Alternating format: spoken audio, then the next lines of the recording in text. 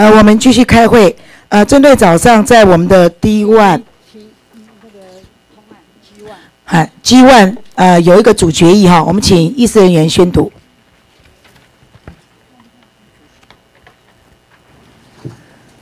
据台北市政府体育局针对市大运表示，至二零一七年一月十九日，应会有一百零一百五十国参赛，为中国当局屡影响他国参赛意愿。外交部应积极通盘掌握邀请状况，与各单位间积极横向沟通，避免遭中中国游说影响而不参与此次世大运，并整合相关资源，积极邀请参赛国政要访台，以其扩大台湾的国际能见度。提案人陈廷飞、蔡世应、王定宇、马文君、徐志荣、吕孙林、刘世芳、罗志正、吕玉玲，以上宣读。呃，请问各位委员对这个文字有没有要修正的？没有哈，啊，因为早上本来有写体育局局长的名字了，那我想说，啊，市府常常有局长请辞哈，就不要把局长名字写下去哈，那就用写体育局就好了哈，以免到了指名的话，那这个人不在这位置上还要来报告什么嘛哈？好，那大家同意，那就主决议就修正通过。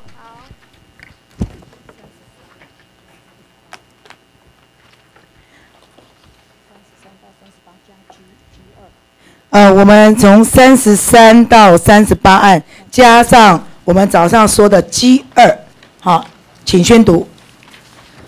G 三十三，协助慰安妇向日所所长作业毫无进展，且外交部及亚东关系协会于冲之鸟渔权争议协调未果。原针对第四目项下协助各种国际交流活动之奖补助费编列预算四亿八千六百四十八万两千元中，减列五百万，冻结六百零五万元。报告经同意后，使得动之。提案人吕玉玲、江启臣、徐志荣。G 三十四到三十八皆属补助业者附有邦交国家投资及参加投资考察团机票补机票款补助。G 三十四。国内业者赴邦交国投资意愿不高，允宜检讨续予考察补助之必要性。原针对第四目项下协助各种国际交流活动之对国内团体之捐助，减列一千六百二十五万七千元。提案人王定宇、蔡诗应、罗志正、吕孙林。G 三十五，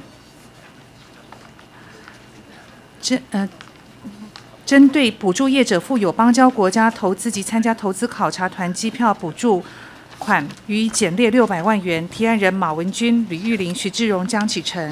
G 三十六，鉴于国内业者赴邦交国投资意愿不高，本计划成效不彰，原针对第四目项下对国内团体之捐助予以减列两百万元。提案人罗志正、王定宇、蔡诗应、吕孙林、林长佐、陈廷飞、刘世芳。G 三十七，针对第四目项下奖补助费。予以减列五百万元，经同意后使得动之。提案人吕玉玲、江启臣、徐志荣。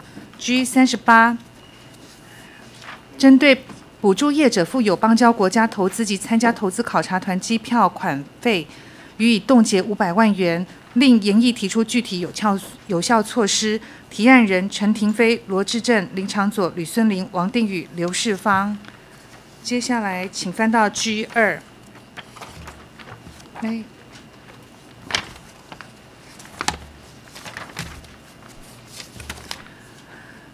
G 二，外交部员外预算已依国际合作发展法之规定，参酌经济合作及发展组组织政府开发援助分类项目编表，以达客观明确并立审计其计划绩效。原针对国际会议及交流之对外捐助预算编列一亿八千一百六十九万一千元，冻结五百万元。提案人陈廷飞、罗志正、林长佐、吕孙林、王定宇、刘世芳。以上宣读。好。呃，我们今天现在讨论的有关于一些呃社团的，早上特别部长有讲，雅协的秘书长先绕跑了哈，现在回来了没有？呃，我在。为什么秘书长不在？啊，接见外宾啊，陪见入府陪见。这是你的业务吗？呃，报告主席，我是副秘书长周学友。所以你早上要走的时候，为什么没有请假？部长都要请假，你们都走了也没有请假。报告，我一直都在。嗯。那部长部长早上不是说有绕跑吗？他指的是看不到秘书长嘛，连部长都有意见说看不到秘书长嘛，嗯对不对？因为他有参加台日海洋的渔业的一些协议的对话，所以他才最清楚。所以我们现在审预算，他就根本不尊重我们，包括你们的会长在我们咨询的时候排专案，你们也没有到，根本不重视我们的委员会啊。那你们的你们的社团这个补助款都不要审了好了。那我们先说明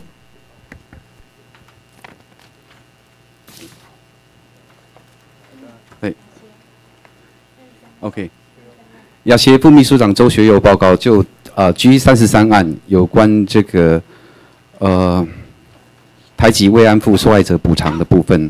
那这笔款项呢，呃，我们主要是每年编列一百万，补助我国内妇女团体啊，啊、就慰安妇球场问题，啊、就慰安妇球球场问题啊，啊、积极与其他国家啊、联合发声，并参与相关的研讨会等活动。希望那个委员恳请委员维持原编编列的预算。以上报告完毕。我们先请提案委员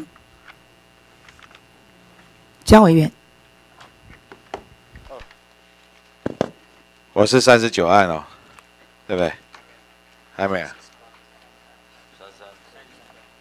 哎，三三我没有在里面吧？哦我是第二个，我帮他讲，是不是？好，不是，我想说，呃，这里面他希望我先讲，他再来收啊。好，呃，我刚刚有在重申哦，因为我们都有排台日的海洋渔业协议的对话，我们是希望捍卫我们的渔权，保障我们的主权。冲之鸟礁，好、这个的问题，我们一直对日本退让。这个亚协参加了这个会议，会长不到场说明，那没有去发挥到结果。这个结果并不是没有结果，是不好的结果，你们不敢对外来公布。反而我们本来驻日就有我们的代表谢代表谢大使在那里，你放着他不用，反而请亚协在会长跟秘书长在场做一些提案，做一些说明，而没有把我们的余钱提出来说，冲之鸟礁也不敢说，什么都不敢说，你不说怎么有结果？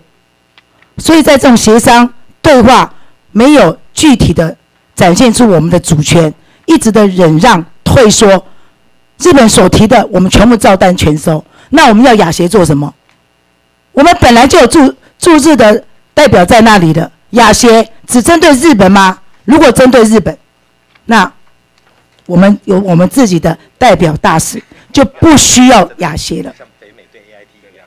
所以我对今天还派了副秘书长来到我们的委员会，预算我一直讲，预算一年审一次，两个礼拜前就告诉你们我们的审查的日期，你们如此不尊重，还会长不到，秘书长不到，派个副秘书长，这个非常不尊重。虽然说你是办官方，秘书长你是领公关股的薪水，所以你一定要到场说明。在这次的协议对话中没有结果，就等于说你们的坏结果不敢去提出来跟国人做报告，所以我觉得亚协没有任何功能性，我们只要我们的驻日代表大使来为我们发声，就可以协调对日的所有的事务了。所以这个预算，我这边希望能够减列掉。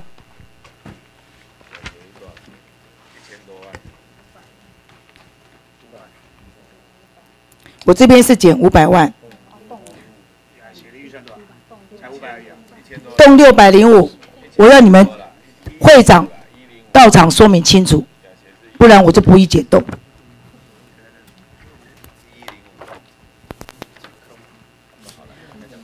我们还有在场委员，其实哈，其实坦白讲，如果可以不用亚协，我也希望不要亚协了。就外交部跟他们直接外交部做互动，这当然是我们理想的目标。可是我们也知道，现实上是因为对方不愿意跟我们有直接官方的接触，才成立一个白手套嘛。那这个冻结动作会让我们不只是一个单纯的，就是说运作的问题，而是牵涉到台台日之间交流制度化的那个设计的运作哈。那因为他的预算就是五百万嘛，对吧？五百，一千亿还是五百？他怎么会一千亿怎么来的？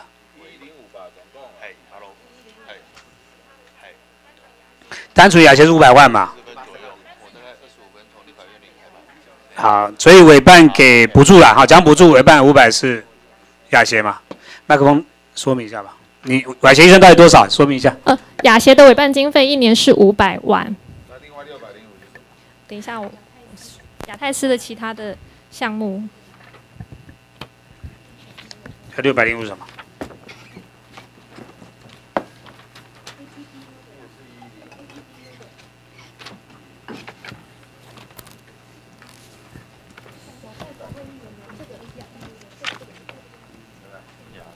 四百三十九万，四模是两千三百。其他的是办理亚太地区国会国会议员联合 A P P U 的。所以实际上亚协的费用是五百万啦。对。那主席，如果你这样动点，亚协就动掉了，那就。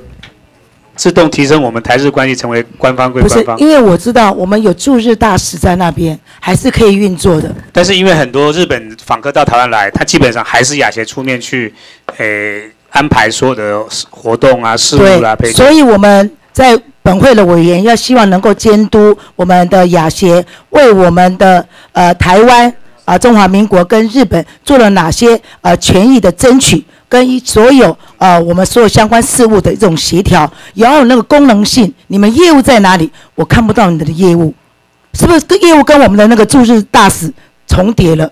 所以会长没有来说明，我不知道会长都没有重视我们的立法院本委员会的监督。秘书长虽然是官派，但是今天也没有到场，不关心他的预算。不关心他未来可不可以执行嘛？哎，所以是不是要等他们来了，我们再来讨论，再来处理这个预算呢？啊，秘书长为什么没来？我秘书长今天呢陪同外宾觐见总统。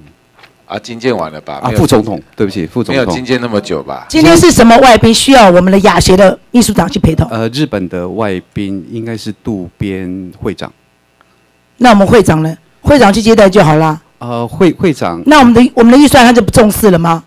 呃，会长，呃，我刚才讲一年审一次呢，时间都那么刚好吗？立法院报告这个相关的预算事项。好，那这案先保留，等他们来做报告，我们再讨论。哎，那啦，那个啊，那个第一个啦，哈，呃，其实如果你们会长去陪同觐见哦，你应该是秘书长来这里，副秘书长你陪会长去才对啦，好。对啦，我的意思是说，哎，你们可以去安排啦啊。我们审预算，你们秘书长应该是最起码要到了，就好像外交部长他也会亲自来啊，啊，除非是真的有事，他中间请假离开一下啊。而且早上会来啊。第二个，我想讲了，第二个没有来就不尊重他了。第二个，我想招委他强调的，倒不是说你们这个亚协的这个会长啊，审预算一定要来，是。我们有一些专案请他来的时候，他应该要来。像上次台日的事情，他就没来，他没来就算了，还在旁边被被人家看到，在旁边的饭店被人家看到，那媒体看到的，还把他写了一篇新闻啊，就是我们这边在谈台日，要求他来报告啊，你不是说他没有请假吗？对啊，没有假单，没有假单嘛，结果他在。隔壁的喜来登饭店，所以就是这样让人家觉得不舒服嘛。好，那第二个，因为雅协的秘书长跟会长通通都是领公家薪水的，好，甚至还领部长级薪水的，好，所以应该是有责任。我们没有要求说你你预算报告你这个理事长来，但是秘书长要来。那专案报告的时候，特别是跟你业务百分之百相关，不然我们编这个业务费干嘛？就业务费删掉啊，业务费删掉啊，对吧？你也不来报告你的你你在做的这些执行的工作，那我们为什么要给你业务费？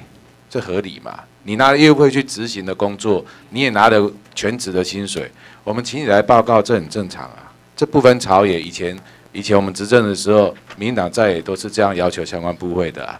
那时候海基会也是这样，海基会当初江炳坤的时候，他没有领薪水，他没有来。后来换林宗生领薪水了，就都叫他来啦。他就他一样，每一次备选都到啊，都到啊。啊，所以我觉得这个是，我想我们心里面都有一套标准啦。那针对刚才吕有人所提关于删减检验那部分啊，我想招伟他在意的，也就是说，到底拿这个钱你做了什么事情，然后我们要求那几件事情，为什么都没办法落实执行？当然他是希望可以简略，那简略当然你你就业务没办法做了。那我是建议招伟看看是不是要考虑整个把它冻结啊，这个这个我尊重啊。我们先保留好了啦，好，那等他看要不要来报告。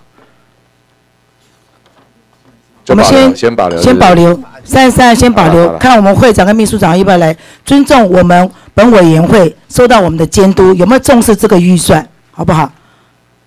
好，接下来后面我们的黄定仪委员，好，呃，谢谢赵伟哈。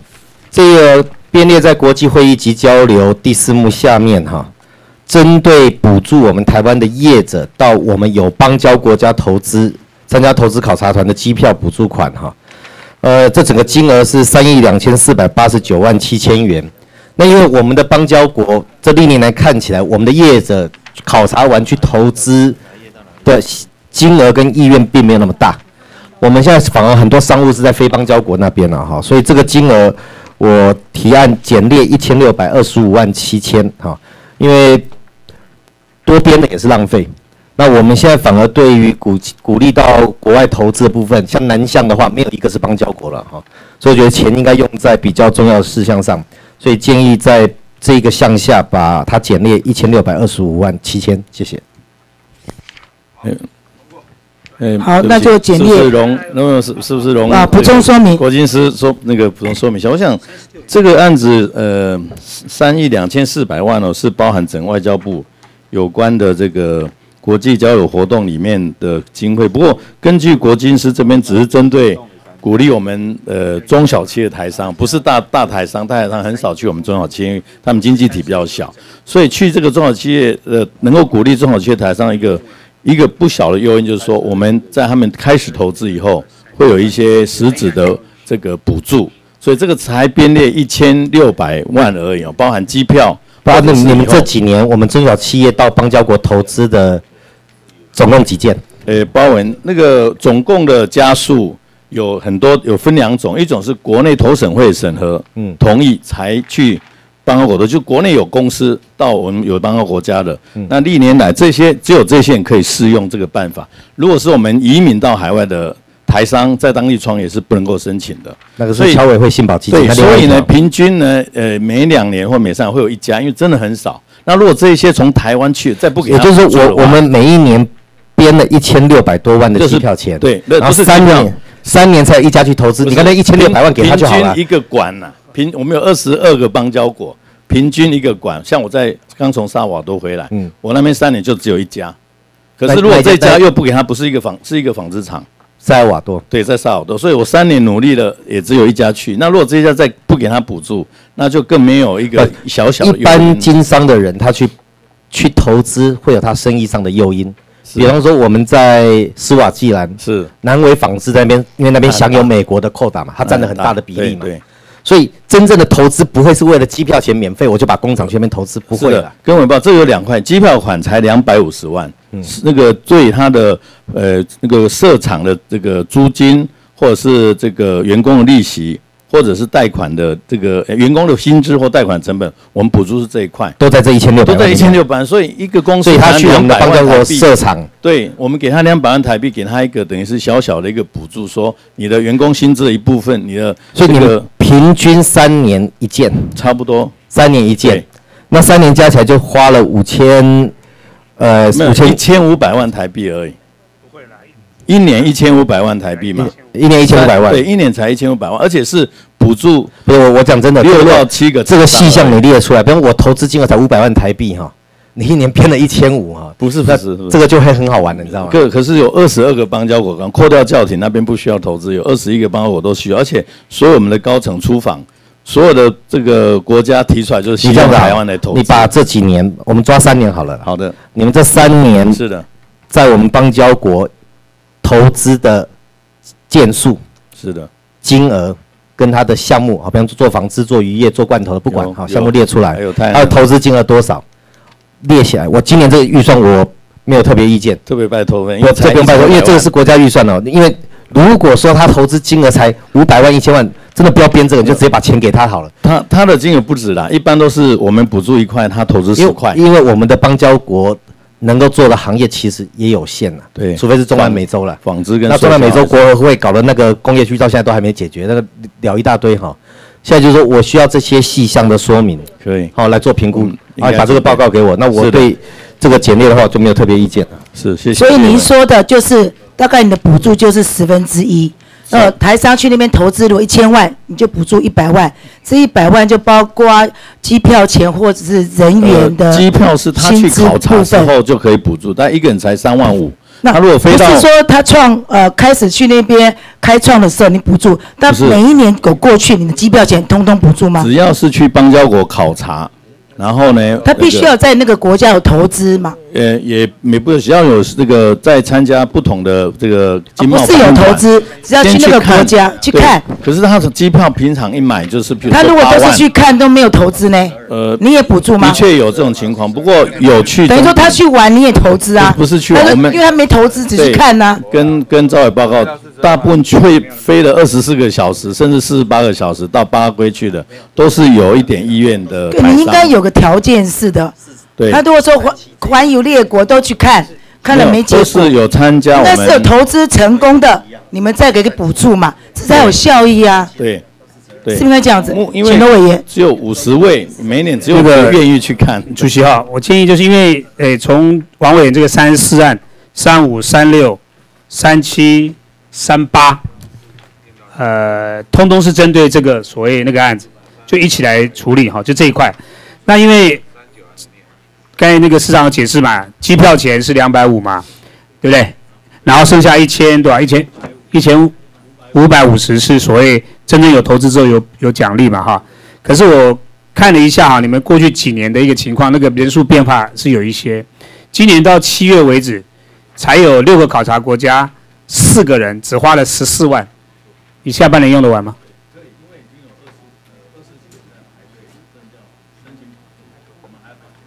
有的。那今年有没有可能谈成任何的案子？呃，这一些是机票补助，是说他参加我们我知道，我知道。现在说这些去的人回来之后，有没有任何真的我们要后续后续专，可是目前我们在这个已经有呃多名家也有也有这个台阳那个太阳光电厂要去设厂，然后那个呃多那个尼加拉瓜大顺也报有两个台商准备要在投资，所以目前我们就有三个。对，海地也有，呃，谢谢知道也有的所以还有，所以光是投资补助的部分呢，很有可能在明年就有四个新的投资案那。这一部分主要是你们外交部在负责，还是经济部在负责？这一部分前往有邦交国家是外交部国经司负责，吸引外资来台湾是经济部在负责。OK 特别跟委报好是。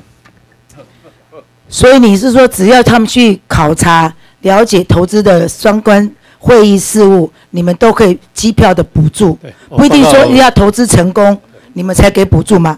你们有一千多万，不是属于这种投资成功的，补助吗？只有两百五十万是针对两百五十万是机票嘛可是我，我其他是投资成功才有补助。是的，跟赵报告，他们每一个人要花八万块的机票，我们只负担他三万五，不是说他去巴圭四十八小时，其实说是晚，其实飞四十八小时到，飞四十八小时回来我我是建议说，应该要有投资成功，我们再来补助，才有那个效益啊，鼓励嘛，是不是？对那你至于他到处去看你，你每一个都补助，对，其实他们是呃自付机票大概到八万块，我们只负担前三万五，而且他那将近也是三分要个三分之一以对，可是上了。他发出的时间跟成本，其实是也是这个厂商必须要付出那些代价。我想并不是说很我多我再我再请问一下，是我们主动去接触厂商，请他们进来，他们来，然后申请？对我，我是亚威斯的司长，我的辖区也有邦交过。我跟各位委员报告哈，这个机票补助有时候是不得不做的。因为呢，有一些邦交国他会说希望我们有一些投资，明明知道没有人要投资，但是他说连你这个都不来，那我们大使馆承受到他这个国家的压力很大，总要至少总要组个团去看一下，表示说有来考察这个投资环境可以不可以，至少让人家的国家说至少你有在动嘛，不会说你理都不理有，所以这部分呢，我以邦交国的这个主主管司的司长来讲呢。这个确实有时候这个动作，即使他知道他不投资，这个动作要做出来，了解可以可以减缓我们这个大使馆很大的压力。所以你的补助的条件就是要邦交国，非邦交就只要他去了，他自己付大部分，只要他去了，这个动作要做出来。明知他不投资，但是这个动作要做出来。谢谢谢谢。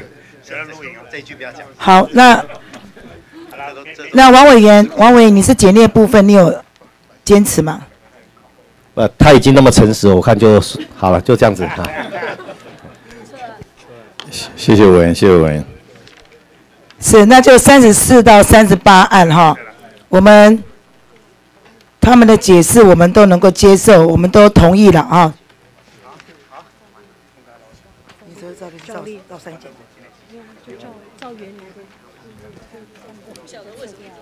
所以三十四到三十八案就是撤掉。现在宣读三十九到五十一。G 三十九，今日之台台湾民主发展，应由各团体自行募款营运，原针对第四幕乡下协助各种国际交流活动，其他协助各项国际交流活动有关补助，台湾民主基金会、亚洲太平洋自由民主联盟秘书处、世界自由民主联盟中华民国总会，计一亿七千八百二十七万一千元，减列五千万元，冻结五千万元。专案报告后使得动之，提案人江启臣、吕玉玲、徐志荣。G 四十，鉴于外交部对民主基金会、亚盟、世盟连连补助，为成效存疑，原针对第四目向下协助各种国际交流活动之奖补助费，冻结一亿七千八百二十七万一千元。向待向本会提出报告，并经同意后使得动之。提案人吕玉玲、江启臣、徐志荣。G 四十一。台湾民主基金会接受外交部补助后，却又编列七千余万补助款予以国内外政及政党，外交经费透过经费转手补助国内外政党，显非事宜。原针对第四目向下协助各种国际交流活动之国内团体之捐助，予以冻结一千六百二十四万五千元。提案人徐志荣、江启臣、吕玉玲。G 四十二是。世盟、亚盟两组织对台湾国际空间拓展功能与所获补助费不成比例，原针对第四目向下协助各种国际交流活动之对国内团体之捐助，予以减列两千八百二十七万一千元。提案人蔡世应、陈廷飞、罗志正、刘世芳、吕孙林。G 四十三。亚盟世盟功能不彰，原针对第四目向下协助各种国际交流活动之奖补助费，予以减列两千八百二十七万一千元。提案人吕孙林、王定宇、陈廷飞、林长佐、罗志正、蔡世应。G 四十四，亚盟世盟沦为特定政党安插人士之组织，遭人民诟病。原针对第四目向下协助各种国际交流活动，减列两千八百二十七万一千元。提案人林长佐、吕孙林、王定宇、陈廷飞、罗志正、蔡世应。G 四十五，亚盟世盟二单位效用已逐渐式微。原针对第四目向下协助各种国际交流活动，予以冻结两千八百二十七万一千元。书面报告后使得动之。提案人刘世芳、王定宇、陈廷飞、罗志正、吕孙林、林长佐。G 四十六，亚盟应转型为自自主筹募经费之社会型企业，原针对第四目乡下协助各种国际交流活动之对国内团体之捐助，预算编列三亿两千四百八十九万七千元，减列四百三十九万四千元。提案人罗志正、王定宇、蔡诗颖、吕孙林、李长佐、陈廷飞、刘世芳。G 四十七，针对世盟、亚盟补助部分，应提出检讨报告，原针对第四目向下协助各种国际交流活动计划之亚洲太平洋自由民主联盟秘书处年度经费预算编列四百三十九万四千元，予以全数减列。提案人陈廷飞、罗志正、林长佐、吕孙林、王定宇、刘世芳。G 四十八，外交部补助亚盟年度经费四百三十九万四千元。鉴于政府裁员日渐困窘，外交部应将有限之经费用于可增进我国国际能见度与提升国际形象。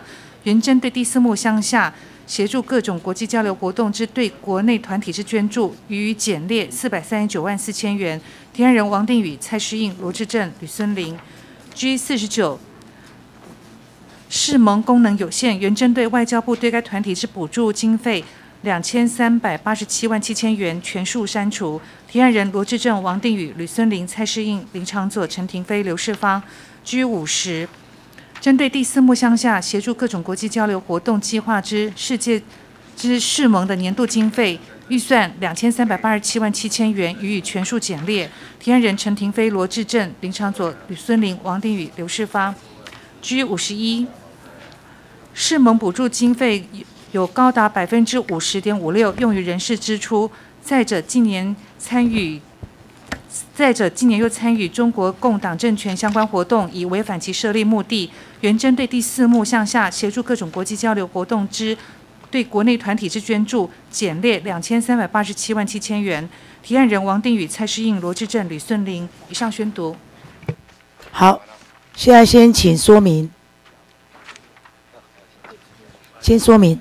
执行长说明，主席、各位委员，我是 NGO 国际事务会执行长周林，在这个地方报告。那么有关于刚刚很多的提案啊，那么我做以下的报告。啊，我们了解呢，这个世世亚盟啊，基本上是一个历史的产物。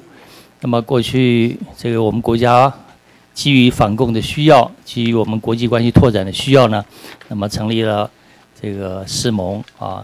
那么亚盟呢，也在我们当时政府差不多四十年前，一九七六年的时候，那个时候经过政务委员，经过主计长，那么协议呢，那么由交由外交部来编列预算来支应。那么这个都是过去啊，那么为了反攻的需要，以及呢为了这个拓展国际关系的需要啊，那么所做的一个决定。啊，那么至于民主基金会呢，我们了解它是二零零三年我们台湾民主化之后。那么，为了应应台湾民主化啊，为了要推动这个自由民主人权啊，特别是自由民主人权，那么跟呃我们世界上呢，那么推动自由民主人权的国家来合作，那么因此呢，由立法院呢啊，由立法院在二零零三年的时候啊，这个立法院呃大院呢，在外交及国防委员会呢决议成立的。那么经过了决议之后呢，那么外交部。啊，才根据这个决议呢，那么设立台湾民主基金会捐助暨组织章程，那么来编列预算来支应啊。那么过去很多年来，台湾民主基金会呢，当然在拓展这个自由民主人权，以及结合世界上呢跟我们相同推展自由民主人权的国家共同合作，那么所呃做的这个贡献啊，外交部都很肯定，而且我们表示敬佩。那么当然，我们对于世盟亚盟过去很多年来，那么基于政府的政策，在反共以及推展国际关系所做的努力呢，我们呃以及他这个呃所谓的二轨外交所做的努力呢，外交部也要表示肯定，也表示支持。那么至于呢，目前我们国内的政治环境，那么以及呢这个呃大院的呃呃委员会啊，立法及国防委员会，那么呃要为了这个两个呃。这这这上面的提案啊，所做的决定了，外交部会秉持我们一贯的做法，完完全全尊重这个大院的决议啊，我们确实来来遵行，谢谢。好，谢谢，请提案委员王委员。既然外交部这么尊重，我们就好好把它处理一下哈。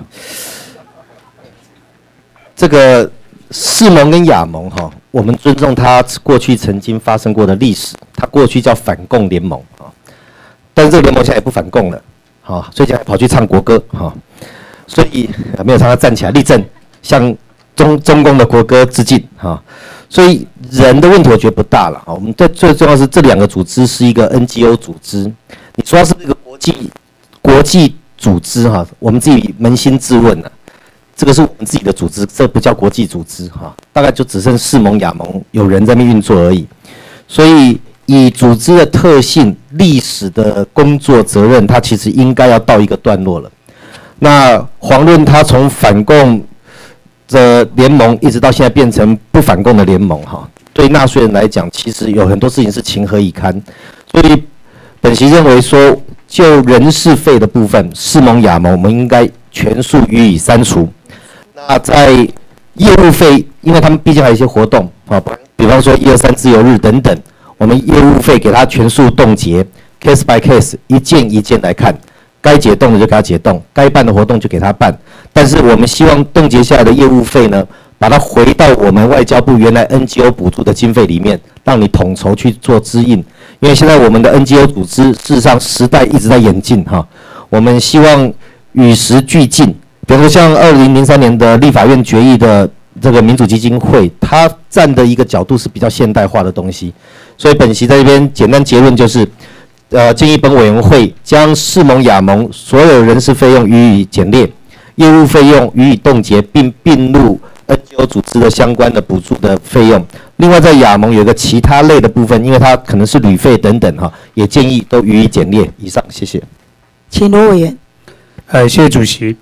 呃，我刚才发了一个资料给大家参考哈，就是说，呃，这两个组织啊或者团体，它目前那个费用使用的情况，事实上我们都很清楚，世盟跟亚盟几乎就是外交部百分之百支持的一个单位，好，可是从外交工作的效益来讲，我们实在看不出它目前现阶段对整个外交工作的效益有多大啊？它一年吃掉我们的预算将近两千八百万，绝对不是少数。那更让人家觉得不可思议的是。它的人事的费用跟成本啊，占了呃这个所有我们补助预算的几乎都超过一半以上。光是世盟的部分，一年就吃掉我们外交部补助费用一千两百万。那亚盟人事费用两千两百七十五万，然后业务才七十一万多。所以这个单位坦白讲，业务是很少有限，但是是呃肥缺了。我随便举个例子啊，这边有更细的跟各位说明一下，是亚盟的会计。我不会不讲谁，会计一个月领六万五，出纳一个月领五万三，然后那个其他单位也是一样啦，亚盟年终奖金会计十八万四千块，外交部里面有谁领十八万四千块的年终奖金？没有哎，李大伟，啊，出纳出纳亚盟的出纳年终奖金十五万一千。我们外交部，我跟你讲，我们助理看到之后，每个都哇叫他们倒是想去四门衙门工作，被我们操的要死，还没有周休七休一，就人家一个会计，年终奖金十八万四千，我相信我们连所有的委员都看不下去啊，这是完全不合理，等于是我们养了一堆人，然后这些人对外交的贡献是有限的。我们主计局长那个可能你的年终奖金还没那么高啊，十八万有那么多吗？没有啊。薪水那么多，人家会计都比你还高，你是局长，哈，所以我觉得那是非常不合理的，所以我主张了哈，但是因为这笔钱是外交部好不容易从你总体算挤出来的钱，所以我本来是要求全删的，啊，但是后来我我跟几个委员讨论之后，这笔钱好不容易外交部可以运用，因为我的想法就是这笔钱如果给其他 NGO 的话，它做出来效应，它可以发挥出来效果，对外交的这样会更多，所以我建议啊，那个人事费用我建议全删。两个单位都一样，这样就可以删掉一千四百万，一四八二三，然后业务跟其他费用大概总计大概呃一千三百万左右，这个呢我们会继续给 NGO 补助这一块去做补助，回到 NGO 正常的。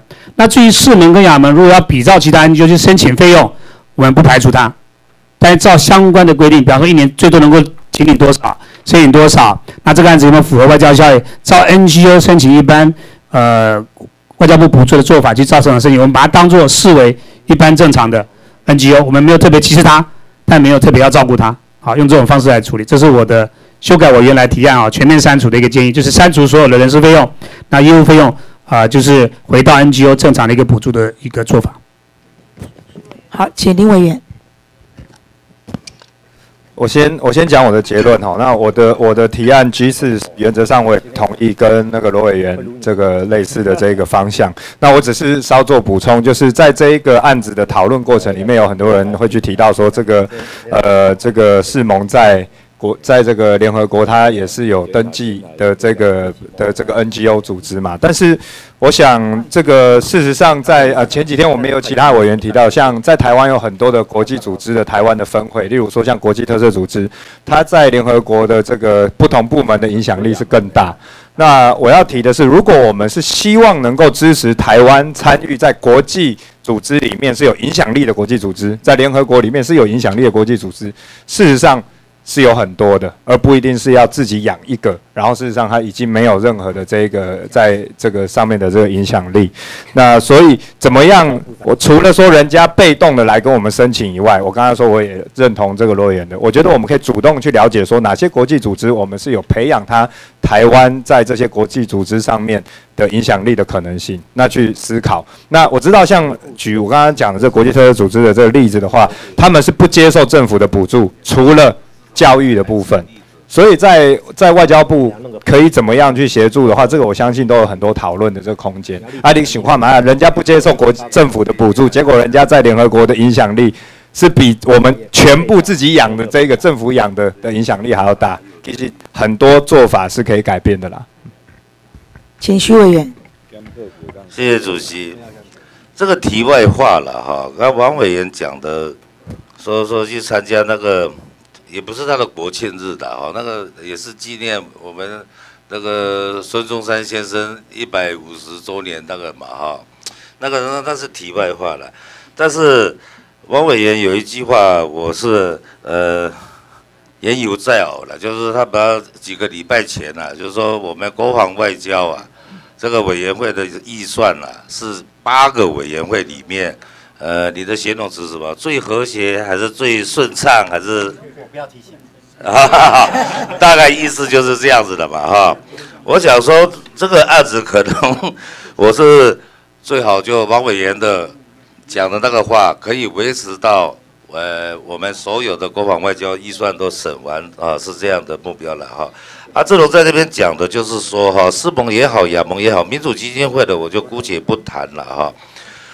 我的意思是说，它的功能怎样，姑且呃，大家不还不论那个了。自由，它至少它的名字叫自由民主联盟。我们每次跟中国大陆讲的是什么？我们强调的是我们的价值是什么？我们就是我们中华民国在台湾啊，怎么样来讲？我们就强调的我们是自由民主的国家。我们跟它不一样的就是自由民主，至少它的名字就是起的自由民主。我我们把这个自由民主的这个组织，所有的啊什么人事会还是什么，酌删酌减，我都没有意见的哈。我是说，时空环境也是也不一样的吧。何况世盟亚盟，它也不是针对中国大陆在那边而已嘛，它也是世界很多自由国家，大家一起。刚刚之前讲讲的也很对呀，是澳轨外交嘛，不是。不是不是那个鬼的鬼了哈，就是那火车轨道的轨嘛哈，这这它也是有二轨外交的这个这个作用嘛哈，所以我还是建议酌减酌删了啊，谢谢。好，请刘委员。好，那个有关世盟亚盟的部分呢，我想请一下，请问一下 NGO 司啊哈，现在世盟的理事长是？不是不是曾永权。亚盟，亚盟，好，一个是呃曾永权，一个是姚颖琪嘛，哈，那他们两位都没有那个付人事费嘛，是不是？有，都有。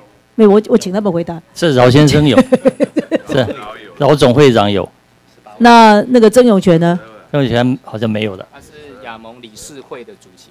亚盟理事会的主席哈，那因为刚刚呃，如果有个网友提到说，这个人事费用占了相当相当高的比例的话，理论上讲，外交部有没有交付给世盟跟亚盟什么样子的国际任务？哈，因为如果他是呃都是支用这个公务预算的话，他的任务是什么？还是由他们自行来决定？这个是不是可以请 NGO 司来回回答一下？那如果说目前为止外交部并没有交付世盟跟亚盟做什么样子的国际会议的决定，包括说虽然有在联合国里面登记立案的团体，那也没有到联合国去做任何对我国的邦交或者非邦交国有关的相关任务的话，我觉得他接受呃外交部的这个补助的意义其实就降到很低了哈。所以是不是请 NGO 司或者请外交部可以回应一下？那我也非常赞成刚刚那个罗委员所讲的哈，有很多 NGO 团体，如果它相当大，那它可以透过每一次要代表我们的国家或者代表某一些特别的这种团体出去外面开会的话，可以跟我们的外交部来申请相关的出席费用，这样子反而会比较活络了哈，而不是说钱一笔拨出去以后呢，我也不敢问啊，也不敢也不敢再去查哈，到底是怎么一回事，那效率就降为零了哈。所以是不是可以请 NGO 司来回应一下，就是我们有没有交付这两个团体做过什么样子的工作？包委员，呃，呃，有关于这个世盟跟亚盟啊，那么世盟基本上它每年呢都办一二三自由日啊，那么邀请一些这个呃世盟在全世界各地啊所成立的峰会的一些负责人或者是当地的政要到台湾来参加这个一二三自由日的会议。那么至于亚盟方面呢，他这个最近几年来办理办理这个亚太啊亚太这个呃论坛啊，邀请一些特别是东南亚若干的国家的一些政要来参加这个论坛啊。那么可以说基本上就是呃做这些跟外交有有有若干关联的啦的这些这些事情。只有一次是吧？世盟一年办一次，亚盟一年办一次，是不是这样？目前是这样吗？对对对，没有错嘛哈。对，差不多是这样的。那一年办一次的活动，我们需要帮世盟跟亚盟养他的人事费吗？这个由委员来来定夺。外交部是尊重，完全尊重立法院的决议来办理。好，好像对这个项目特别就尊重委员会呢。尊重大院，尊重大院的他。其他的案子都很计较的，像减了减了几四十几万也不行，要减四千块，这个案子就尊尊重尊重委员会。奇奇怪，经常怎么这个案子特别尊重委员会？自己编列的预算都没有去要去争取哦，就把它放掉了。那你怎么怎么？那你当初就不要编了，你现在编了不争取，请江委员。那个这样哈，我我想外交部补助这些团体的啊，其实也不止四门亚门啦，有很多团体啊，有的经贸的，有的可能比较属于其他社会的人权的啊、环境的这些等等的啊。那当然四门亚门它的历史背景刚刚也都讲了，但他现在因为环境变迁或者他在组织运作上面，我们觉得他有一些不符期待的地方，我觉得都这可以检讨啦，啊，这可以检讨。那甚至是说，他要不要转型，我觉得也可以讨论，甚至外交部自己也可以去提案，啊，如果说我们觉得说过去透过这一个啊联盟所取得的这一些对外的关系，好，或者这个 group，我们觉得维持这一些关系，对我们的外交，或者是说在对外事务推动上面，我们还怎么样可以加以活用利用的时候，那你组织的转型是可以做的，好，那现在当然很多委员对他当这个运运作里面的可能他的薪资啦、他的结构啦、他的人事任用有很大的疑问，甚至业务内容，他们也希望可以检讨。那我觉得这都算是合理的要求了啊。那是不是要全部人是不是删掉，业务会移转等等？我觉得这这一点就要比较谨慎一点了。啊，第一个就算要这样做，那可能也不适合在今年马上来做了，因为你们预算都已经提出来了。宪法规定七十条，你也不能够把这些预算啊增加啊，就是立法院不能去提增加预算增加的啊，因为它是在不同项目底下，所以就算你把它砍掉，你要把这些预算移到 NGO 的其他业务区，这是没有办法做的，除非就是整笔砍掉了，或者是减列了啊。所以我觉得这个案，当然我们听起来都会觉得大家讲的都有都有道理啦啊。呃，刚刚几位委员讲的，我想他们都有充分的准备，就代表呃讲出来的啊，有他们过去观察跟呃主张啊，那这部分我想我们尊重，但是我还是觉得这个案如果说要全删或者是呃整个不再列啊，那我觉得要审慎一点了啊。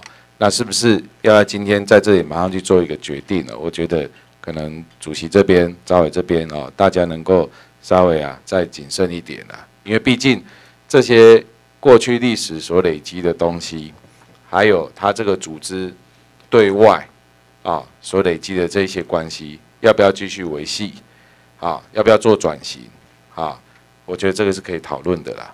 啊，所以我还是希望说能够再更加谨慎一点啊。请王委员。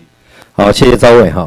这我们尽量保持像徐委员该讲的，我们本委员会到现在还没有用过表决哈，我也希望不要哈，因为都是为了国家做事情。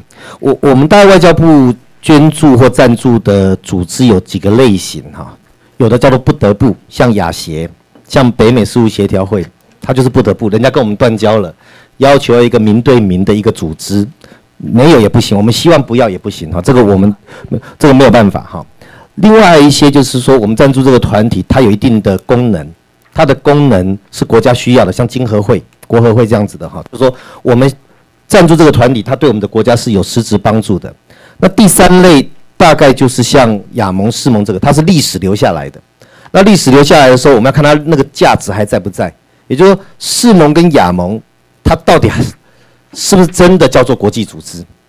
第二个，它的业务如果只剩下一二三自由日办活动。我赞成了，把一办活动业务给他，那一场活动的人事费用也给他，也就是说，他整个这两个组织就只剩下办一二三自由日，我让他一二三办到十好了啦，一二三四五六七八九十自由日，就给他这个活动费跟的人事费用，那剩余的费用，我们觉得终结下来不是就没有了，我们把它终结下来，我们外交部还有很多很重要的事情要做啊，所以我我真的是建议说，在针对这两个。历史留下组织，它以前不是只有民主自由，它还有一个反共，反共民主自由，它那个反共拿掉了哈。那这两个组织目前人的表现跟组织的表现，跟他列出来的薪资，事实上是很难让纳税人接受哈。所以我真的建议我们把它人事世盟跟亚盟人数，我们把它全部减列。那业务费用的话，我们把它冻结，也许科目不能移动，那也是让他们来申请。让世亚盟针对他们必要性的活动提出申请，他要办论坛，让他申请来支付他们办这个业务的相关费用，甚至于这个业务衍生出来一些相关的人事的支出哈。那其他部分我们也把它简列下来。我觉得这样做对现在台湾的纳税人来讲，他比较能接受以外，也比较符合国家的利益哈。那我们希望我们委员还是保持和谐的方式，把这个按共视决把它做决议。好，请马委员。呃，针对这个。部分，然后刚刚前面有几个委员其实提出来的有些必须要修正的，其实我们也认同。可能在认识呃人事或业务上面，过去我不知道，因为这个不是第一年编，长期以来每一年这个预算都有编列。那过去外交部在这个部分，为什么你在去年之前都认为它是必要，或者你没有提出一些呃有疑虑的地方，或者有必须修正的地方，你都认为应该要编列？那你今天说要尊重委员，你早上有很多的预算，其实我们看不到它的成果在哪里。我们还是支持外交的预算，可是你不能在突然在一年之间，你尊重的是委员，是委某些还是委员会，还是你必须要说清楚每笔预算。其实我相信它都应该用在当用的地方，用在可以编列的地方。可是不是像你们今天这样的态度，那你过去都要干嘛？主。主席，请罗委员。其实我们都很清楚啊，这么多年来，四亚盟的预算每年都成为一个争议的焦点，不是只有今年而已。啊，那它的成效如果这么好的话，每年不会成为一个媒体也好，或是委员讨论的一个焦点啊。那这个就涉及到，就是到底我们有没有让这样的一个政治上的决心，就是这个要做一个比较呃决定性的历史关键性的一个决定。那坦白讲了哈，就是说我刚才强调一点，就是说这个钱。如果能够用在更有效的地方，对于外交的加分会不会更大的问题？比方说国经协会，外交部跟经济部各出一半嘛。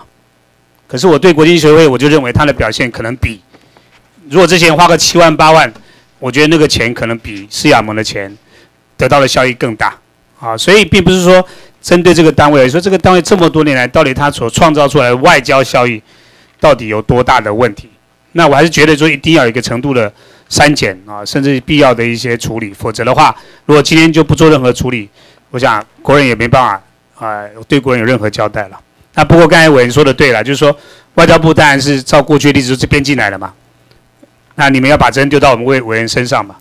啊，现在现在现在有点角色错乱，好像是我们国民党是国民党是执政党，我们是反对党要来砍一样，这有点角色错乱。好、这应该照理讲，我们就捍卫希我们。望外交部把我们这些呃民间组织能够帮助我们国家做外交的部分哦，对了，所以所以没有什么哈正反对执政党反对党的问题了啦，就是我们就事论事说这样的单，我相信很多委员看不下去啊。这个一个月十几万的，哎七八万的一个薪资，六七万的薪资，哦，比我们办公室任何一个连主任薪资都要高，这种合理吗？对不对？然后年终奖金你十七八万，这种东西真的要做处理了。金长，你可以主席，对不起啊，金是长，你可以多想一下，世盟亚盟除了一二三以外，还有做些什么事情？是不是有邀请什么呃新南向的那那些些呃那野手什么有访问啊？有什么？你一二三办到十以外，你你到底还有没有什么世盟亚盟？你如果今天不知道，改天你去收集一下世盟亚盟到底做了些什么事情，再来跟委员大家报告。不然他现在只知道一二三办到十，他当然同意你。除了这个以外，没有做什么吗？是不是你知道现在除了那个以外有做的，现在先快点报告。这个我们这个案子是从三十九到五十一案，这个民间社团包括世盟跟亚盟，还有包括一个台湾民主基金会都在里面哦。那我们看到这些人事费，世盟、亚盟加起来，罗委员给我们的资料是两千八百多万哈、那民主基金会就一亿五千万哦。那我们所有这个社团啊、在帮助我们中华民国做这些，都有历史的背景，好、他们都有一必定的一些业务在推广，好、所以我们要平心而论哦，现在不是执政跟在野的问题，如果能够解帮我们做一些外交，解决一些国际的事情，包括我们没有邦交国的国家，我们走不进去的。啊，我们的世盟、亚盟跟我们民主基金会也都会协助我们哈、在我们执行长报告当中，很多的事务都会来来协助，尤其现在呃世界的国际组织的一些会议里面，我们都不能进场，不能用会员国，也不能观观察员的身份进去。我们在场外的时候，也是要希望有一些呃团体能够替我们发声哦。所以我觉得呃各位委员，我们还是要审慎来处理这个案子哦。如果把他们人事费全部砍掉，他根本就没办法营运呐、他办活动也没有人呐、所以我们在这一方面的话，呃，各位委员，我们要不要呃，在针针对这些问题啊、我们来一讨论，来一检讨，或者请我们各各协会来来给予说明，好不好？主席，各位，我我是觉得，当然要不要全删，我们可以再讨论啊。但是就是说，真的要做大幅度的，不是小幅度，是大幅度的检讨。如果你真的主席这边或是大家同仁有兴趣去研究施亚盟，你会越看越越越火大。他编了两个司机的预算啊，薪资哎，公务车司机编两个，那是是我不但不是谁做啊，好，那有司机一定有司有车嘛，业务费用嘛，我们都立委都没有配车的，这个单位还配车，还有司机，对不对？那这个东西当然是可以被检讨，而且我觉得应该大幅的检讨。但是另外，台湾民主基金会本质上是不一样，它就是很清楚，就是国家所成立的一个民主的基金会，而且是受监督的。底监事的组成是由各政党轮派的，哎推推荐的，照政党比例。董事长就是我们立法院院长，副董事长是外交部部长，他就是为外交任务所成立的。所以这两个把它混在一起的时候，会有一点，因为他毕毕竟权利责任是不太一样。施亚盟几乎可以不用向外交部做任何报告啊，没有啊，有没有要跟外交部做报告吗？年度报告吗？也没有啊，所以钱就出去了，随便怎么花，只要单据符合，我们就帮他报销。所以我觉得那个是完全不太一样。对不起啊，我不是针对主席，我是看到这个施亚盟的，我看到他的东西，我就越火大，不是针对主席，抱歉。请刘呃先刘委员再林委员哈。我我请教一下主计哈，讲补助费可不可以补助人事费？讲补助费可不可以补助人事费？尤其是常态性的处长，讲补助费可不可以补助人事费？还是只是一个临时的？不行嘛，对不对？主主计干嘛要想那么久？那不是一一项的业务吗？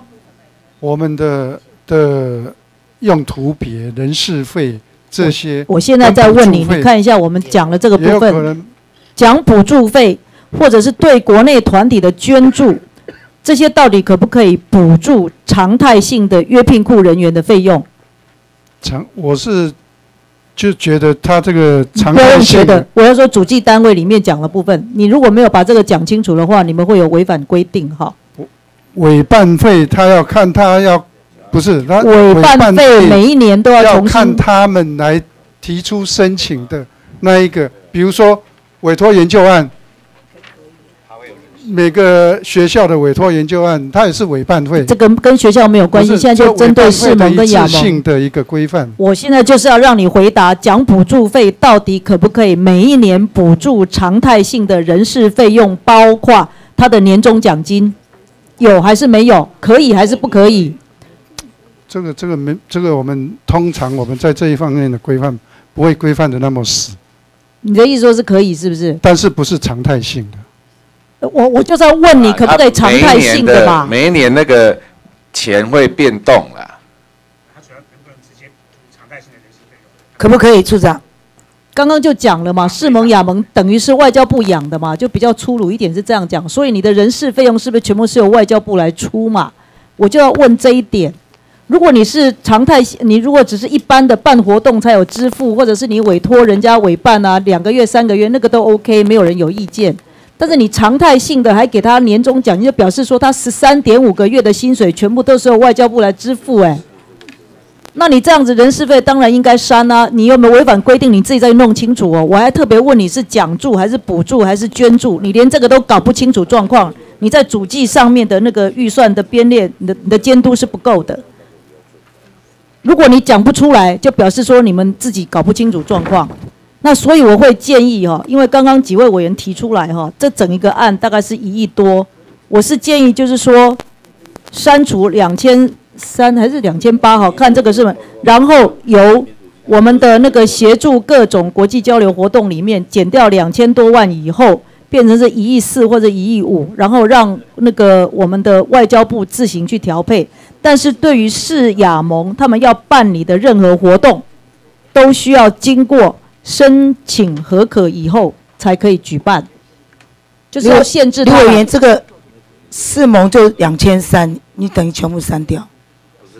不是啦，我刚讲的，我刚讲了整个大幕，大幕啊一亿多的大幕里面，包括民主基金吗对？啦，对啦，总共一亿七千八百万呢，一亿七千八百万这个啦。不一样啦，没有没有，这个我补充一下，我的提案就是这样子啦。我的提案是三个补助单位嘛，民主基金会、四盟、亚盟，总共加起来一亿七千八百万啊、那这个部分呢，我是提减列五千，冻结五千呐。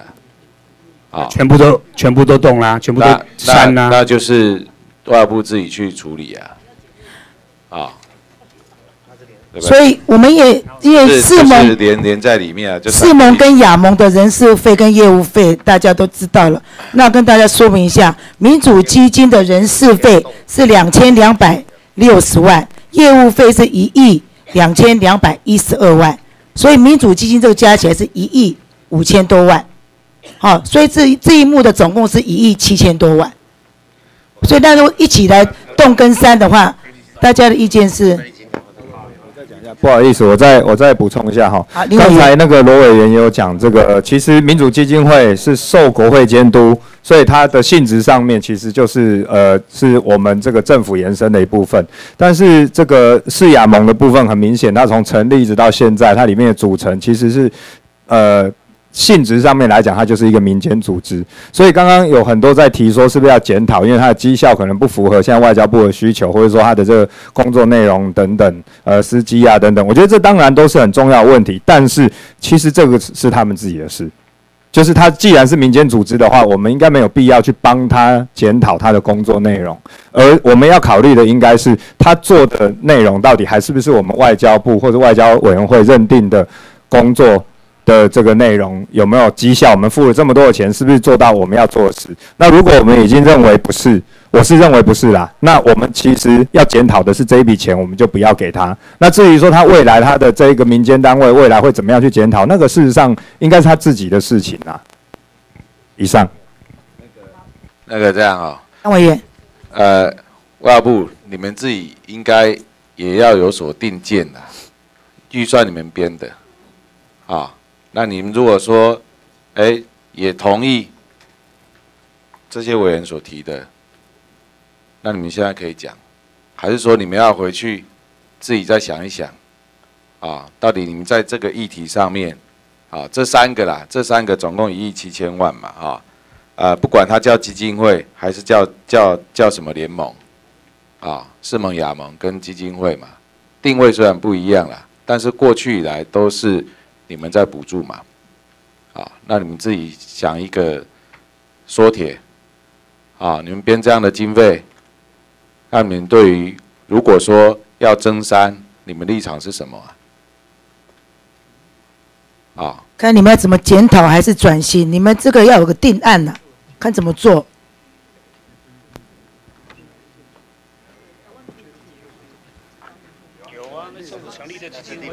各位委员，我们这个案子哈、已经讨论了一个小时哈、还是说我们先保留，先讨论后面的，好吗？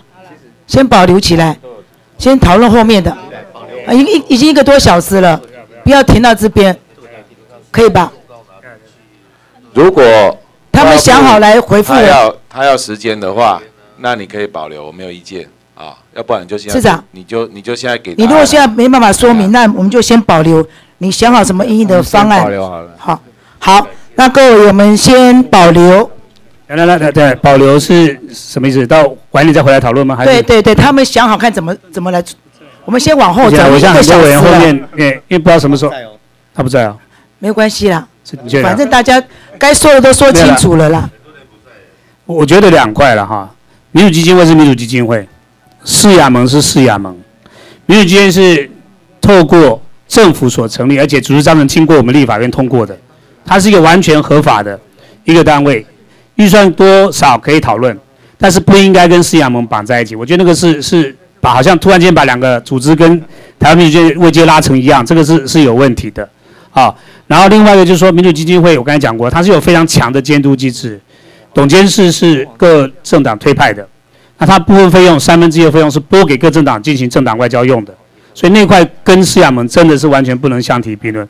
如果要保留的话，那我建议就是说把市亚盟保留到后面讨论，但民主基金会要就民主基金会单独去处理了。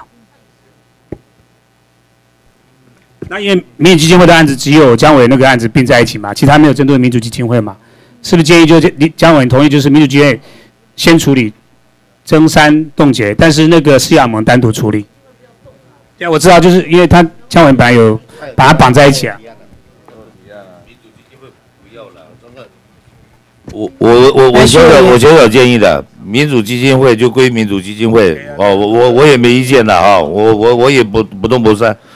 世盟亚盟哦，当然什么司机太多了还是怎样，我我我小小建议的，刚才也讨论了很多，以后明年要怎样归以后明年怎样了，要检讨怎样，是不是世盟三十八，亚盟三十趴？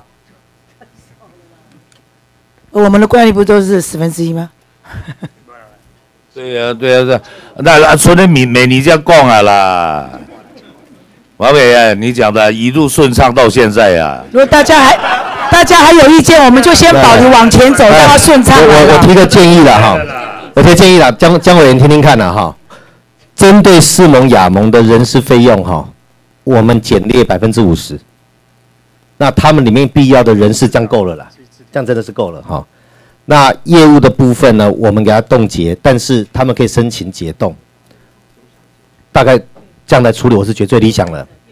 业务费冻结，因为他办活动申请解冻就给他嘛哈，就让外交部做管控了，不要整笔给他，因为整笔给他哈，真的有点浪费了。所以就说人事费用我们摆全三，那我尊重国民党团的意见，就是说我们减掉百分之五十，让他做必要的支出，或者有一些他们常任聘任的人，一下子马上解除工作，我觉得也有道理哈，所以我们就减列百分之五十，哎，百分之五十不会啦，他们那个薪水，这个达官贵人不要领，下面都可以处理了。然后业业务的部分哈，业务费的部分我们给他冻结，那 case by case，他要申办的活动我们叫他解冻让他来办，其他类的也一样，其他的我们就不减列，一样给他冻结，他该该自己的提出来，我们再予以补助，避免整笔给他哈，到最后我讲真的啦，你说老尹奇拿着我们的差旅费，他不止那一次啊，他也好有一次跑去跑去中国讲说非但瞄准台湾是在保护我们，那个都很不妥当的。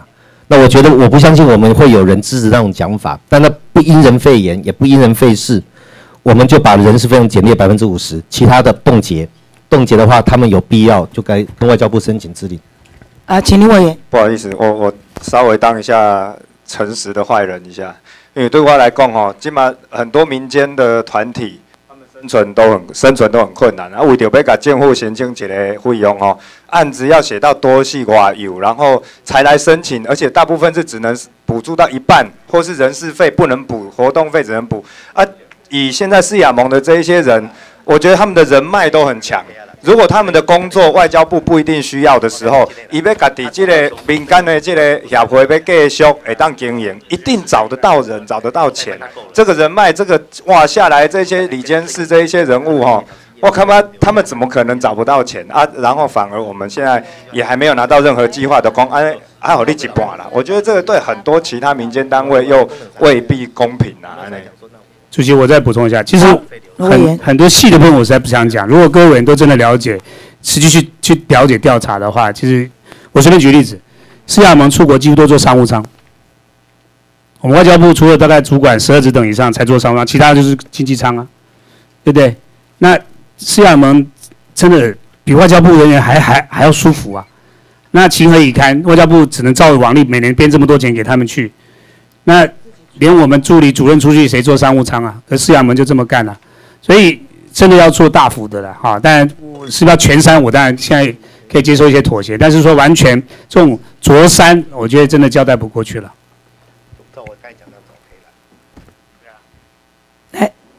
啊，江委员。那个要检讨就全部都检讨了哈，四门亚门也检讨，然后那个那个亚协啊，还有那个北北协全部拉出来，因为亚协北协其实虽然是白手套，白手套也可以不领钱，坦白讲，啊，来被做个国秀呀，龙脉念啊，啊。那甚至里面冗员也一堆啦，司机车子也都有编嘛，也都部长级的嘛，这一些嘛，要那就彻底全部都拿出来检讨嘛，好不好？好，反正都是外交部在出钱嘛，外交部也长久也都不敢讲话，啊要讲就全部都拿出来，一次做做整理好了啦。但但是对不起，亚协预算跟跟那个比起来，你看差多少？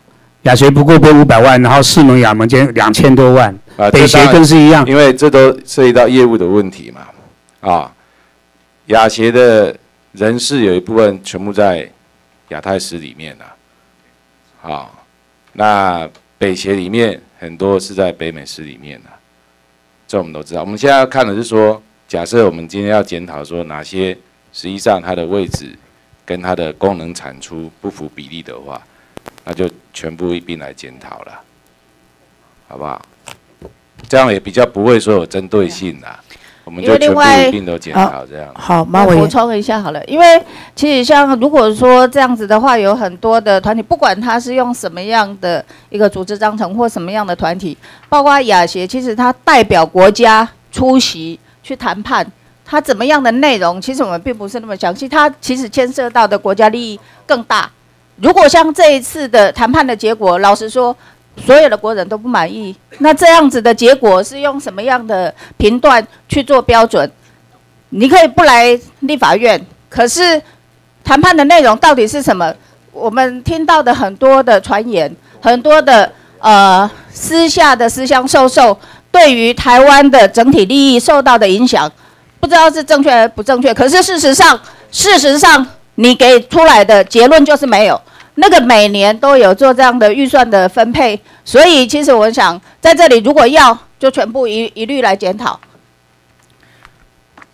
那个那个外交部已经，哎，外交部已经那个思考好了没有？可不可以给我一下你们的想法哈？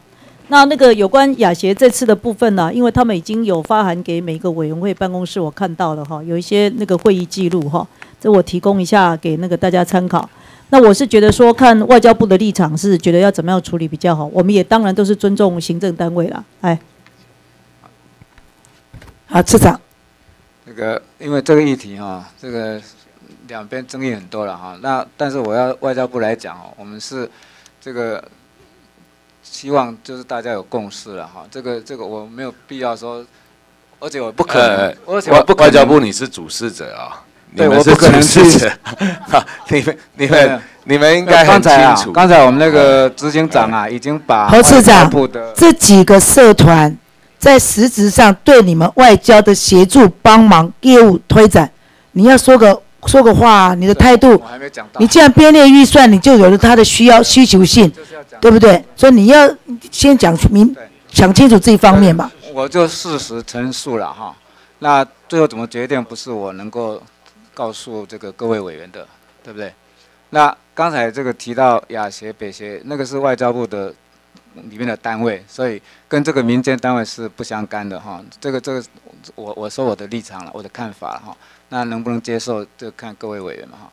但是那个至于那几个民间团体，刚才我们执行长一开始讲的时候，他有说明过去他做的什么事哦。那在恶鬼外交上面是有有有参与的哦。那这个至于民主基金会那个，刚刚其实大家也都听到了，那是因为这个在立法院决议设立的哦，所以这其实各有不同。那最后啊，大家怎么决定，不是我来告诉大家了，只是我只是把事实上外交部怎么认定，请各位委员参考了。所以侯次长也是不能做主，也不能决定，也说不清楚了。那各位委员，我提议好了啦，那我们就等部长来，我们再来继续讨论，好不好？我们先往前走了，已经一个半小时了，不要再停留在这边，先保留好不好？好，李委员。拍谁了？那个我刚刚有那个在跟徐委员呢，哈，那个稍微提一下。不过我们还没有问过我们那个罗委员的意见呢，哈，就是说有关人事费或者是业务费的部分，哈，就是给一半，然后冻结一半，好，看可不可以用这样的你。是说所有的吗？世盟、亚盟跟世盟亚盟民主吗？没有没有没有都民主基金人事费会当已都比经不在此例都动一半吗？没有世盟亚盟的部分，还有民主啊，这都一起的。不要不要不要不要，因为因为亚盟或北协哈，呃亚协跟北协那个确实是有准官方的地位哈，那个我们不我不放在这边讨论，这样好不好？我们坚持人事费用把它删除。那江启仁委员他们有他们的意见，我们把这个案子保留到院会去协商，这样好不好？那我们就全部保留。不不，民主机会没有没有，民主机会没有问题啦。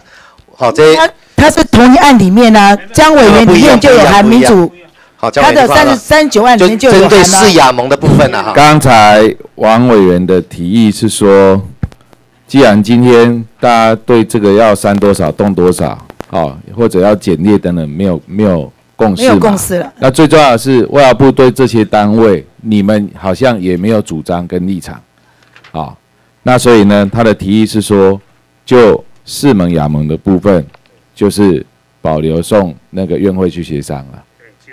好，就就四门衙门的部分了。那这案子的话怎么分那那？个没有啊，那哎，下面有密，就是说那个一亿七千多万里面，它有细项了，有四门衙门的细项吧？有没有？有嘛？那就是这两项的预算，这两项的预算送朝野去协商，哎不，送那个院会了，送院会了。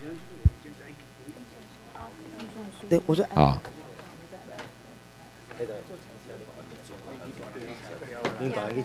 那个呼应刚才姜伟的是建议，因为我们的案子是三十九到五十一哈，所以并案，所以我们在并案里面就等于这全部都一起讨论了嘛，不然要你在细项里面分，要在三十九九案里面拉出来这个细个项吗赵。伟，其实也没有差啦。如果说你整个去到院会协商也 OK 啦，三个项目也 OK 啦。整个了，你要在三十九案拉出细项也不好拉，那就全部嘛，因为这个是并案处理的啊，并案啦，一起处理的啦。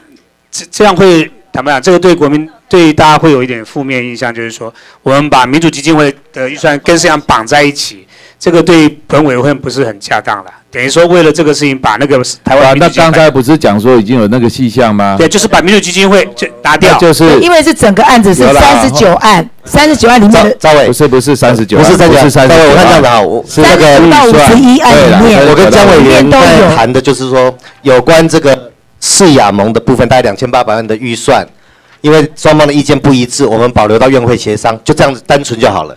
那民主基金会的话，我们就继续处理掉就好了。对了，就是四门、亚门，大家讨论之后没有最后共识啦，没有交集嘛哈就送到院会协商最后共识，那就送院会了。对啦，哎我们就不节外生枝了，民主基金会就继续审。亚盟四盟的，不是啊，没办法拿拿三十九整个了。这是补助案，讲补助是三十九到五十一案，里面都有稍微都有提到，呃，世盟、亚盟，包括了民主基金会哦，所以你要去做个决议，说只有把世盟、亚盟，你看在在哪一案，就是并案里面的三十九到五十一案里面，特别把世盟、亚盟提出院会协稍微我是。结，这是我们的委员会结论嘛，哈哎，那个主秘我如果讲不对的话，你出声了哈。我们的委员会对这笔预算的结论就是，因为有关市亚盟的这个捐助款，好两千八百多万，那这个大家意见没办法取得一致，所以保留院会协商。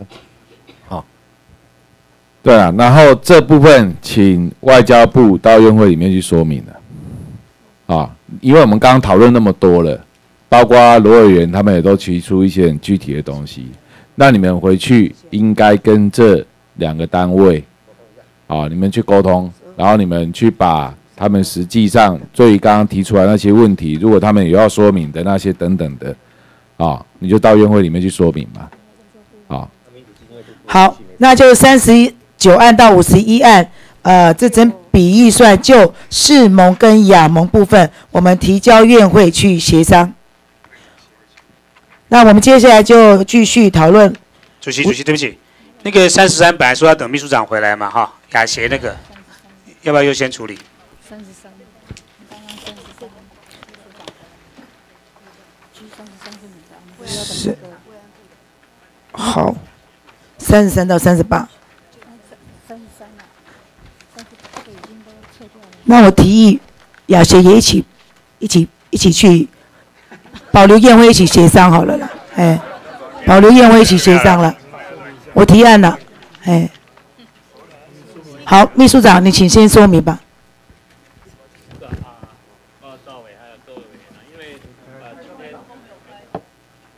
因为今天有那个日本呃贵宾来哈、见副总统，还有中午跟他们参叙，所以我就没有办法来呃列席哈、啊、非常的这个抱歉哈、那首先我要来说明啊、雅协哈、这个是因为台湾跟日本断绝外交关系之后而成立的一个白手套了。那事实上，我们政府呢也一直想要说，啊、不要用这个白手套啊，来变成外交部来直接啊跟日本的外务省来啊、联络来进行。那事实上，日本政府告诉我们说，台湾跟日本之间还是要维持原来的样子，所以就是亚东关系协会跟交流协会这两个啊、对口的组织呢，还是继续存在。哎，好。然后呢，啊、后来呢，啊、我们政府呢也就采纳这个，所以呢，啊、现在就是说，把人事呢通通归纳到外交部，另外有一组人是经济部啊，经济部的预算都是外交部或者经济部来呃支付，但是只有一一个人的身份呢没有办法把它改。就是会长的身份啦，会长的身份呢，无论如何一定要维持民间的身份。那按照民间的身份呢，啊、也是啊、我们也要编一点预算给他啊、使用啊。所以这就是说，我们啊雅协要编列一个呃预算的原因啊，请各位委员呢啊支持，谢谢。雅协的人事费是四百，业务费是一百，这四百万的人事费付给几个人？付给谁？就是我们都是属于外交部的同仁啊。几个人？啊，我们现在有二十二十二个人左右。哎会长有没有资领？哦会长也也支领了。会长资领多少？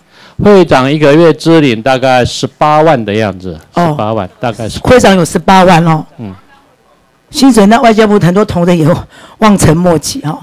哎，对，因为他是啊、历任的会长都是大概都是这个价格哈。以前啊、以前的价格很啊、这个是这样了哈。给小北啊拜对对不对？我我讲的讲的这个啊、有一点啊，那是以前在前任李家进会长啦，或者是啊啊彭荣志会长啊，他们都是历来都是啊、这个。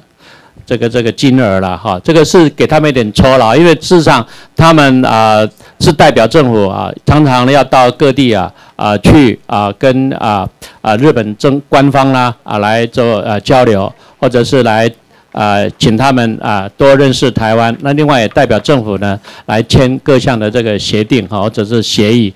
那事实上呢啊、这个是一个啊非常啊重要的一个工作啊。日本对台湾是非常熟悉的。那日本各地你们要再去请请他们来认识台湾，呃，这个这个业务上我们看不出你的成效。报告报告委员哈，我们是这样说哈，因为未来的这个青少年交流，或者是说啊、一个世代接着一个世代的这一点是非常重要的。那么日本呢啊、虽然说现在对台湾的关系非常的好，可是我们看到的是要未来，未来是不是能够继续发展下去？所以我们一直在拼命的。在从各方面的这个交流呢，来促进更多的日本人呢来了解台湾，也希望呢，呃，台湾跟呃日本呢这个关系呢能够一直啊、维传呃维维续下去。啊秘书长，嗯了解台湾，在很多的网络媒体都可以了解台湾。我们现在最主要的是让你协助争取台湾的权利，包括我们的渔权，包括我们国人的健康，辅导核灾食品不能进入台湾。这个在你们的协商跟对话里面，你们通通没有出声。冲之鸟礁渔权，你通通没有出声。我们对日本，在他们三一一大地震的时候，全世界我们捐助是第一名的。但是我们看到什么？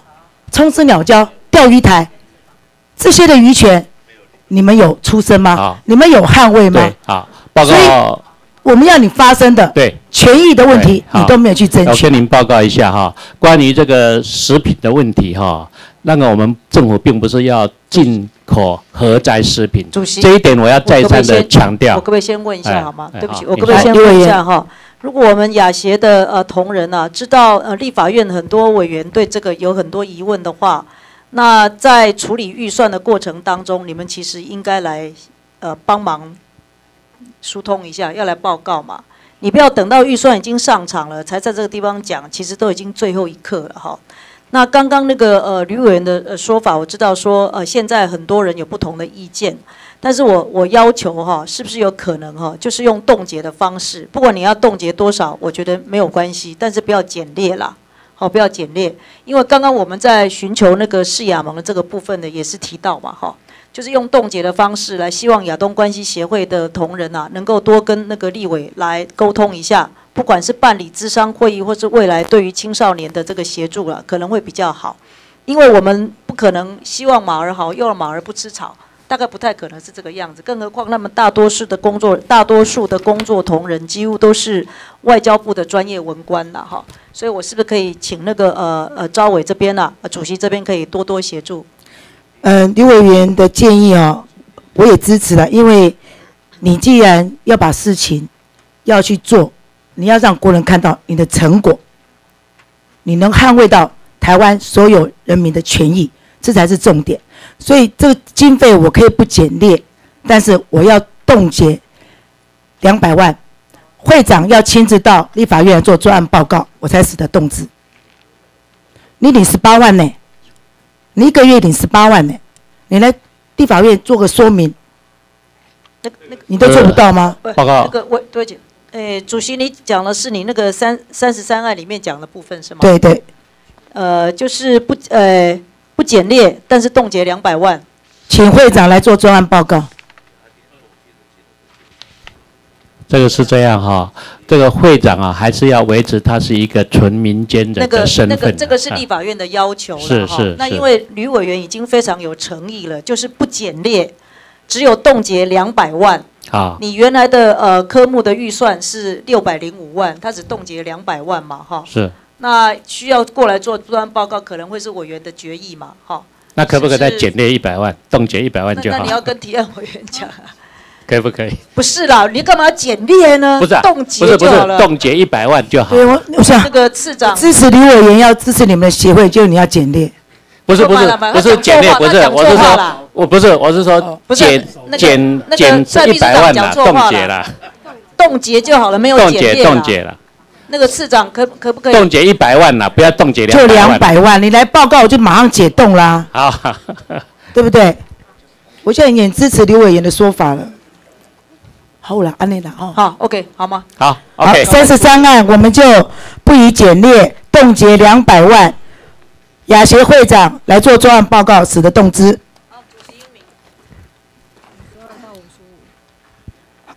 请宣读五十二到五十五。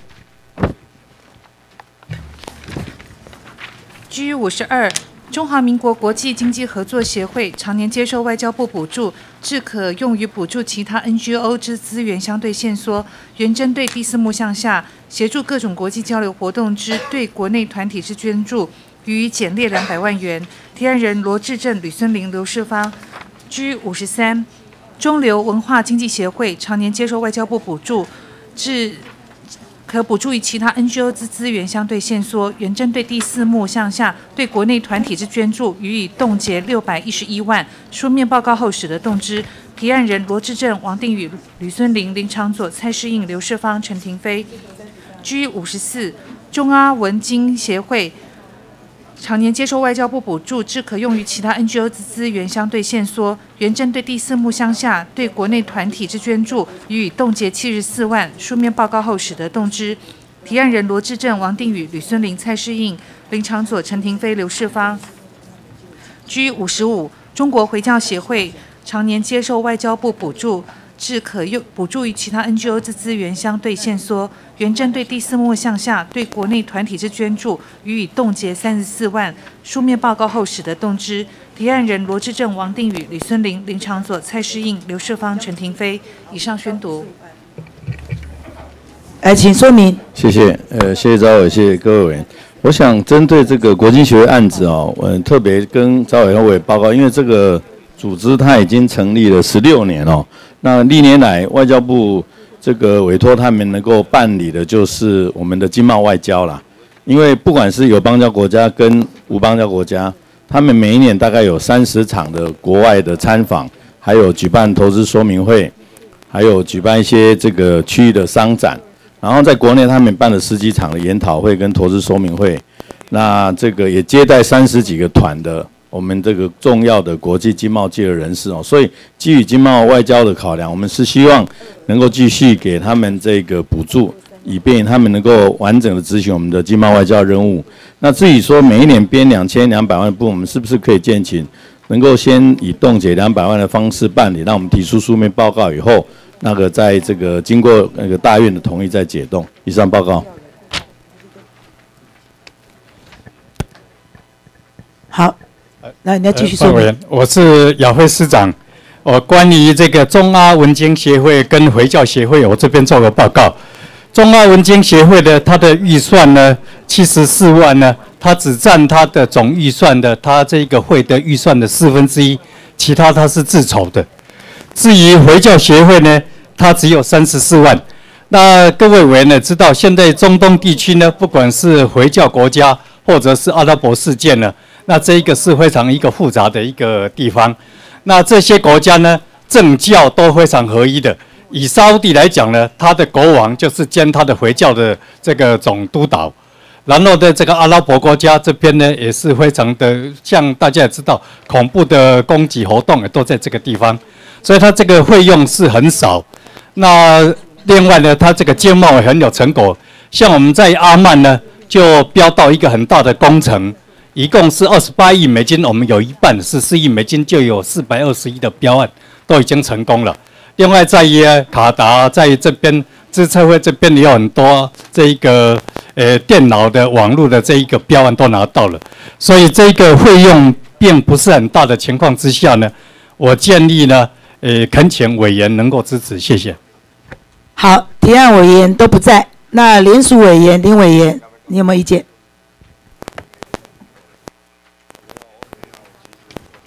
哎，林委员有意见吗？如果没有意见，我们就不处理了。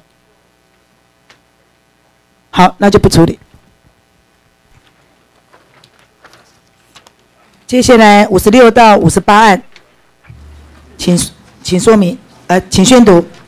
据五十六第四幕国际会议与交流项下出国访问，原列一亿五千五百六十八万七千元，为该笔预算书预算书只列举使用用途，于各种使用用途上并未明列编列金额，不利预算审议，源于减列两千九百七十一万八千元。提案人吕玉玲、江启臣、徐志荣。G 五十七。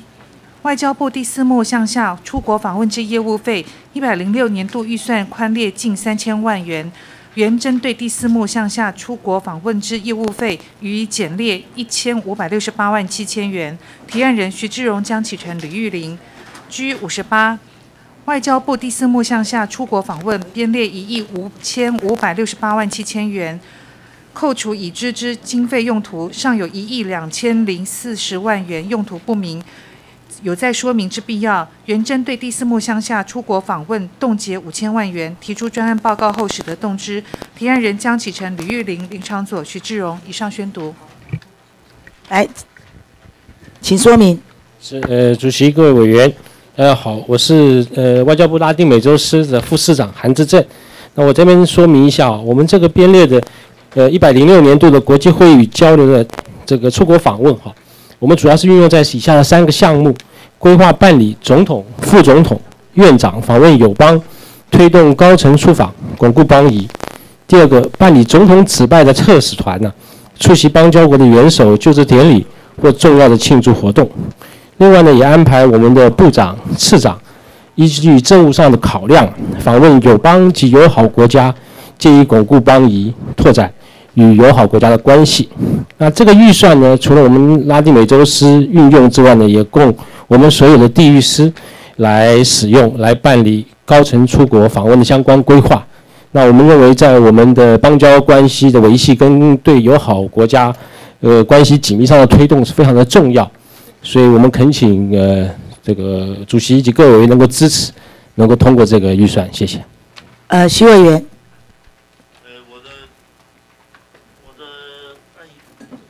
我的案由里面也都有写写着了哈，譬如 G 五十七就是宽列的接三千万，啊 G 六十也是说啊比起一百零四年的结算数也是多了十趴，所以我简列的理由是在这边。好，我们针对哈你们的预算增加的部分，往年都会够，那为什么今年不够？那就是因为你们特别有个音响专案的关系，所以你经费才不足嘛。呃，是报告主席这样子哈，那个预算的编列，我们按照呃以往的状况哈来衡量哈，我们觉得明年度我们可能需要再多增加一点，然后也来增加我们的这个增加部分是增加在用在哪里？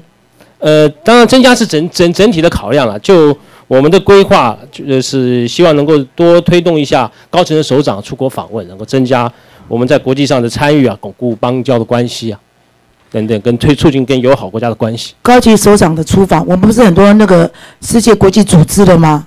这个经费出国旅费我们都有编列的，而且各国都有大使。那你所谓的高级首长是哪些人？主要主要是指总统、副总统，就像类似音响专案嘛，对不对？总统总统出访是。那为什么以前没有这样编，现在要这样编？呃，没有，我们那你以前的经费，你现在我是针对增加出来的惯例，你们都有编嘛？总统的出访都我们很支持啊，做做好外交啊。可是你今年为什么要多编这些钱？好，我们请次长。呃，报委员哈，那个我们这历年哈都有编了哈，那每一次带规划一年大概出去两趟，就是元首了哈。然后另外就是刚刚也提到副总统啦、院长也都是在这个项目里面。那像今年呢，其实是已经用完了，不够，所以我们是明年啊把它编编够而已啊。像今年这个现在是呃都用用不够了，就已经透支了，其实了哈。那有有有用到第一亿倍金了，所以我们明年的就把它编到一亿五千万，因为今年是编一亿两千多了。呃，一百零五年是1亿你现在编一亿五千多万呢，对，所以明年是一亿五千万，就是把它编足，多了两千九百多万对，编足，因为今年不够的，其实是不够到六千万，六千万左右。你一年出国两次，你说总统一年要出国两次，对，一我们的规划是这样那。以前呢？以前也都是这样啊。以前都没有多不够用啊。有啦，有有不够的时候，但是我们是从别的地方挪过来的。那你以前是挪多少？决算当然每一次不一样，看你去什么地方嘛，远近。那你明年准备要去哪里？我要编那么多。我们规划是照平均数了哈，因为每一次大概出访大概七千多嘛，所以平均数来。所以你们都在扩编这个预算也。没有啊，像今年财政这么不好、困难的情况之下，你们扩编，今年一亿两千万，每一年都有两次的出访，对经费都没有增加那么多，你一下子编了快三千万，所以我认为这一定要酌减一部分呐、你们不要扩编太多了。其实是编足了，像今年一今年是一亿两千多万、啊，你们这边能够删减多少？经费遵节使用，因为今因为明年的能够删减多少？明年呢、比较多，明年美国美国总统就职也都会用到这个钱，所以事实上明年的那个项目是比较多的，哎，这个这个我们是把它编足，但是不一定够，美国的美国的旅费不用那么多了，呃，也是对，你们要酌删，春节使用，酌删。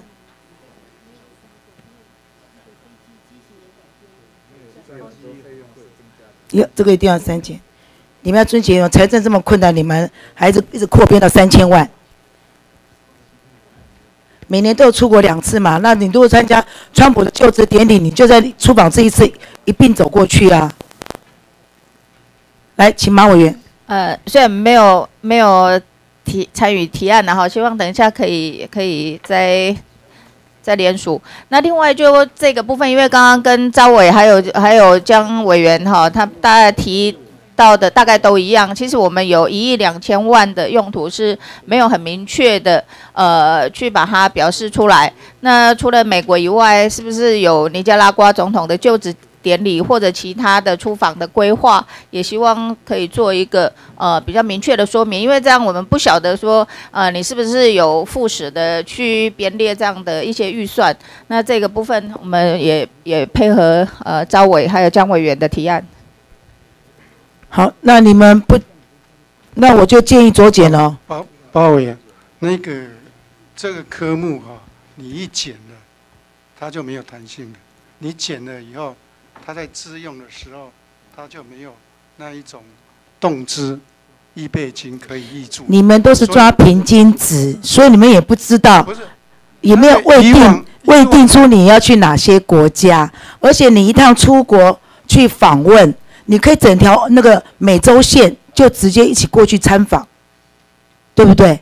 所以你这个空军一号一出门，你就不可能只有去一个美国去跟川普的就职典礼而已，你相关的国家你都可以一次都可以去，这个经费才是有所谓的弹性，你们可以平均嘛。这这这个我们所以这个费用上，你们一下子调比往年都增加了将近三千万，呃，本席是认为非常不合理，应该做一些酌减的时。候它已经不够了，所以我们今年才会才会增编呐、你增编不用增编这么多啊，黄处长。主席，我建议是不是这样？他这边三千万，我们跟他减一半的。动就比较他加三千万，我们跟他减一半。那我们照惯例十分之一，动减减列三百万。那减列的以后就不能再再这个这个，因为这个科目比较需要弹性。是。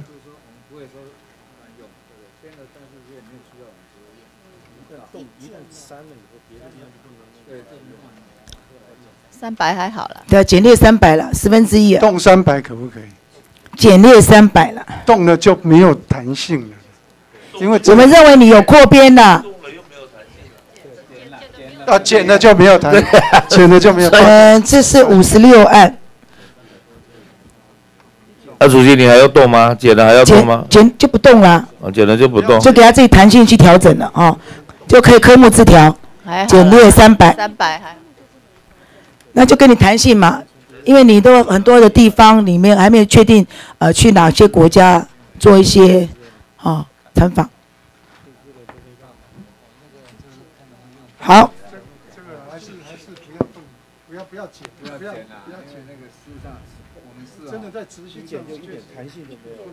去年哦，去年就是跟的不够，所以今年。所以去年不够，已经给你增加快三千万啦。所以要你春节哦，财政困难不要乱花钱，所以减列三百万。我们接下来五十九案到六十三案，请宣读。居五十九，国家财政困窘，国库支出应以节约为原则，原针对第四目项下访宾接待编列三亿八千三百九十七万八千元，减列两千万元。提案人江启臣、吕玉玲、林长佐、徐志荣。居六十案，外交部访宾接待之一般事务费预算过于宽列，原针对第四目乡下访宾接待一般事务费减列一千三百四十一万七千元。提案人徐志荣、江启臣、吕玉玲。居六十一，一百零六年度预定接待外宾亚太地区仅四百零三人次人次，相较政府推动新南向政策主轴，恐有恐有力有未及之处。原针对第四目向下访宾接待之一般事务费冻结五百万元，书面报告后使得动之。提案人蔡世应、陈廷飞、刘世芳、罗志正、吕孙林。居六十二，第四目向下业务费。超过百分之九十九预算兼编接编列于一般事务费下，且查其说明并无法了解其编列之标准与细目支出情形，亦未说明一百零六年度邀访人数较一上年度一百零五年度减少之原因。原针对第四目向下访宾接待之一般事务费冻结三百四十一万七千元，书面报告后使得动之。提案人刘世芳、王定宇、陈廷飞、罗志正、吕孙林、林长佐。G 六十三，鉴于国人遭索马利亚海盗挟持近四年七个月后，使获释返台，显示过去外交部在拓展西亚、亚西及非洲地区外交工作无绩效可言。原针对国际会议之交流访宾接待项下邀访西亚西及非洲地区外宾费用编列四千一百五十二万八千元，予以减列一千万元。提案人马文君、吕玉玲、徐志荣、江启臣，以上宣读。请说明。呃，我是亚会司长陈俊贤，我先就 G 六十三报告。这个关于呃索马利亚海盗案呢，事实上这个发生在四年前，我们呢外交部诶一直都做了，只是因为人质在人家手里，所以没有大张旗鼓的去宣扬。相信上次在外委会的报告，部长也报告得很清楚。唯一外交部不能做到的就是外交部没有帮他付赎金，这个并没有这个预算哦。那这一部分我也特地跟早上跟提案委员也报告过。那这个案子呢，去年我们编的预算是四千七百多万，今年我们已经外交部行政院给我们的额度很少，已经主动减列了六百万下来了。我恳请各位委员呢，这个案子能不能就改为走？着动，着动一百万，那这个让我们还是可以做点事情。谢谢各位，谢谢。请马委员。这个部分哈，因为其实家属是有提出这样的指控了。那当然，我们的预算当然是不能去负担那个赎金的部分哈。不过我们还是希望，我们做了那么多的一些交流、接待，还有一些呃，我们。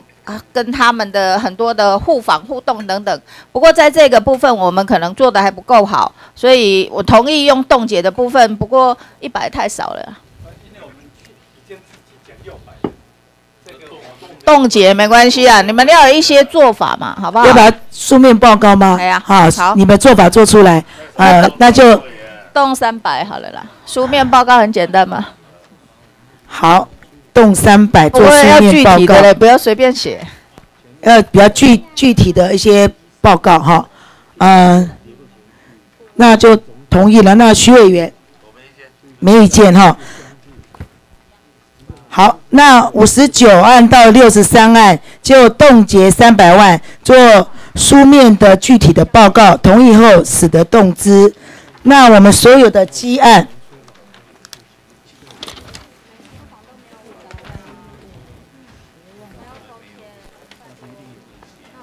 呃，既然我们删掉三百万，冻结四千五百万，保留四盟跟亚盟送院会协商讨论。好，那我们接下来。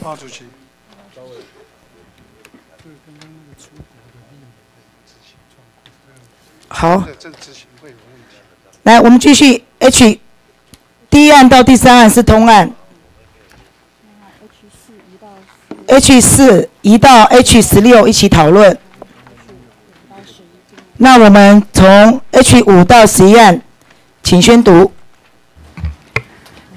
H 五到 H 十一同为第五目国际合作向下驻外技术服务。H 五为落实政府踏实外交之外交政策，未来援助不再不应再是我国单方面的投入，而应以互惠互助之原则，原针对第五目向下驻外技术服务预算编列十亿四千八百一十八万四千元，减列一百八十万五千元。提案人刘世芳、王定宇、罗志正、李孙林、陈廷飞、林长佐。H 六。外交部办理驻外技术服务是否配合推动新南向政策，说明未臻详尽。另外，推动资讯通信及地理资讯系统专案技术合作、友邦人才培训计划等内容亦不明确。原针对第五目项下驻外技术服务冻结一千万元，报告后使得动之。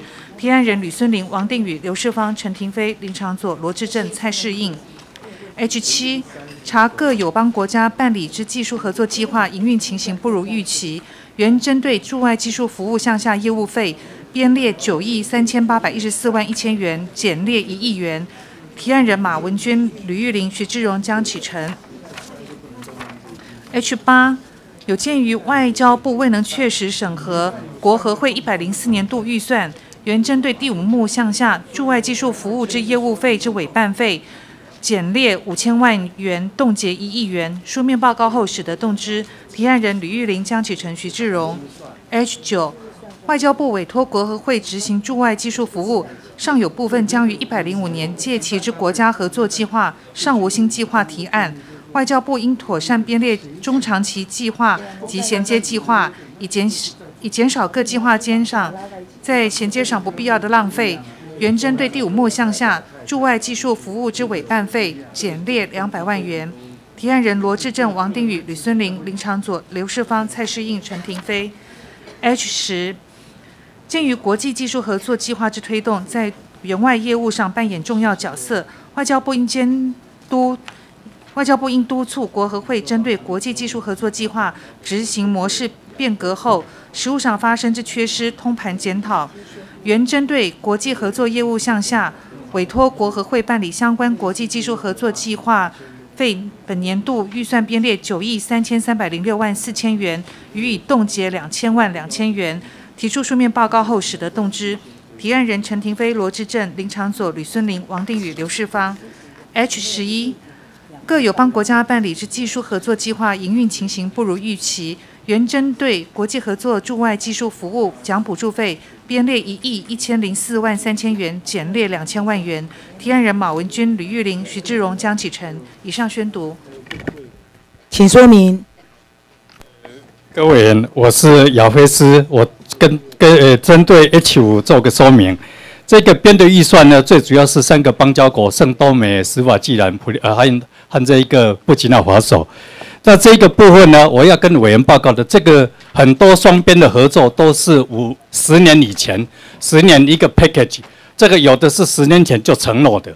那这个中中间呢，事实上呢，外交部的主计长在编，他也知道，在我们更加签的双边协议里面呢，预算没有编足，大概只有编了百分之七十到八十，所以这个部分呢，即使全部给我们，我们都很头痛，还不够用了。这个真的是很痛苦，没有删的可能，因为都已经承诺别人了。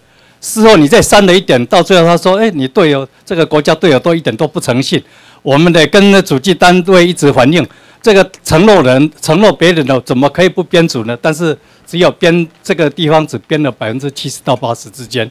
谢谢各位，谢谢。呃，我们请提案委员李委员，第五案到十一案。好，李委员没意见，那请马委员。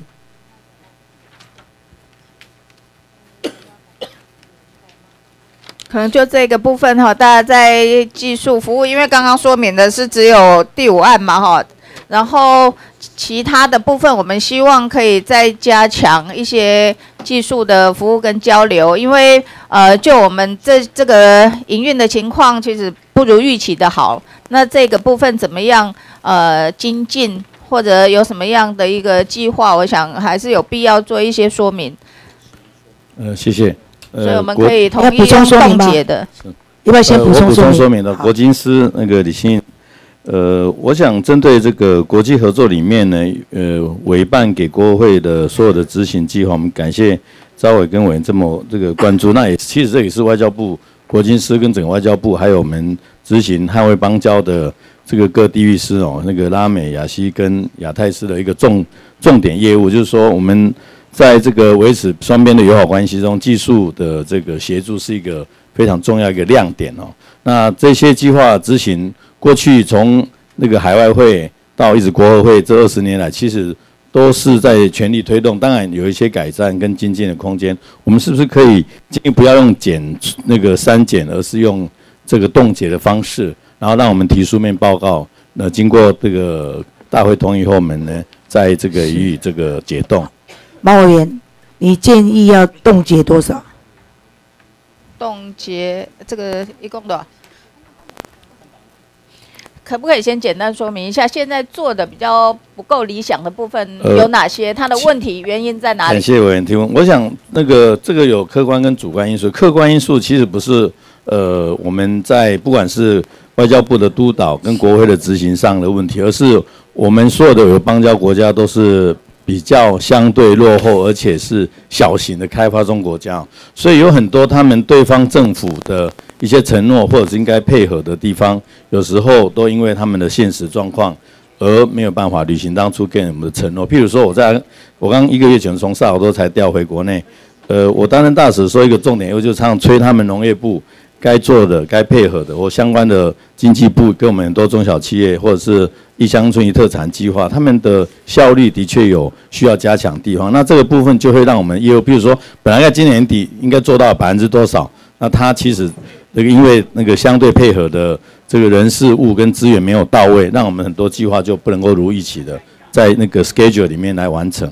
所以这些都是客观因素，不是我们主观。当然，我们在外交部都有一个专门负责技术合作秘书，每天在督导他们跟我们对口单位的官员讨论。可是这些那个我们的看，刚刚我都是小型国家，其实比较相对落后，所以他们有很这个客观的这个内政的问题，或者是执行效率的问题，或是执行那个公务预算没有到位的问题。这一点，我想并不是我们同仁不够努力哦。可是你针对国合会，你所有这些委办的一些预算，你就要负责去监督啊。没错，我们要不然他他这样子，如果是亏钱，你们不监督，那这个预算就是太过浪费了。同意，对这个部分我们其实一直在做了。这一部分我想跟我们这个因为其实通常我们也了解这些邦交国家他们的状况嘛，那怎么样设定一个标准，或者因为你长期以来一直一直都是因为这些因素的话，表示我们的那个计划还是有落差的，所以这个部分呃，再提供一个比较详尽的一些做法，好不好？是的。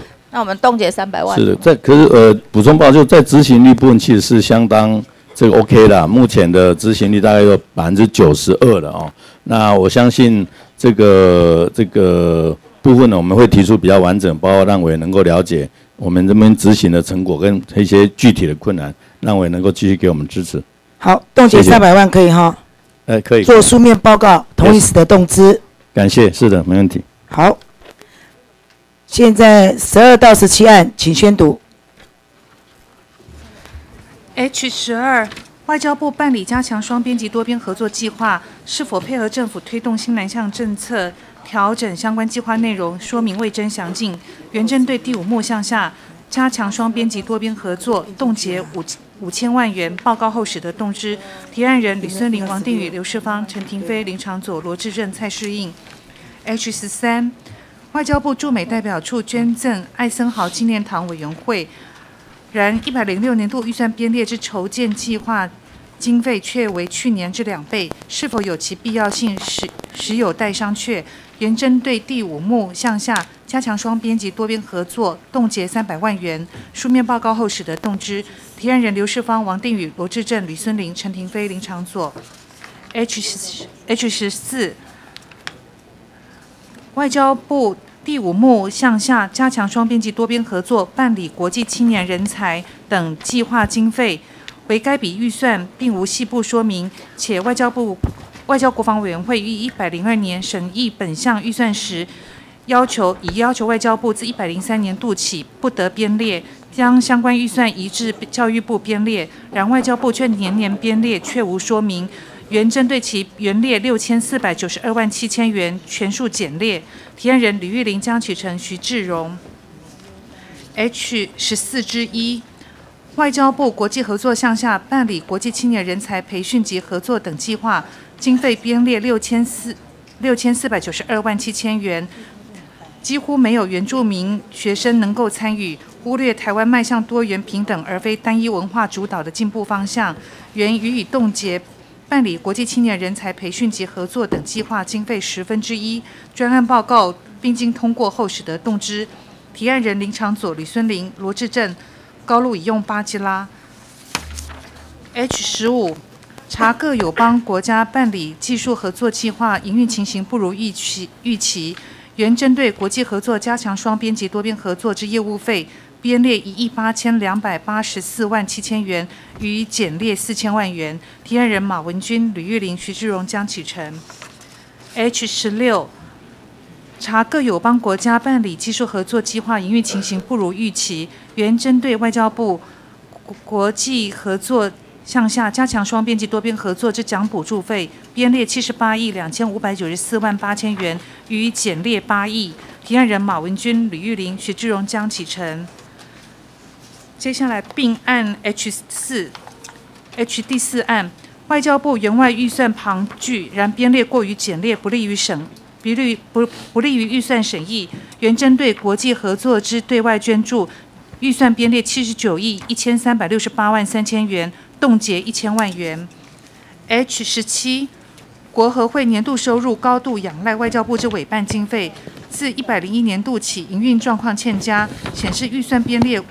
及审核未臻严谨，原针对第五目项下加强双边及多边合作之对外之捐助，减列一千万元。提案人蔡世应、陈廷飞、刘世芳、李孙林、刘罗志正。以上宣读。嗯，请说明。主席、各位委员，呃，午安。亚太司司长陈文仪报告啊。那我针对这 H 十二案提出说明。有关这个啊，亚太司推动新南向政策这一部分啊，在亚太司在一百零六年已经调整了这个相关的资源配置啊，就是说做法上希望在这个呃配合这个新南向政策，这个拟定新的合作计划并具体推动。那另外我们认为过去既有的这个计划呢，我们也希望能够这个扩大来执行。那简单的说呢，这个呃新增的计划呢，容我向各位委员报告啊。我们在这个呃东协的这龙头国家印尼呢，我们呃针对它的农业省，呃就我们这个农业技术优势的部分呢，稻米这个健康种苗以及蔗糖开发。这一部分呢，我们跟这个印尼呢进行了这个合作，那也感受到对方的这个呃配合的诚意，对我们这个两国的关系呢有具体的提升。另外，在人才的培育的部分呢，我们也跟相关的国家呢就这个推动农业人才的培训计划呢，深化双双边的合作交流。那我们也认为，这个呃跟东南亚国家在高阶文官的培训以及这个职业训练方面呢有。有琢磨的这个必要，那这一部分呢，我们也提供了这个，也投入了资源，希望在这个地方，不管是推动双方的这个呃政策的推动呢，还有这个包括区域台商建立这个产业人才资料库这一部分呢，加强来布局。那刚才也跟委员报告了，在这个既有的这个有成效的计划部分呢，我们希望除了维持之外。那我们也希望能够扩大来进行，那包括泰国的皇家农业计划、缅甸的乡村微电网光电计划，那印尼地区的这个农企业培育发展计划，还有这个在呃柬埔寨、这个辽国、印尼、泰国、越南等设立这个台湾数位机会中心等等。那我们可以看到，这个在司里面呢，配合部里面的政策，还有国家的这个新南向政策，有了很大的布局。那我们希望这一部分呢，能够得到这个大院的支持。那以上报告，希望这个各位委员给予支持，那并且免以冻结，谢谢。好，请李委员。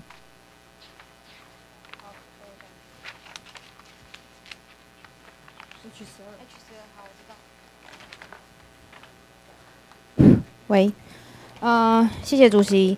这个我想新南向政策一直以来都是我非常关心的一个政策，从早上到现在都，呃，我想我所我想我所提出来的预算提案都是有关于新南向政策。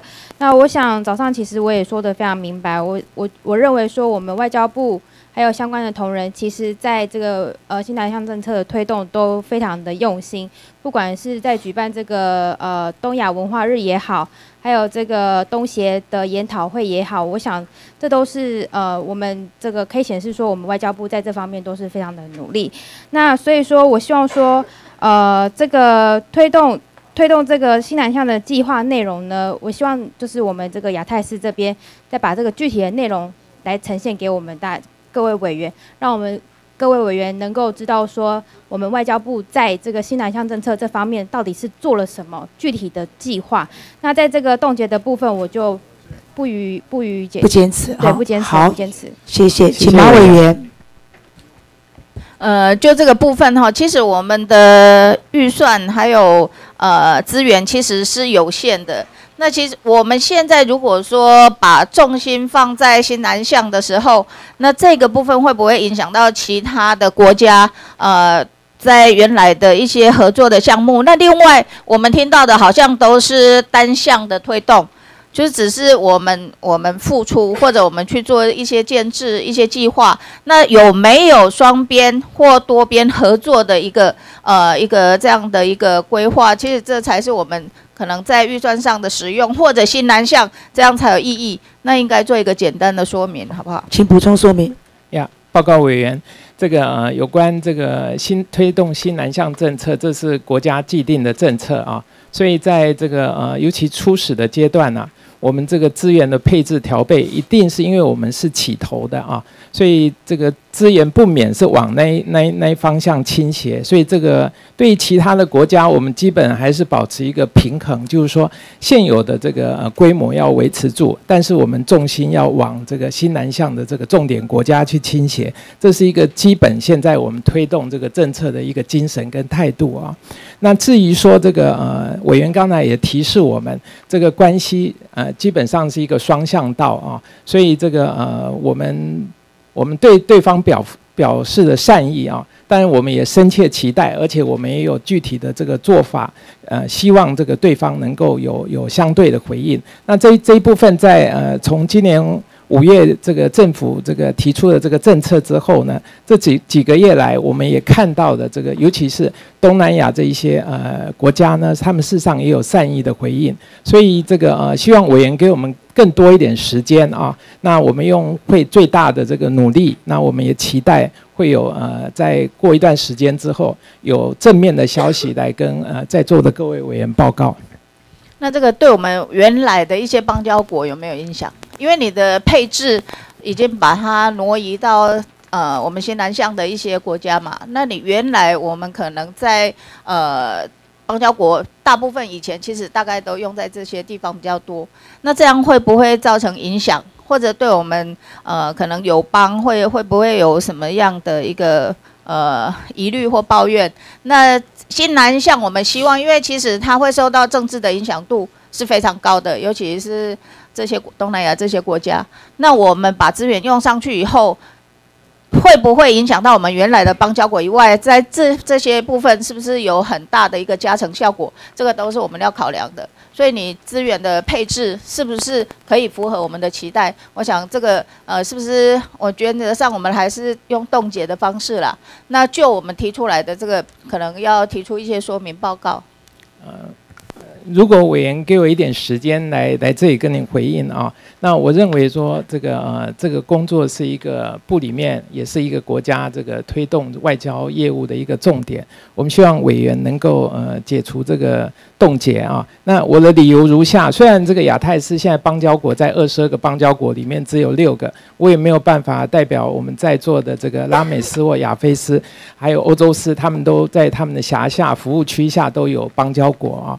那这个邦交国这一部分呢，我想从呃，不管是从陈峰或者本部这个长官呐，这帮捍卫这个呃中华民国跟二十二个邦交国的关系，这绝对是我们这个外交业务最高的一个优先顺序上是排列在最高的。所以我跟委员报告，至少在我们辖下的六个邦交国啊，我们念之在之，就这六个邦交国的邦这个重点，不管资源或或者这个呃。大家努力的心意上，它永远是放在我们最高的地位。当然，我们现在这个施政上有重要的部分，呃，有重点我们在推动工作。但是六个邦交国呢，至少对我亚太市来讲哦，邦交国永远放在第一的。哎，这一点这个经纬。如果理论理论上当然是这样，可是你的资源其实是就是这些，然后你怎么样运用到最好？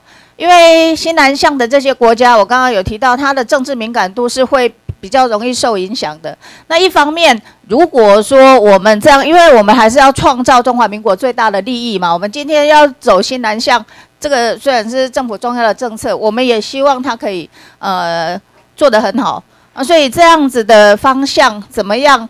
因为比如说从经济啊或者一些投资上面来说，其实民间的脚步早就很快了，其实在那边的布局都有。那另外就政治的层面来说，其实他们受制于呃可能对岸的影响，其实也蛮大的。所以，我们付出的这些资源是不是足够，或者可以影响到什么样的程度？我想这个基本上要做一些呃说明啦。那冻结应该没有什么太大的影响，让委员会的所有委员知道，因为既然是我们政府重要的一个政策方向，那提出一些呃说明报告以后，我们解读。好，呃，我们希望说，我们所有的政策都要双向、平等互惠的方式哦。南向政策，呃，政党轮替有有已经有三次了哈。早在李登辉的时候就有做南向政策，那现在你请国力都要去做新南向政策，我们怕你们资源没有平均分配，哈，会因小失大。尤其是现在日本，现在他要主导 TPP。川普要撤掉不做了，那我们未来的新南向，我们的应应的具体方案在哪里？尤其是你们的侨生要 double 的成长，从七百多名要变成一千五百多名，这些等等都是你们都没有去看到整个南亚东协啊这个国家啊他们的整体的市场机制。跟压力的测试的评估，你们都没有先去，外交部都先一步的去把它做出一些所有的评估出来。尤其是在我们在我这第十四案里面，外交部在一百零三年就叫你们不要编列了，因为你们的预算还是年年编，里面没有看到你的细部说明，你们为什么还坚持要编列这个预算？已经有被纠正过了，你们还要编？那你这方面也会做一个说明吗？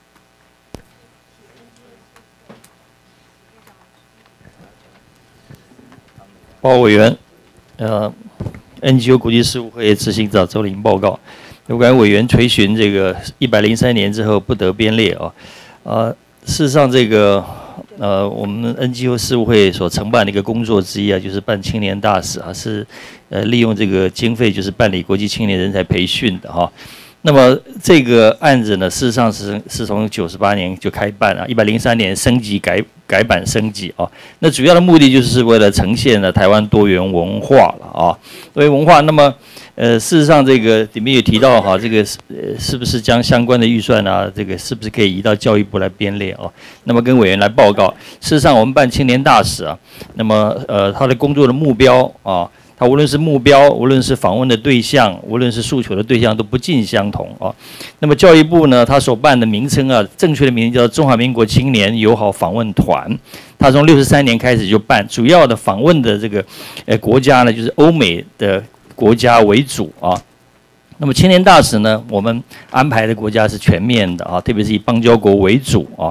那么呃，青年访问团就是青年友好访问团，它是以表演为主啊，表演为主。那儿这个外交部办的青年大使访问团呢，它主要呢就是不是以表演为主，而是呢它还有其他的功能，比如说它这个呃宗旨啊之一就是促进我们跟友邦的邦谊。就就比如说，我们安排这个到友邦去访问的时候，我们安排见当地的总统、总理啊、外长等等的啊。那么，办回友邦的这个这个政要啊，这个成效相当的好啊。那么，此外呢，那青年友好访问团呢，它主要以宣慰侨胞为主啊。那我们青年大使呢，那么主要诉求的对象呢，就是为了外交的效益啊。那么，因此呢。在当地表演的时候，邀请是当地的政要啊，甚至于呢，还应这个总统、总理的邀请啊，在他们的官邸来进行这种呃表演啊。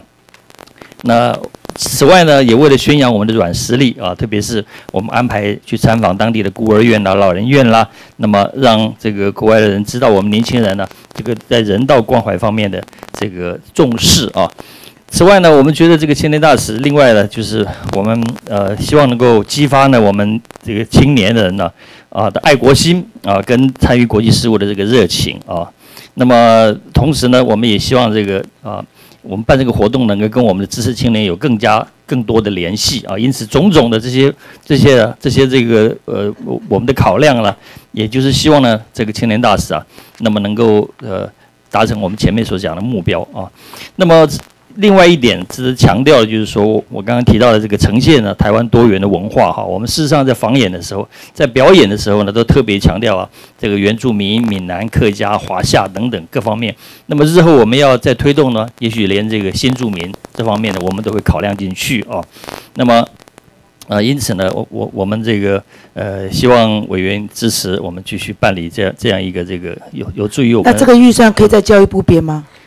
呃，我刚刚报告的就是说，我们的目标不尽相同的。教育部主要是为了为了这个促进啊年轻人出去做表演啊，那外交有外交的考量，有外交的这个效益，外交的效益。那么过去办了几年来呢，这个效益也相当的不错啊，得到这个呃经过民意测验呐，这个呃民间的百分之七十五以上都相当的支持这样一个活动。好，我们现在请林委员。呃，我是我是那个 H 十四之一哈。那我想针对呃，怎么样能够让我们的友邦或者说其他的国家看到我们的这个比较多元的文化，我想这一点当然是一个正面的事情。但是这个过程是流程是什么？我想在过去这段期间，其实我说的流程就是说甄选这些青年的方式是什么？那会呃，在原住民族社会里面会得到不一样的意见。我想有一个蛮大的原因是因为呃。我相信真正呈现多元的这个形象，不是来自于表演而已，而是来自于人的组成。这些人到底是怎么样多元的组成，可以呈现台湾？不是，而不是直接，呃，反正就用一个比较，在甄选的时候不一定有多元的想法。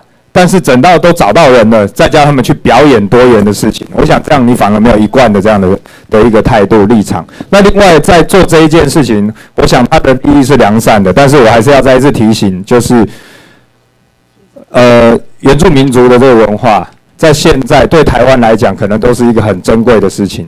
那对台湾在全世界能够被重视、被看到，都是很珍贵的事情。但是原住民族在台湾它是弱势，所以你要。去了解说，它有一个有一个非常危险的地方，就是原住民族的权利在台湾还没有完全被平反跟回复的时候，我们又非常需要他们来代表我们。那这个时候，能够完全呃尊重他们，让他们有主体性的这一种尊严的时候，这个流程就很重要，才不会他们觉得啊，反正我们在这边都不受到重视，可是你需要有代表性的时候，你就从我身上拿东西。所以这一点上面。我为什么会说要冻结十分之一？那希望可以看到报告也是这样，就是有一个比较完善，从一开始找人多元的这个方式，那到最后呈现的一个这样子的团，那去表演的内容，那怎么样能够有更多的这些呃这方面的这些，不管是社运或者说这些青年的参与，我觉得这应该是比较完整的。啊，跟委员报告啊，事实上。呃，我们今年的青年大使啊，从去年的年底开始推动以来，我就有参与哦。那么我们一直很注重这个偏乡啊、偏。乡，特别是呢，我们也注意到这个呃那些偏乡，如果有时候原住民集中的地方，我们都去。比如说呢，我们到了华到了这个那花莲去啊，我们到了东华大学去宣宣介啊。那么我记得很清楚啊，在宣介的时候呢，那么还有若干这个原住民的学生跟我们提出若干的问题，表示他们的兴趣啊。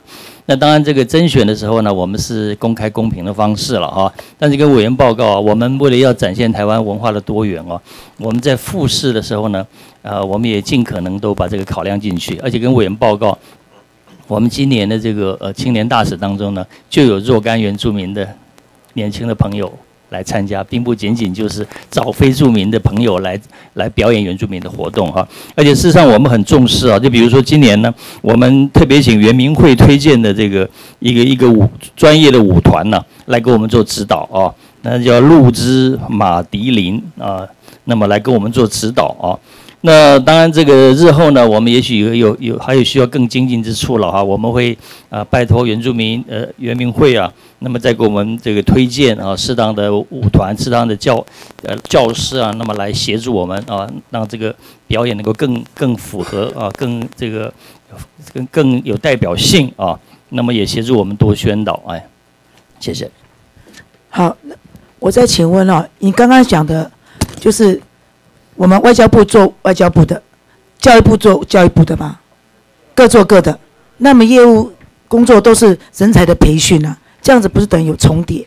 可不可以整合在一起啊？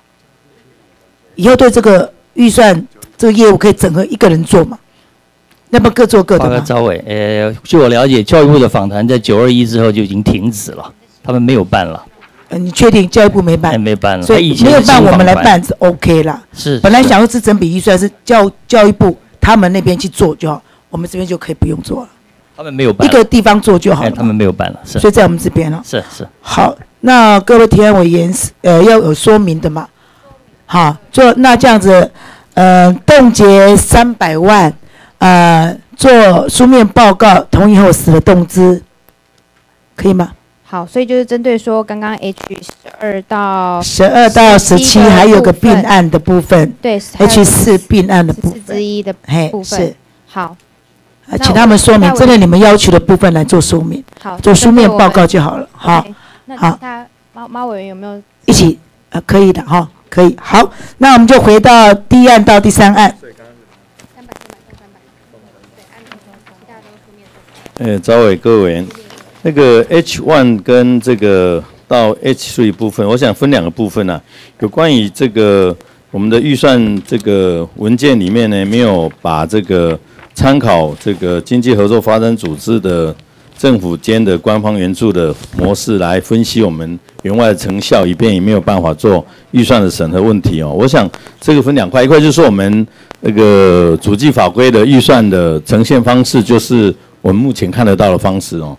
那我想我们可以那个补救或者是改善，就是我们另外以这个 OECD 的这个的标准跟那个那个项项目呢，我们再补提一个。其实我们每一年都有一个这个呃国际合作发展的年度报告，那我们就利用那个报告的这个这个撰写的这个时机，我们也是一样这个补提用 OECD 的政府官方援助的分析报告。呈给大院来这个参考。那这样的话，就是说我们省预算还是根据我们对这在国际合作部分呢，就针对我们对主要邦交国家还有友好国家的一些员外承诺，这是我们用预算书的方式呈现。那至于说，如果从国际的标准，呃，来审视我们的员外的成效是不是良好，那部分是我们提书面报告来补充，那就这样就可以同时达到呃 H one 跟这个 H three 这方面的要求的。的这个改善的空间哦，所以我想基于这样的考虑，是不是可以以冻结的方式来这个允许我们来那个做一个改善？好，呃，我们这个第一案到第三案哈，呃，提案委员不在了，呃，联署委员林长佐林委员，呃，有没有？我们这边 H 案总共是冻结了六百万，那你们还有要增加的部分吗？没有哈，那我们 H one 就冻结六百万，我们先休息十分钟，再继续讨论。书面报告得到使得呃同意之后再动资哈。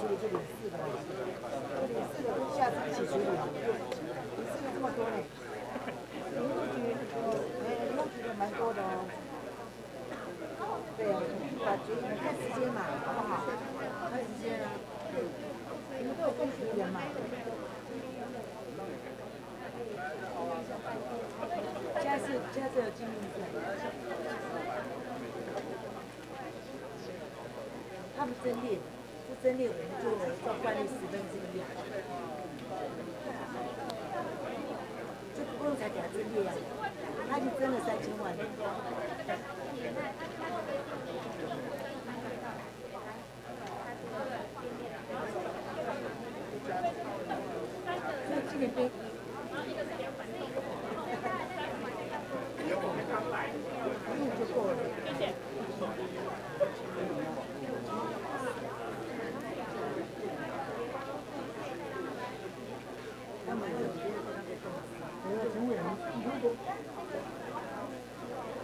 啊，你整列就不能够留了。可以冻结来报告，你要申请，有了以后就没有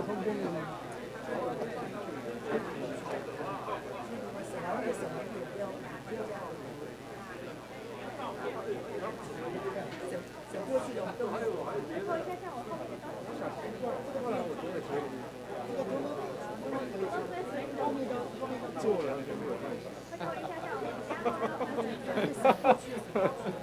但是我负责，我做了我都呃呃，这一个啊，这一个，负责，对对对，负责，但是也没办法，法律保障他。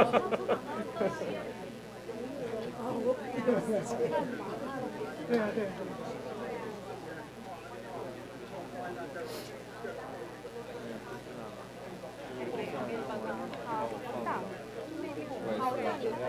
有一句报告说那个然后再帮，哦，再帮你说。那你就等一下这个决议嘛，因为这个决议只是建议嘛。不然不然就走掉，对了，就你要等到前局回来当院长，上次付他那么多钱，他就可以把你放在想去的地方，知道我。这个决议里面不会有意见。您才您才放他一年不到，我活了两年了，错了错了，那个是家属。没问题，你这样子开学不要了，开那么远，我看哇，这个生意那么好，一点折旧都没有。这个跟折旧没有关系，就是把剩下的留了没用，对，这这地方也是这样。我现在推根，只剩下推根推进洞那个还可以，其他都不行。我到昨天也接到欧前部长电话说他想找几个人打，结果我打，现在告假回来腰还有点痛，在国外一年半都没打，也太忙了。但是因为萨尔都是我们市长留下来的重要这个外交重镇，所以我们不敢不不努力。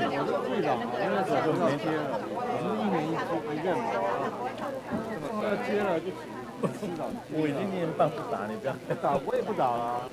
对不对？就只是服务也，不用打，更有更有干劲。会长不一定要刚刚刚上任，对，要有服务热忱，不一定要打，要有服务热忱。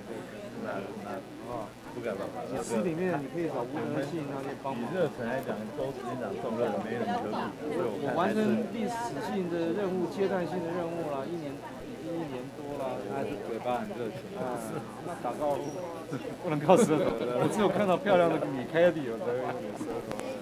不是我们早就刚接任务，怕怕业务还没掌握，不太敢说。这个亲这个把服务做好，一听就知道你消极，这种人不能在外放。部长没有 passion，部长说要有 passion，你看他对对事情这个消极推诿，没有 passion。目前只想到工作，不敢。主管也不要做了，大事不要去了。没有 passion，部长一强调 passion，你要给部长感觉，你不能他能力不足，只是专注在工作上。对啊，他内外都先修啊。对，先说 yes，然后再说对。你不能说先说 no，啊对对不对？有标准外交，至少一米呢，有标准外交。抓得住我。但是我说 yes 之后，我是真的做不到。那至少他每次说 yes，他都做到了，就差别在这里。真的，男人弄男人，对对对，我不敢说我是好，我接。那你还连 no，你又说 no，然后事后又又不能做到，哇！对，我们是不得不得不做，不得不做，下次之不好意思吧？那个袁市长很好人选，那我跟大人跟部长，我先把自己身体养好来来打手炮针。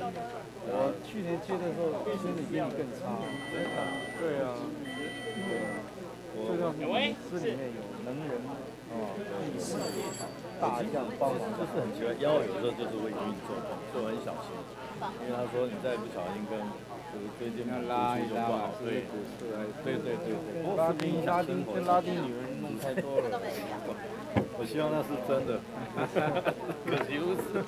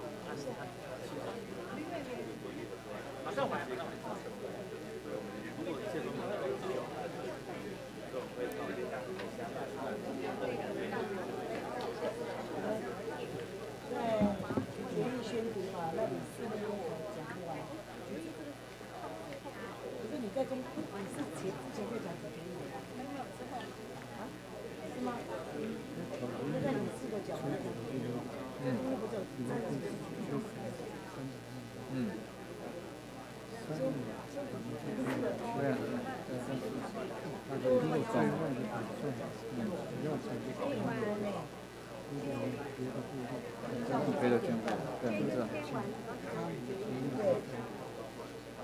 当然是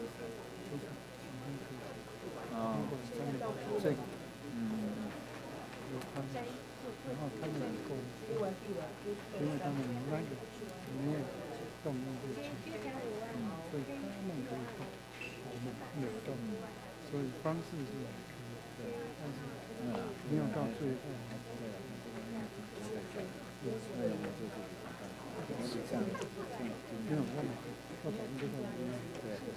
没到最后他们不行不动，这个属于炫富了。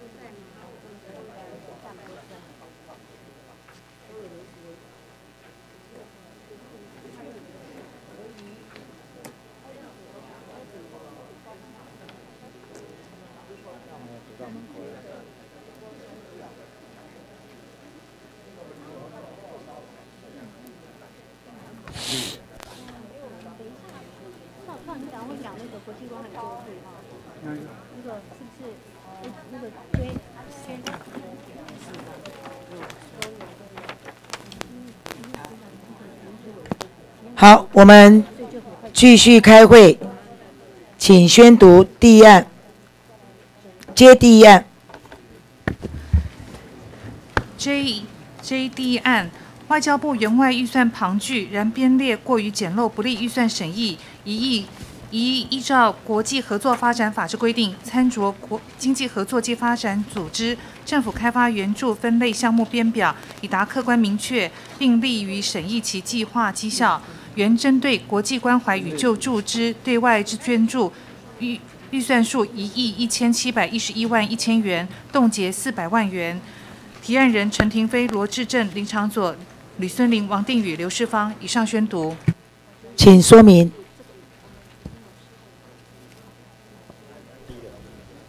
这个部分跟刚刚也是跟呃我们这个外委会已经报告过，就是说有关于参照经济发合作发展组织 ODA，就是政府官方援助的模式的一个报告分析，我们会来这个准备。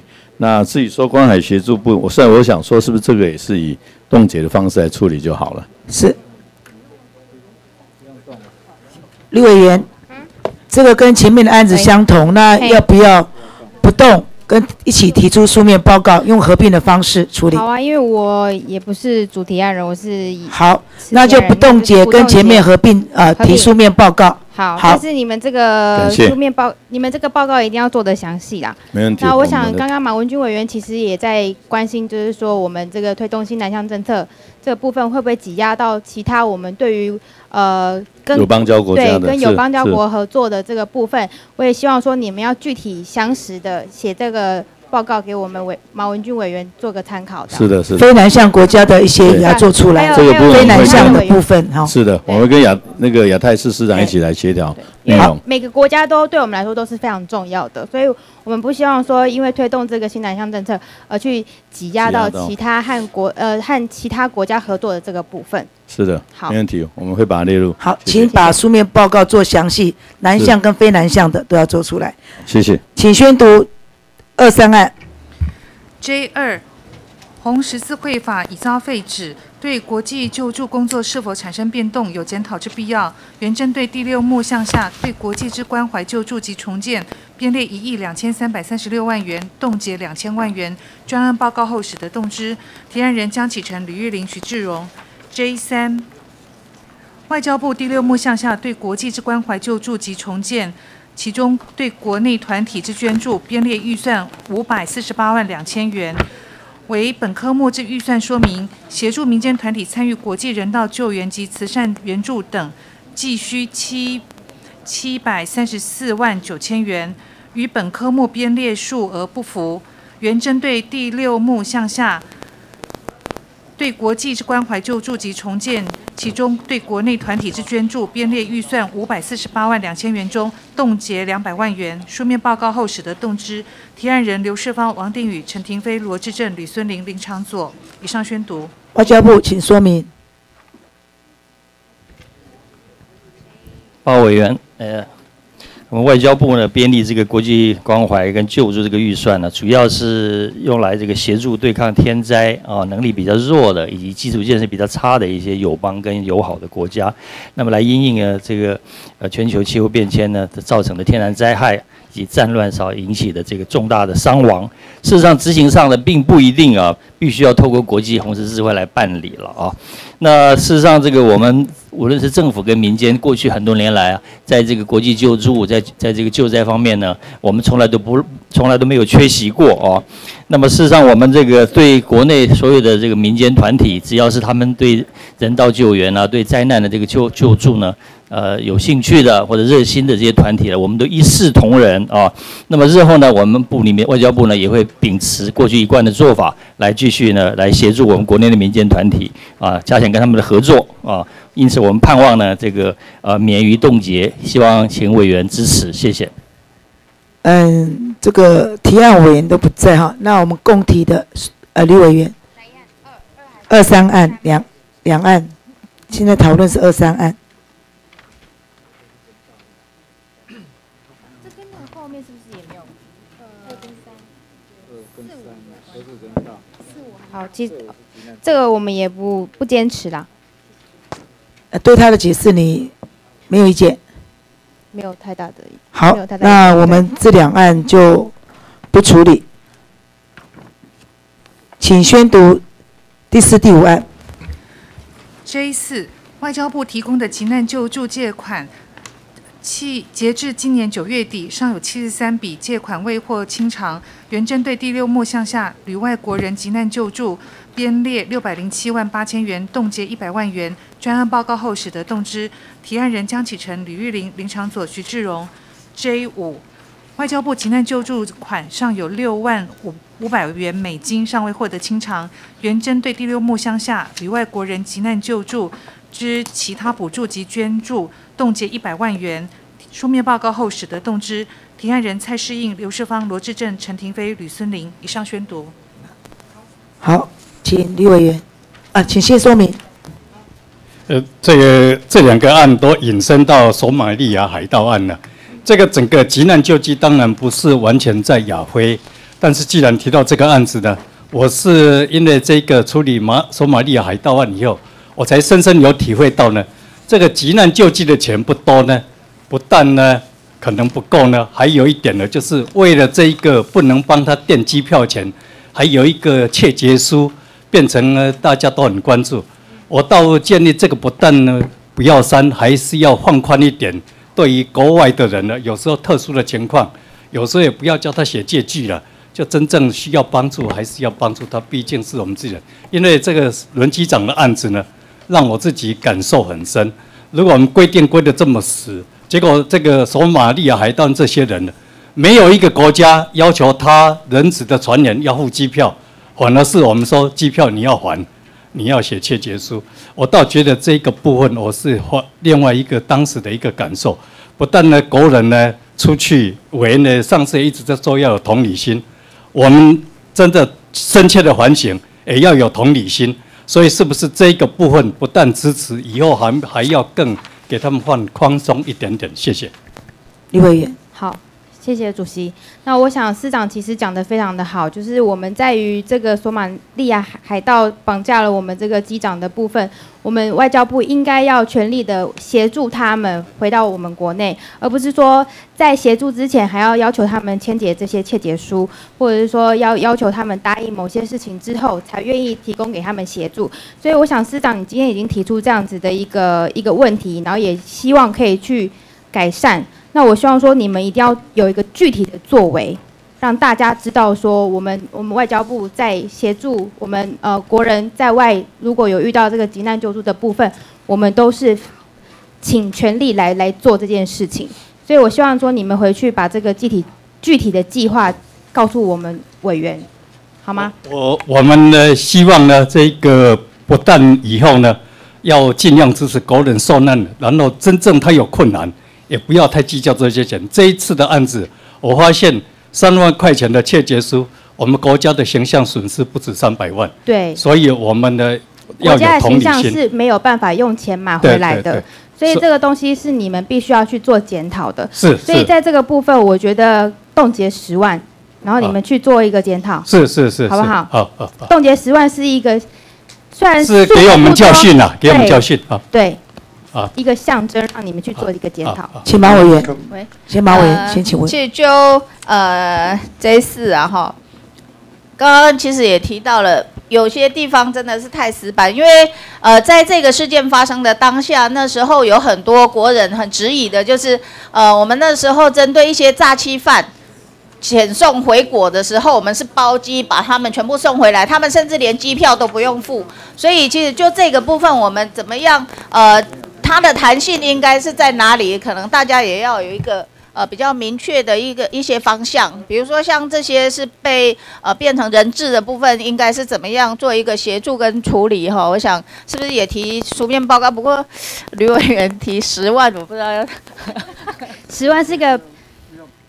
因为这个我们要务实去执行，也不能回避监督哈。那这个都有它的个案，我们的制度也不是很僵化的了哈，所以可以用专案的方式去执行啊。我们不要说在一定的那个那个规定，一定要做成哪些的收据资本哦。对。但是这个可以做成一个专案处理，好不好？我们的急难救助的那个相关规定，目前正配合这一个，嗯，这个瑕疵。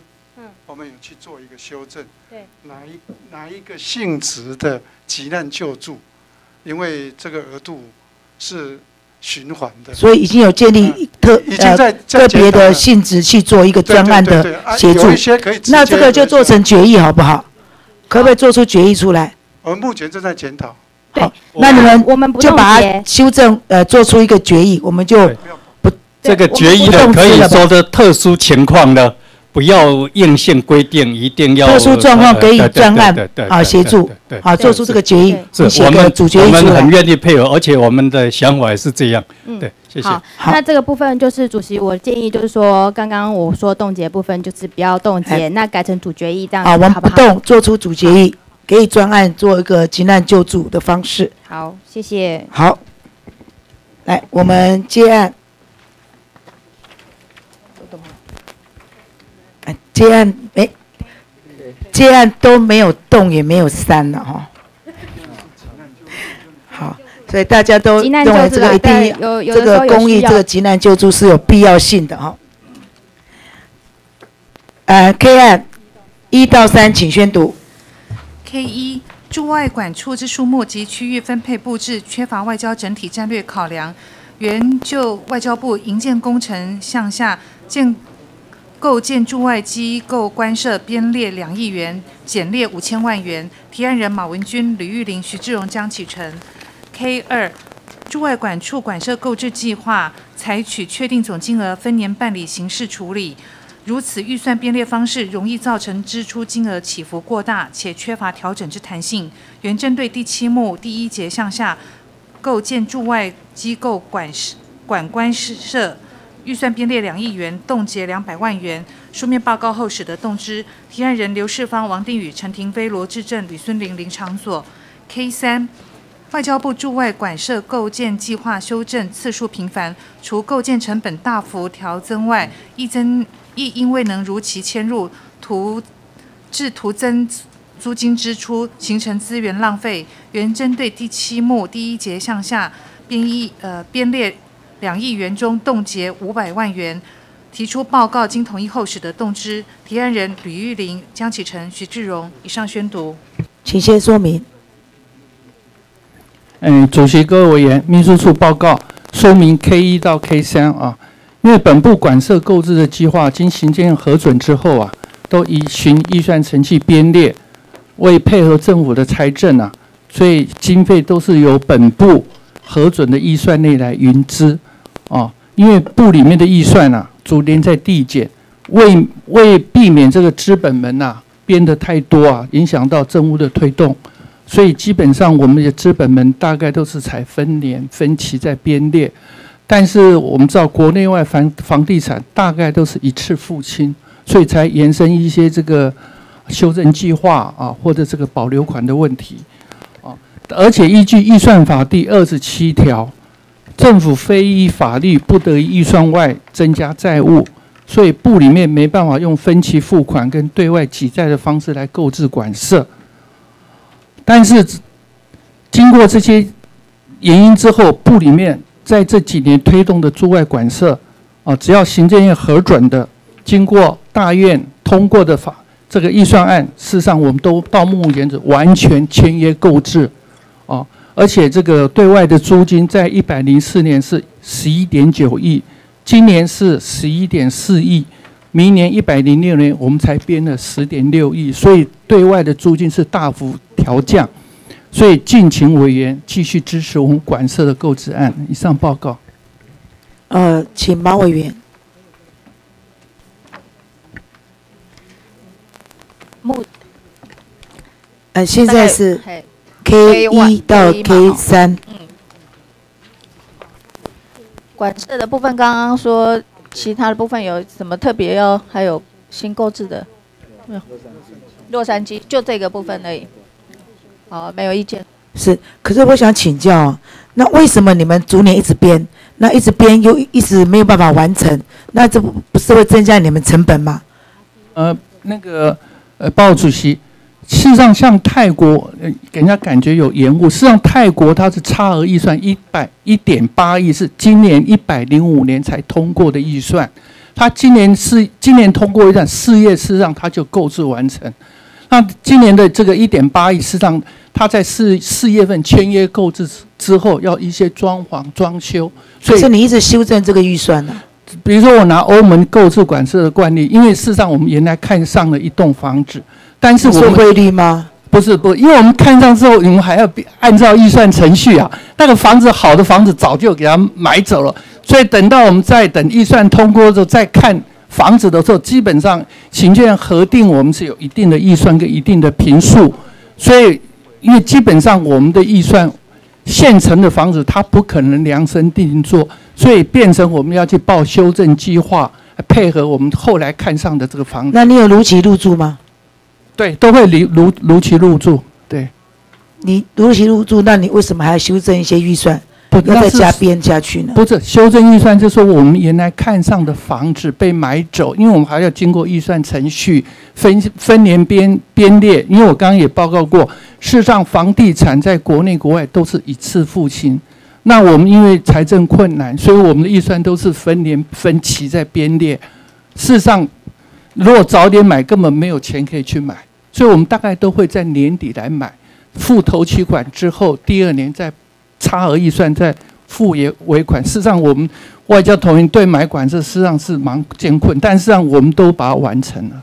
好，那这边都能够理解，可是你们要再积极一点啊。会会，我想事实上我也刚刚包括到目前的立法院通过的预算，我们都买了，都已经都买完了，都买都购置都买完完成了。好，来李委员，呃，刚刚我们这位是对，抱抱歉，我姓李，我秘书处处长，对。处长，不好意思，那个刚刚您有提到，就是说我们在购置管社的部分，其实有的时候会碍于没有经费，或者是说有了经费之后，这块土地，这个我们看上的房屋被买走了，这个这个状况都一直在发生，所以说这个呃会造成说我们这个。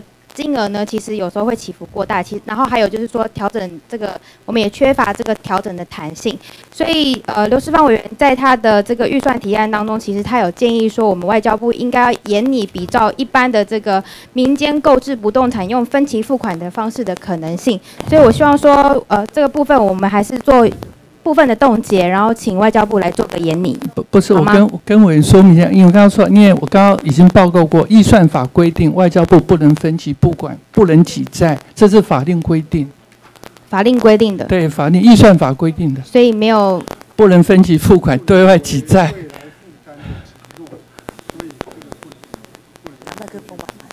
拿麦克风说明好了。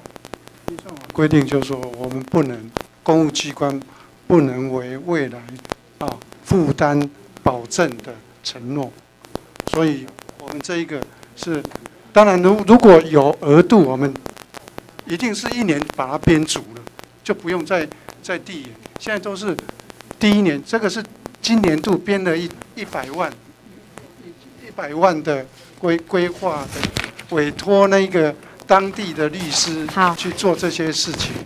那现在确如果确定要买的，也是年底要付处长，那这样子好了，因为其实我们也希望说这个呃预算预算可以来做一个活络使用。那我们也希望说，呃，我们其实每个委员对于这个预算都是非常的把关，我们都希望说这个钱不是浪费掉的。那我们是不是 好？我们都是希望说这个我们的考量其实都是为了国家的利益出发，为了国家的好的这个方向去去做一个。呃，建议，所以我是想说，我们这个部分是不是做成一个主决议？那内容的部分呢，就是说，建请外交部会同呃相关的国营单位来一起研拟，比照一般的这个民间购置不动产之分期付款方式办理的可能性。那冻结的部分就是也着动，着动一百。国营国营的跟公务的两种处理方式是不一致，哎，不一样。刘委员那就没有，我觉得做出主你们去做决议，。我们做一个主决议，然后你们去去跟这些国营事业去做个呃、哦那个研拟研拟办法好吗？这样子是不是我可以提个书面报告？因为这几年我确实亲身在办这个案子，我们也跟中华邮政、台银人寿、海外，因为现在目前只有人寿保险基金可以投资海外不动产，其他银行都不行。事实上，我们也跟中华邮政、台银人寿谈了四年，事实上法令都可以，但是主要是税的问题。税的问题。税的问题，我想我们有个报告就说，主要比如说法国中华邮政跟台银人寿，因为他是法人不是自然人，他如果要到法国去投资，他在当地成立子公司。嗯。其实成立总公司，当然因为国营事业成立子公司要行政院、立法院核准，但是这个都这个都可以克服。问题是中华邮政到那边买房子之后租给外交部，会产生两个税的问题。第一个就是他会每年要缴交总价不动产持有税的百分之三，另外还要交交，因为他收取我们的租金，租金营业税的部分高达百分之三十七，这两个税加起来就是我们现在租金的三倍以上，就不不不符合经济效益。事实上，我们都研拟过了。对这个，我们跟中华邮政谈一年之后，事实上都已谈过两三年了。好，现在地点已经确定了吗？有哦有找到适当的？没有，洛杉矶现在正在找，积极还。在找而已。对对对所以还没有确定那个位移。对对，要一定要这个预算通过之后才有可能。因为第一个，我们还要采依照采购法进行，还要公告。一好，那那我还是请你们做个主决议，好吗？那就是说，内容就是建请外交部会同呃相关单位、相关单位及国营事业来研拟比照一般呃民间购置不动产之分期付款方式办理的可能性。那这个冻结部分我就不不予以冻结，好吗？好，谢谢，好，谢谢。马委员那个书面报告什么都一定要做的非常详细。好好，好，马委员，提书面报告好了，就就当地的状况，然后我们外交部怎么样的使用，还有它的价格的合理程度各方面提出一个比较完整的报告。是谢好谢。好谢书面报告。那做书面报告，我们就冻结，没有冻结，就是请他做个主决议这样子而已。只那就不做书面报告吗？马委员，马委员这边。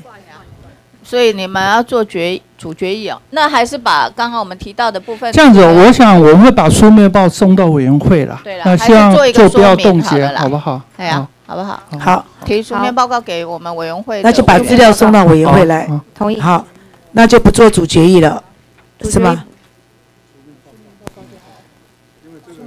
好，那书面报告的部分就是我刚刚讲到的部分，就是和其他的国营事业，你们有没有做烟瘾？对，好好好，反正就是把这些相关会会会，好不好？啊，把所有的资料哈送到本委员会来好。好，那接下来 K 四到六，请宣读。嗯，主席、各位委员，秘书处处长李方成报告说明 K 四到等一下，请宣读。K 四，外交部之驻外单位汰换公务车过于宽列预算，原针对第七目第二节项下驻外单位汰换公务车减列三百万元，提案人徐志荣、江启程、吕玉玲。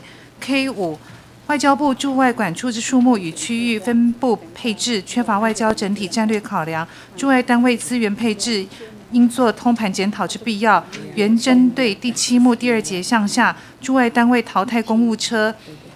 呃，减列一千万元，提案人马文君、吕玉玲、徐志荣、江启臣。K 六，驻外管处汽车排气量普遍过高，早已超出实际使用需求。外交部编列汽车单价约新台币一百二十万元，亦显有浮编之时，原针对第七目第二节项下驻外单位汰换公务车之运输设备费，予以减列一千五百零二万四千元。提案人蔡世应、陈廷飞、吕孙林、罗志正。以上宣读。请说明。嗯，主席，嗯，各位委员，秘书处处长李方成报告，呃，说明 K 四到 K 六啊。我想，驻外公务车这几年哦、做了很多改革啊、我们驻外公务车原来馆长大概四年就可以换，公务车五年可以换，到一百年的时候，啊、因立法院的要求，我们改为八年。但从一百零三年开始，我们比照国内的汰换标准。就是要满十年或行驶里程数达十二万五千公里，才可以申请汰换。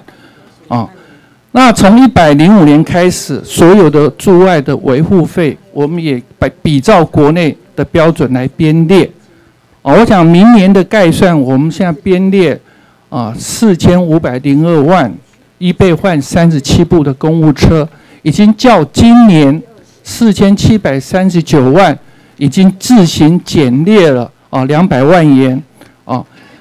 第三个要报告说明的是，我们外管的公务车现在全球总共有四百八十四辆，哦，那明年度我们预备换三十七辆，如果平均起来的话，四百八十四除以三十七，事实上我们平均十三年才换一部，所以相当的尊节。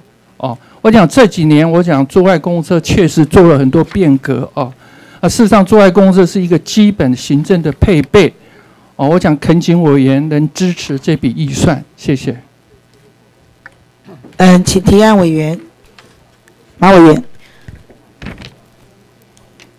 目前我们它的那个配置大概会不会有一些管社数量是过多，或者有一些它的配置？其其实基本上我们被配置当然会看重点管处，基本上我们会配的比较多哦。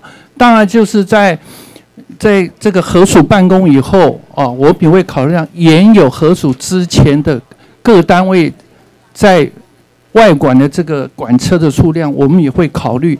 当然我我也会考虑人车比例啊。事实上这个部分我们都会考虑啊。我想这委员的意见非常好，我想我们会会来注意办理。好，没有意见，同意。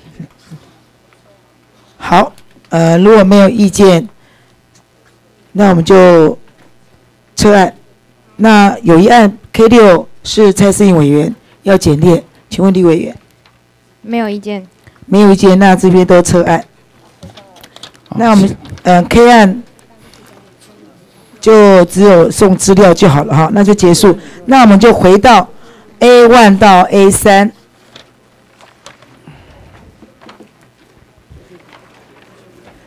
请宣读。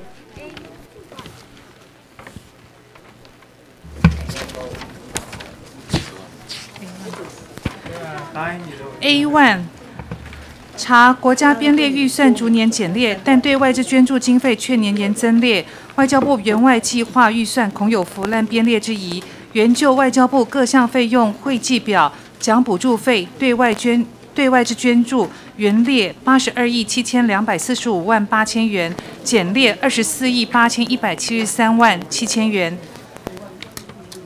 以上宣读。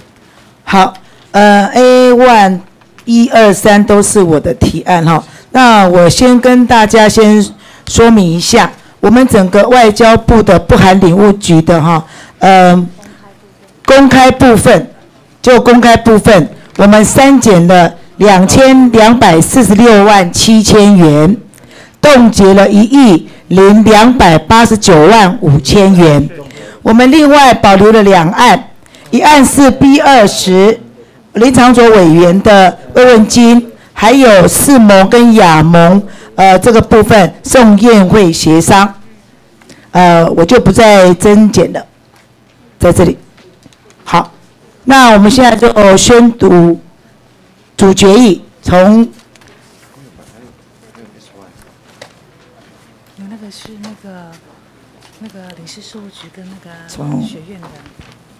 从 R one 开始，第一案请宣读。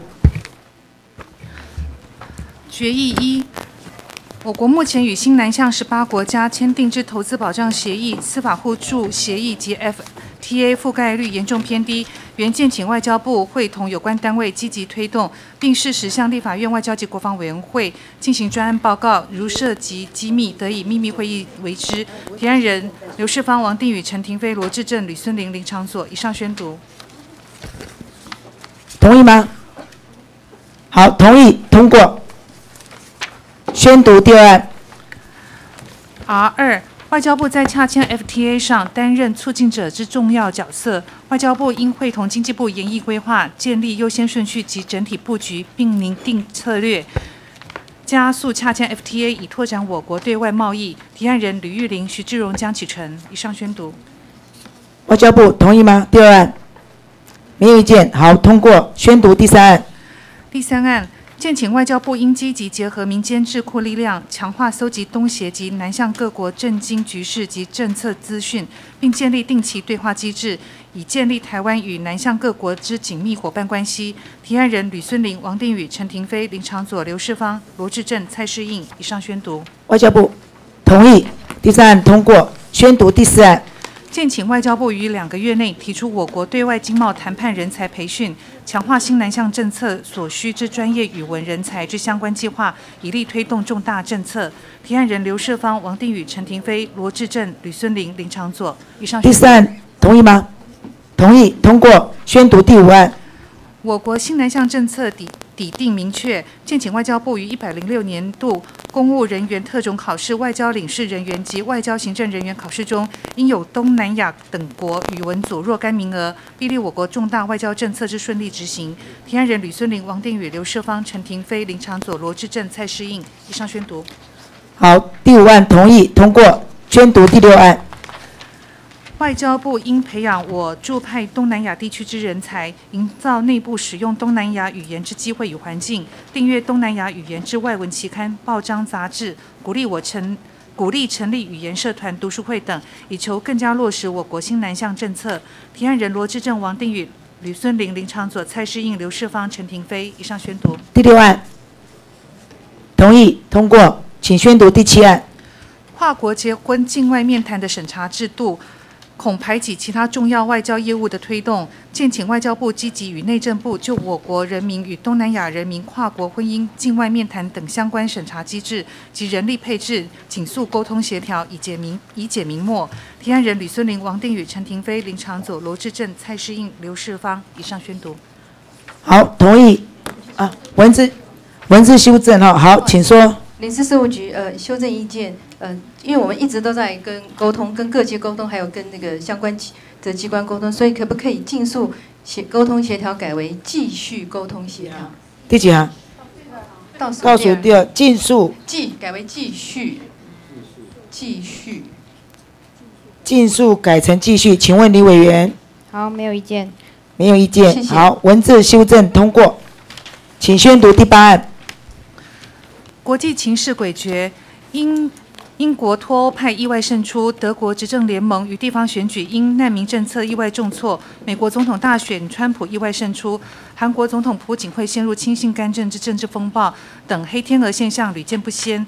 建请外交部与拟定外交策略，就国际双边及多边外交关系进行研判与对应与对应规划时，应对于低发生率几率之黑天鹅现象加强分析预判。切莫因其发生率较低而疏于准备可能情境之对应对方案。提案人刘世芳、王定宇、陈廷飞、罗志正、吕孙林、林长佐。以上宣读。好，第八案同意通过，请宣读第九案。有鉴于台湾参与 WHO、ICAO 及 UNFCCC 等联合国专门机构或 NGO 接受到中国打压，要求外交部于一个月内提出一套具体且长久有效的方法。送交本委员会，提案人陈廷飞、蔡诗应、吕孙林、罗志正。以上宣读。要修正吗？里面其他的单位一起来做这个报告，所以我们时间上是不是可以呃，让我们可不可以委员可不可以同意稍微延长一些些？几个月？改成三个月。好。李委员同三个月有没有问题啊？呃，没有问题，谢谢。好，好，修正为三个月，修正通过，请宣读第十案。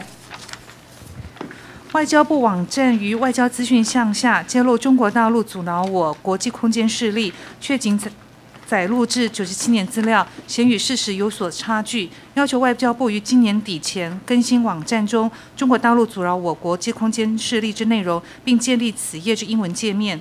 提案人蔡适应、吕孙林、罗志正。以上宣读。外交部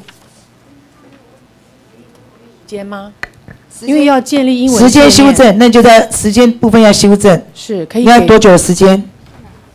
啊，看委员可以允许我们可以多点时间看。这原来是今年年底到六月以前，明年六月以前可以吗？好，好，这边在倒数第四行，要求外交部于明年六月底以前更新网站。好，文字修正，请教李委员可以啊？可以可以。好，文字修正通过，宣读第十一案。建请外交部应紧速研议与诺贝尔和平奖得主、西藏领袖、精西藏精神领袖达赖喇嘛等访台事宜，逼利台湾参与国际人权社会与国际接轨，加强友谊。提案人陈廷飞、吕孙林、蔡世应、罗志正。以上宣读。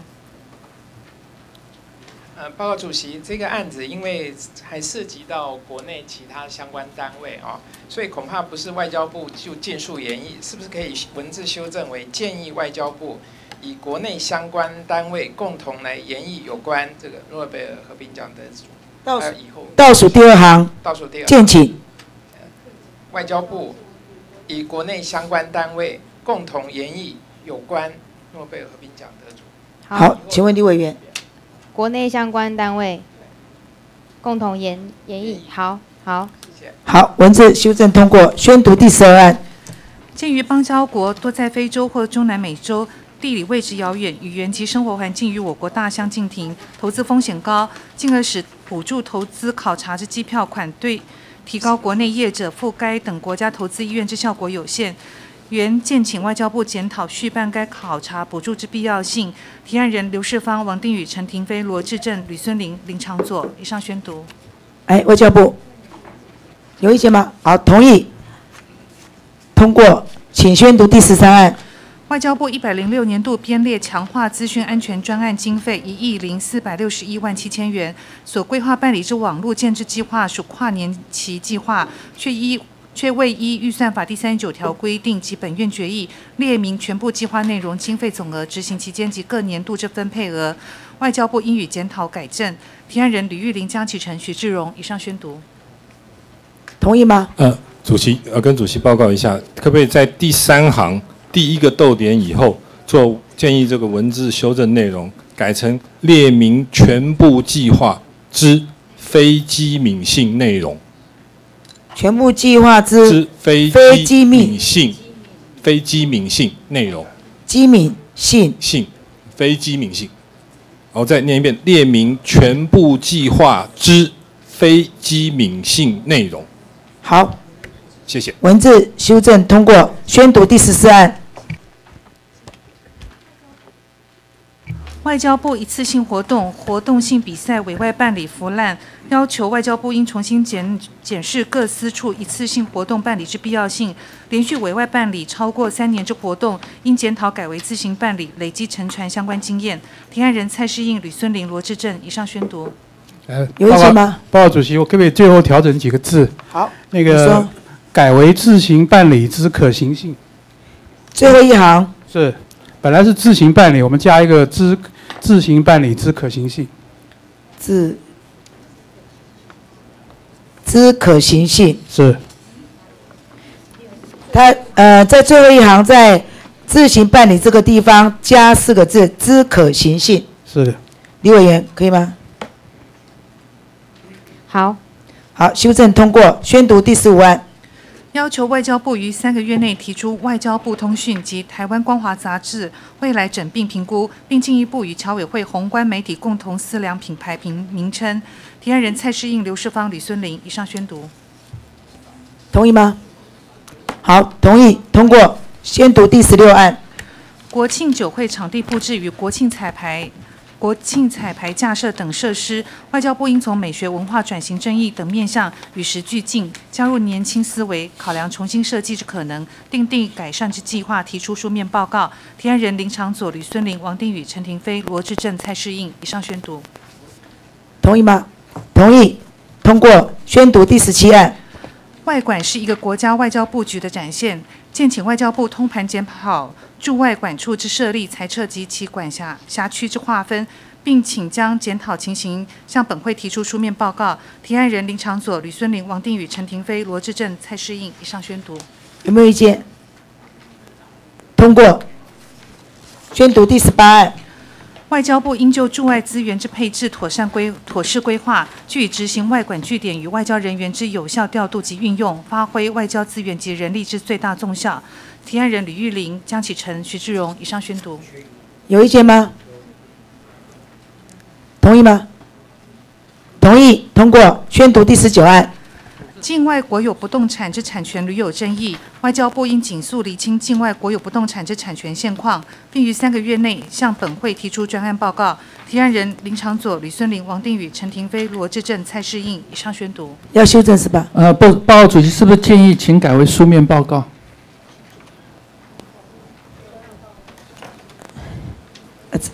请问林委员，好，林委员同意改成书面报告，在最后一行。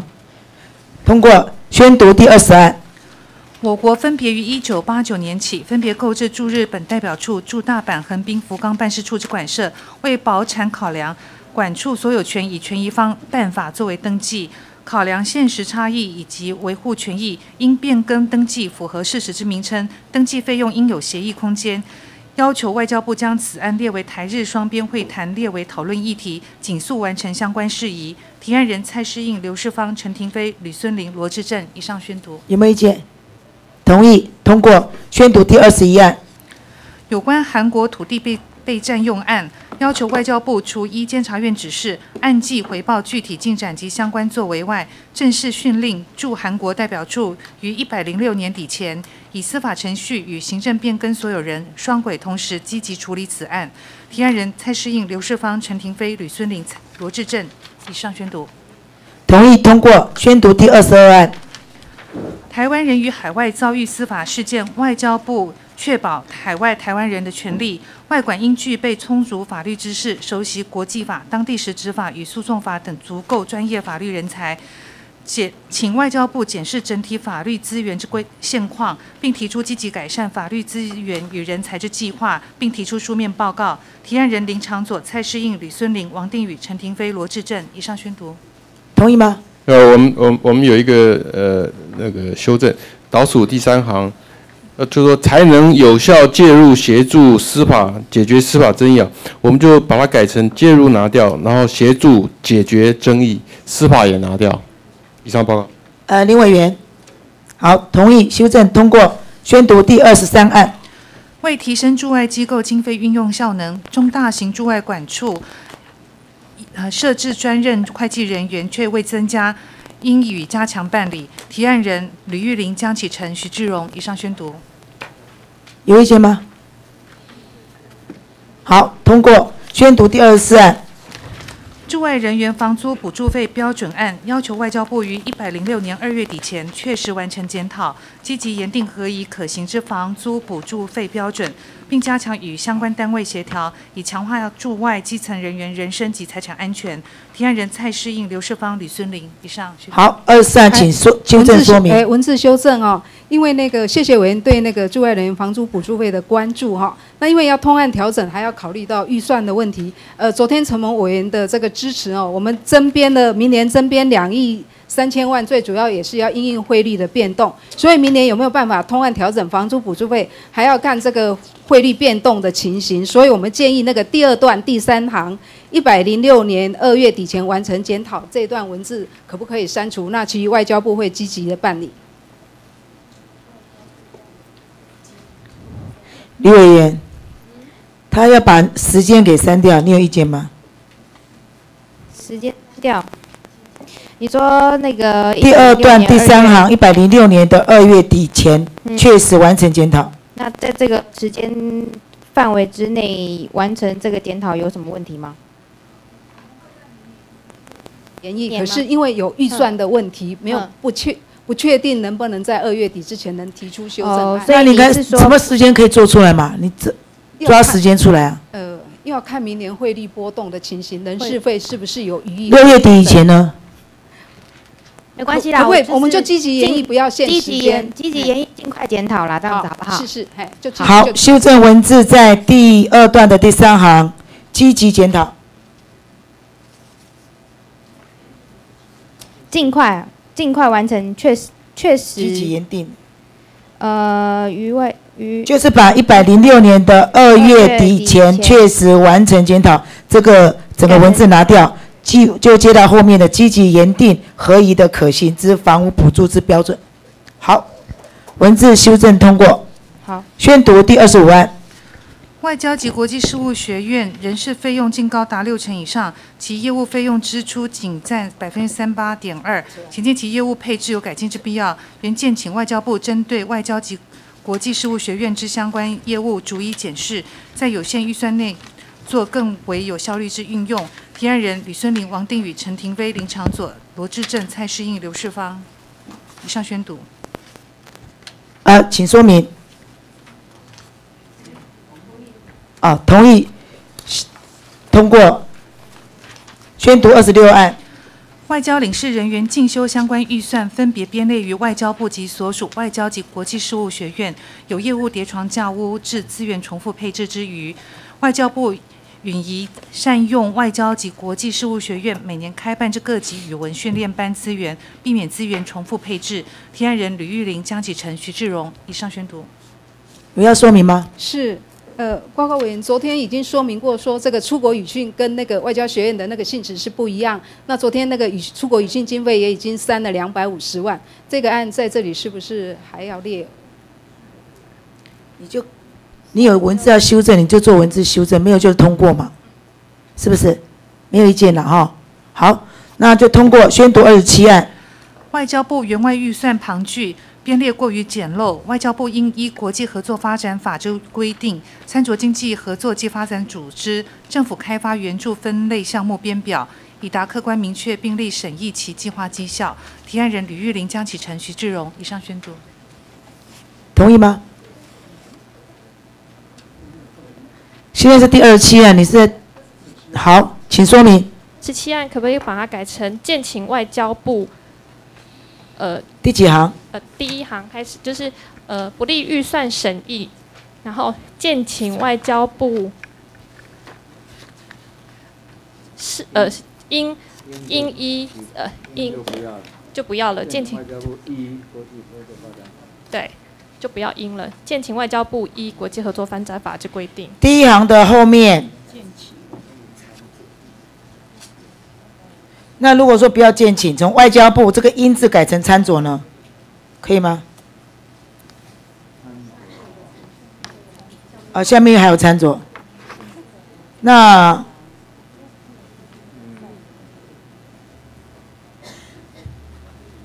好，那就建请外交部。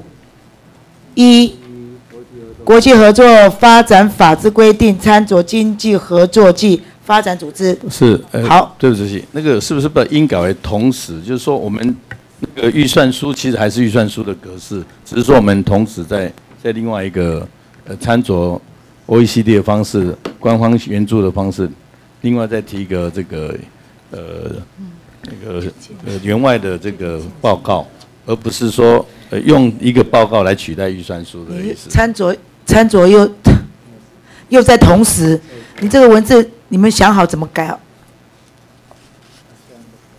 要怎么改？就建请外交部一这样子好不好？在第一行最后面建请外交部一这样子好，文字修正通过，宣读第二十八案。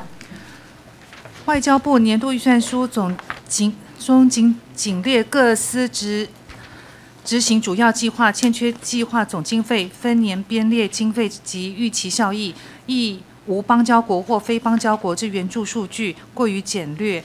建请外交部依国际合作发展法之规定，参酌经济合作及发展组织政府开发援助分类项目编表，以利审议员外计划绩效。提案人刘世芳、王定宇、陈廷飞、罗志正、吕孙林、林长佐。以上宣读。啊？呃，不要避难，尊重提案委员。好，那就同意通过。宣读二十九案。外交部应督促国合会针对国际技术合作计划执行模式变革后，实务上发生之缺失，通盘检讨问题症结，强化制度之周延性。提案人吕玉玲、徐志荣、江启臣。以上宣读。有没有意见？同意通过。请宣读三十案。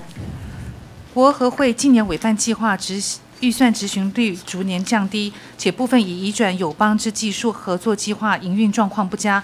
外交部应督促国合会改善，并于计划规划阶段及全盘考量，如有移转之后续营运辅辅导配套措施，以达永续经营之目标。提案人吕玉玲、徐志荣、江启臣。以上宣读。有意见吗？同意通过。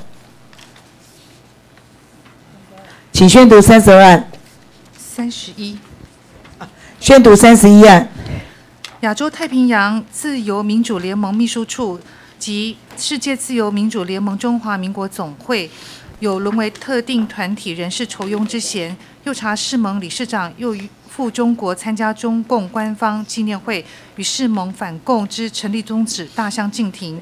原见此外交部不应在编列预算补助其人事所需费用，两组织所需之活动经费，已宜应向外交部提案申请。提案人刘世芳、王定宇、陈廷飞、罗志正、吕孙林、林长佐。以上宣读。先请议事人员先宣读第三十二案，因为这个案子一样，宣读三十二案。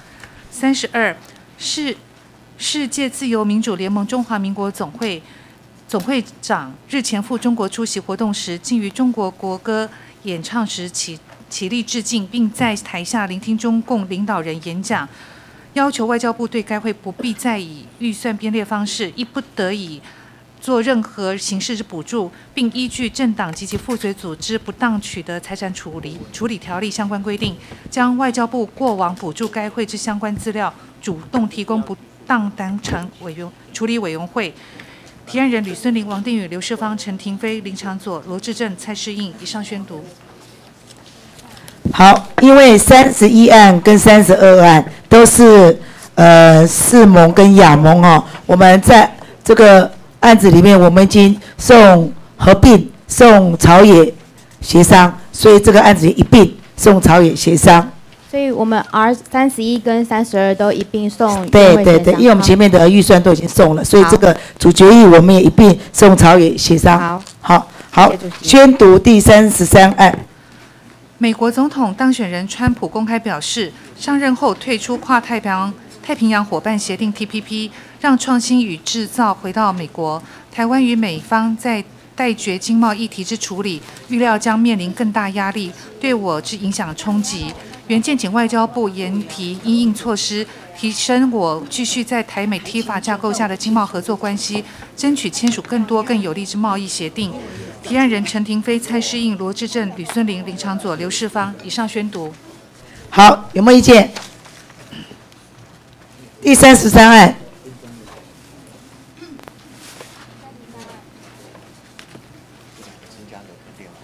嗯，对，在后面两个电过了。不客气。有没有意见啊？通过，宣读第三十四案。保证人保障人民食品安全是政府责无旁贷的责任。对于恢复日本非福岛地区食食品进口，杜绝任何辐射污染食品进入台湾，以及捍卫国人健康，乃是政府绝不能打折扣的承诺和目标。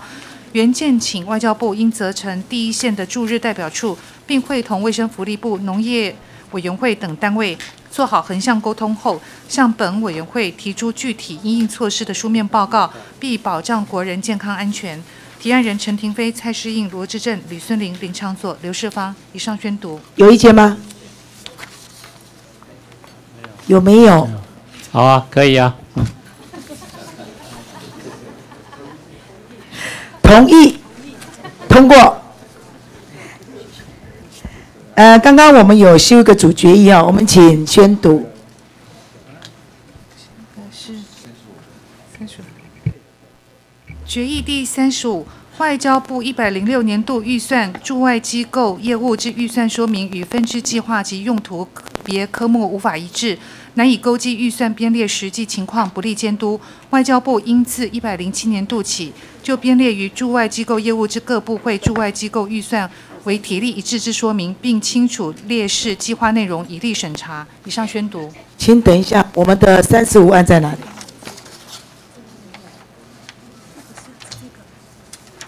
三五三六是不是？不是。这今天那这个呢？念过了。啊，这个好给，抱歉。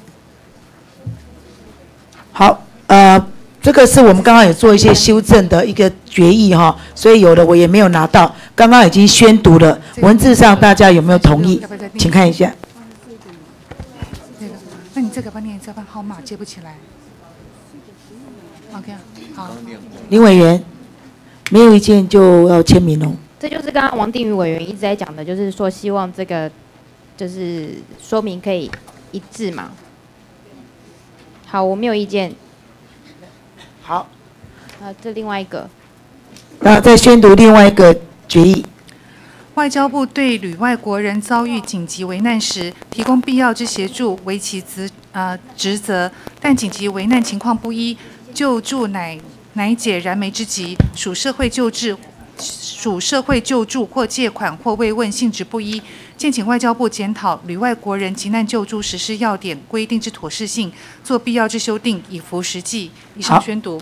呃，这就是刚刚呃李委员跟马委员大家建议的，啊，做一个急难救助的主决议。这文字同意吗？好没有意见。好，那就通过。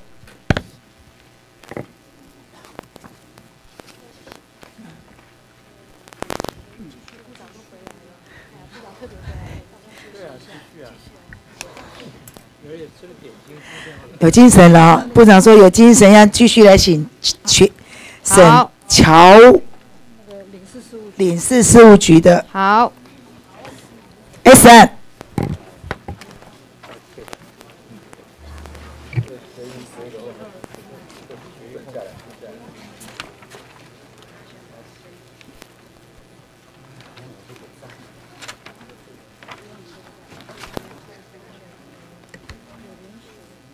嗯，要先来说明一下哈，因为这个很多提案委员都不在，他们案子这样子审过去，李委员，李委员，部长，提案委员都不在，我们都有联署啦。其实我这个我们我们委员所主提案的案子，其实大部分几乎应该每一个我都有联署，所以我想他们的意见就是我的意见，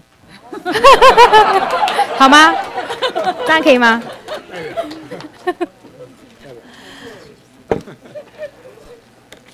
我联署的案子我都是有看过的，所以都是有认同我才会联署。好了，我们李家妹妹讲了，好了，谢谢姐姐。就审了就审了。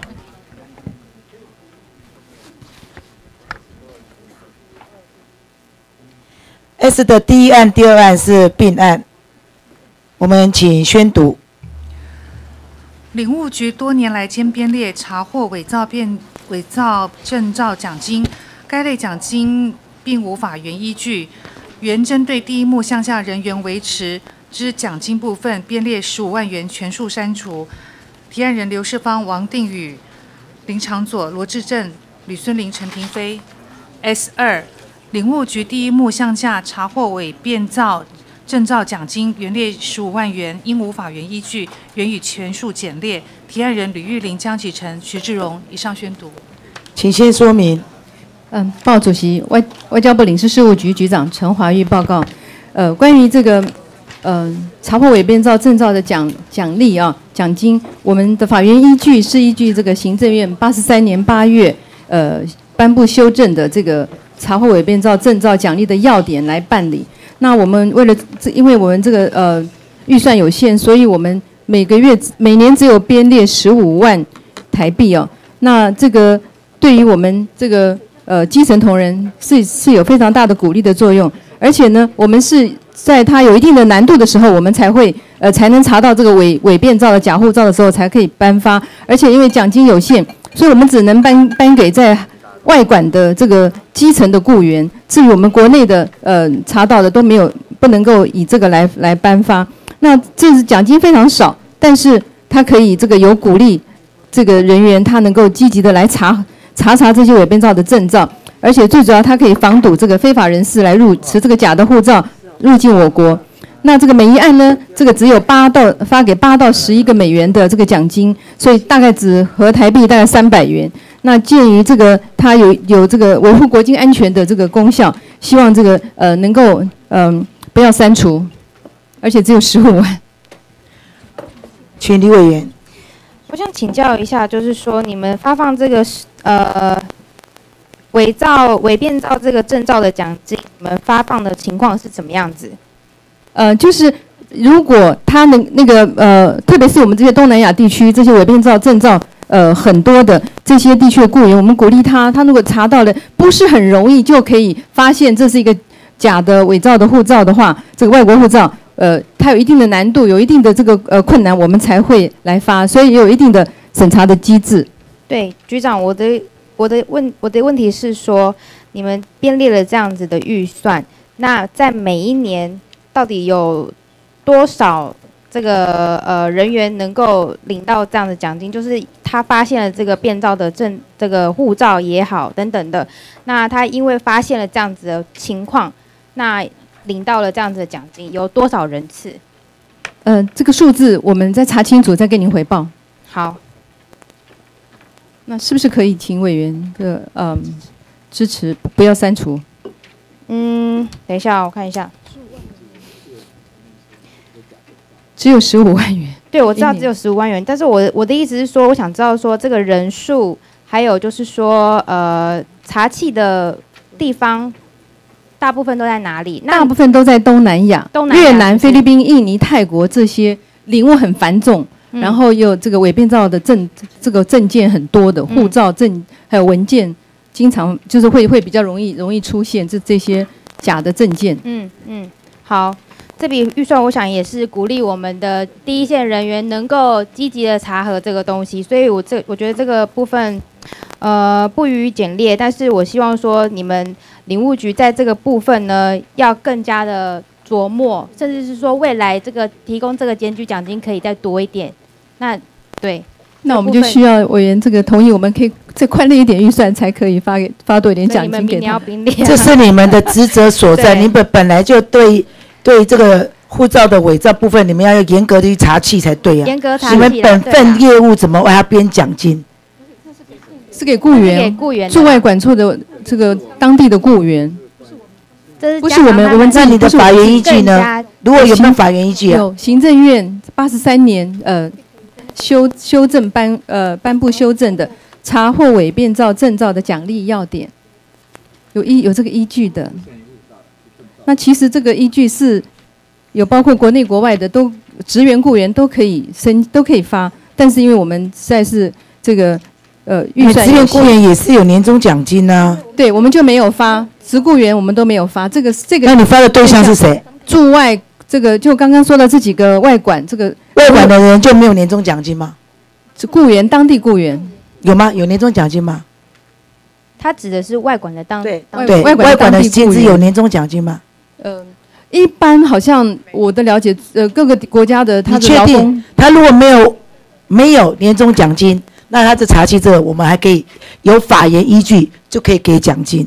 如果他已经有领我们的年终奖金的，已经有奖金的就不用再发了嘛。但是最主要是他能查获到一个不太容易发现的一个假的证件，我们要鼓励他们要很仔细的去看这些来申请到台湾来签证的这些护照有没有问题。如果没有一个鼓励的机制，他们就不会那么。所以你们对象就只属属于对外的，是约聘的。外管的第一线的柜台的雇员，当地的雇员。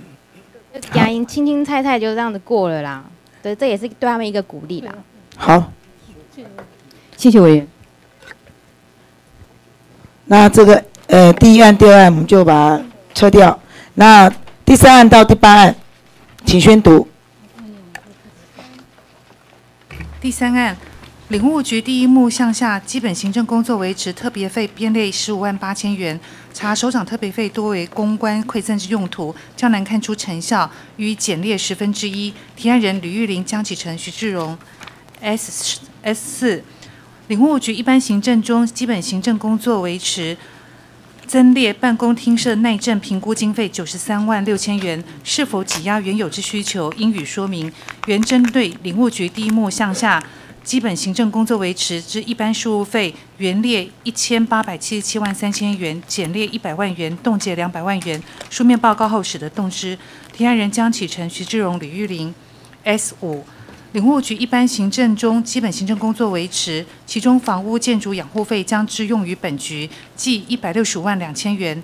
然查一百零五年度已编列一百八十三万六千元之房屋建筑养护费，同样用于本局，连年有相同之经费需求，用途应予再详细说明。原针对领务局第一目项下基本行政工作维持之房屋建筑养护费。原列一百六十五万两千元，冻结五十万元。书面报告后，使得动之。提案人江启臣、徐志荣、吕玉玲。S 六，领务局汰换本局办公设备及资讯软硬体设设备等经费，一百零六年编列，较一百零五年增加两百八十五万五千元，用途不明，应予说明。原针对领务局第一目项下基本行政工作维持之汰购。本局办公设备及资讯软硬体设备等经费冻结一百万元，书面报告后使得动之。提案人江启臣、徐志荣、吕玉玲。S 七，领务局第一目项下基本行政工作维持之设备及投资，该项说明与一百零五年度完全相同，未见新增计划或购置品项，但经费却较一百零五年度宽列两百八十五万五千元。原针对第一目项下基本行政工作维持之设备及投资减列五十一万四千元，提案人徐志荣、江启臣、吕玉玲。S 八退休人员三节慰问金之发放未有法律依据，原针对第一目项下基本行政工作维持之奖补助费当中奖励及慰问编列二十六万四千元，减列二十六万四千元。提案人林长佐、吕孙林、王定宇、陈廷飞、罗志正、蔡世应。以上宣读。嗯，请林委员，呃，请先说明。是，关于特别费部分，我们是按完全按照行政院核定的这个呃规定来办理。那其中最主要的跟这个外部机关、民间团体有关人士的这个公务联系的话，我们还有一个很重要的联联系的，就是跟驻华的呃呃领事官员的联系，以这个交换这个领物的呃一些实物跟这个工作的这个经验。那我们希望为了呃领领务局的这个业务的推动，希望能够不要删除。好，请林委员。第八案，是是第三第三案，三到第八，你不是一起说明吗？哦，一起说明好是。对啊，我们就并案处理了。OK，好，是那关于那个呃第呃第四案这个呃房屋这个耐震评估的话，是因为我们临时事务局的办公室是在中央联合办公大楼的北栋，那那个呃北栋已经是呃二十年的建筑，然后因为今年年初的台南那个大地维冠大楼大地震，所以北栋的管理小组要求我们各个进驻的机关都要这个呃做这个评估这个大楼耐震的这个呃耐震度，要做个预算来编列，所以我们才按照他们的要求来编。那因为也是因为我们领领事事务局每天都有民众来申请护照，每一天多的时候有三千到四千个人，所以为了这个民众跟这个同仁的安全，所以我们就列了这项做这个耐震的评估的预算。然后第第 S 五有关于这个建筑养护的部分哈，呃，那是因为我们呃我们这个联在联合办公大楼有三层，那也是因为预算的限制，我们必只能分年来编列预算。那我们一零五年是泰换三楼领务大厅，那一零四年编列的是要要这个呃泰换四楼办公区域的这个呃办公的一些设施，因为我们的天花板啊、空调出风口啊这些设备都已经很老旧了。那至于资讯设备这部分哈，是事实上我们领事事务局啊，因为我们是一个为民服务的呃机构，我们要核发护照、签证、文件证明。那我们的电脑非常非常多，我们国内包括我们本局跟驻外跟我们的几个分支机构有六百台电脑，然后我们都跟所有的世界我们在驻外的所有的管处的电脑都连线，因为我们签证的、护照的这些核发都有都有连线，也跟外外管的四百多个呃电脑连线，所以我们的领务电脑就有一千台以上。那这些电这些这些电脑的行政呃这些呃电脑的系统的这些的维护，然后我们呃都需要每每定期的来更换。那最主要呢，我们今我们还在明年我们还需要就是我们全球资讯网站要改版啊。那改的更那个呃有更先进的技术来改版，然后我们的呃身份认证的系统整合的开发啊，呃那需要这个账做一些新的更正更新，然后我们的电脑机房有不断电的这个设备，我们有两套不断电的系统，已经超过使用年限，也都是要在明年来汰换。那至于嗯、是是呃。呃，S S 六 S 七，然后 S 八，哦，S 八的呃退休人员三节慰问金是不是就通案处理？是，谢谢。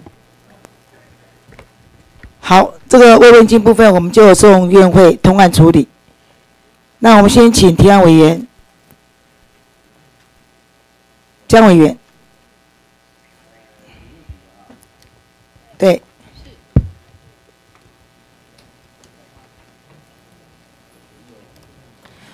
那我先啊，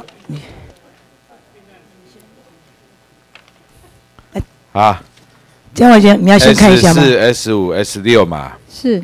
那外交部你们自己认为林务局怎么处理比较好？是报告报告江委员，我们那个、呃，您关心的呃这个耐震的话，是因为哦，那阵你有跟我解释过的啦，是是是然后这个我们的设那个我们的呃房舍的那个修缮啊，呃为什么今年跟呃明年跟今年是同样的？是因为我们分楼层分年来编列预算来整修，所以会每所以这去年跟呃明年跟今年都有。房舍那个耐震那个哈，那个我不坚持了哈。是那个涉及到安全的问题是啊。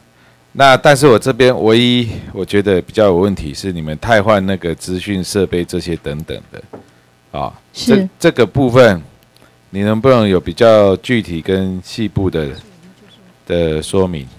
是，因为这边你只你只讲了，就是花一千零五十一万嘛，我们对我们这个，因为我刚跟因为增增加了两百多，呃，快三百万哦。是因为我们明年有几个新有几个需要汰换的，包括我们这个呃，除了我们这么一千多台的电脑是定期要维护要换这个汰换之外，周边设备啊之外，我们明年的新的计新的那个呃预算是要做全球资讯网，就林务局的全球资讯网，提供呃全世界的还有还有国人来那个呃搜寻资讯的这个网站，我们需要改版了，我们要改用一个响应式的网站的设计的技术啊。配合时代的潮流，然后我们也要做一个我们行政的应用系统，需要做一个身份认证的整合的功能的开发。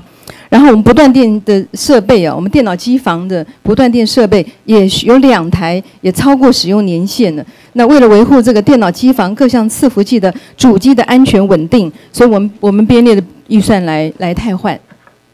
你们每一年都有编这个资讯相关的预算嘛？设备啦，因为我们要分年汰汰换，是那每一年平均都是分都是编编七八百万、一千万吗？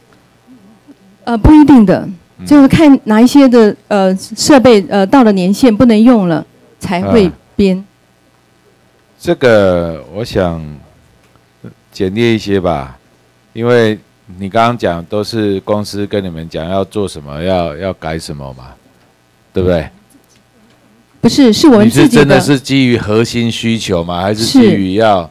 报告委员，我们嗯因为这么多的呃，我们所有的这个制发、护照、签证、文件证明的是系统，所以我们自己领务局就有一个资讯小组，我们有做资讯的规划的政策，还有我们有资讯的技术人员。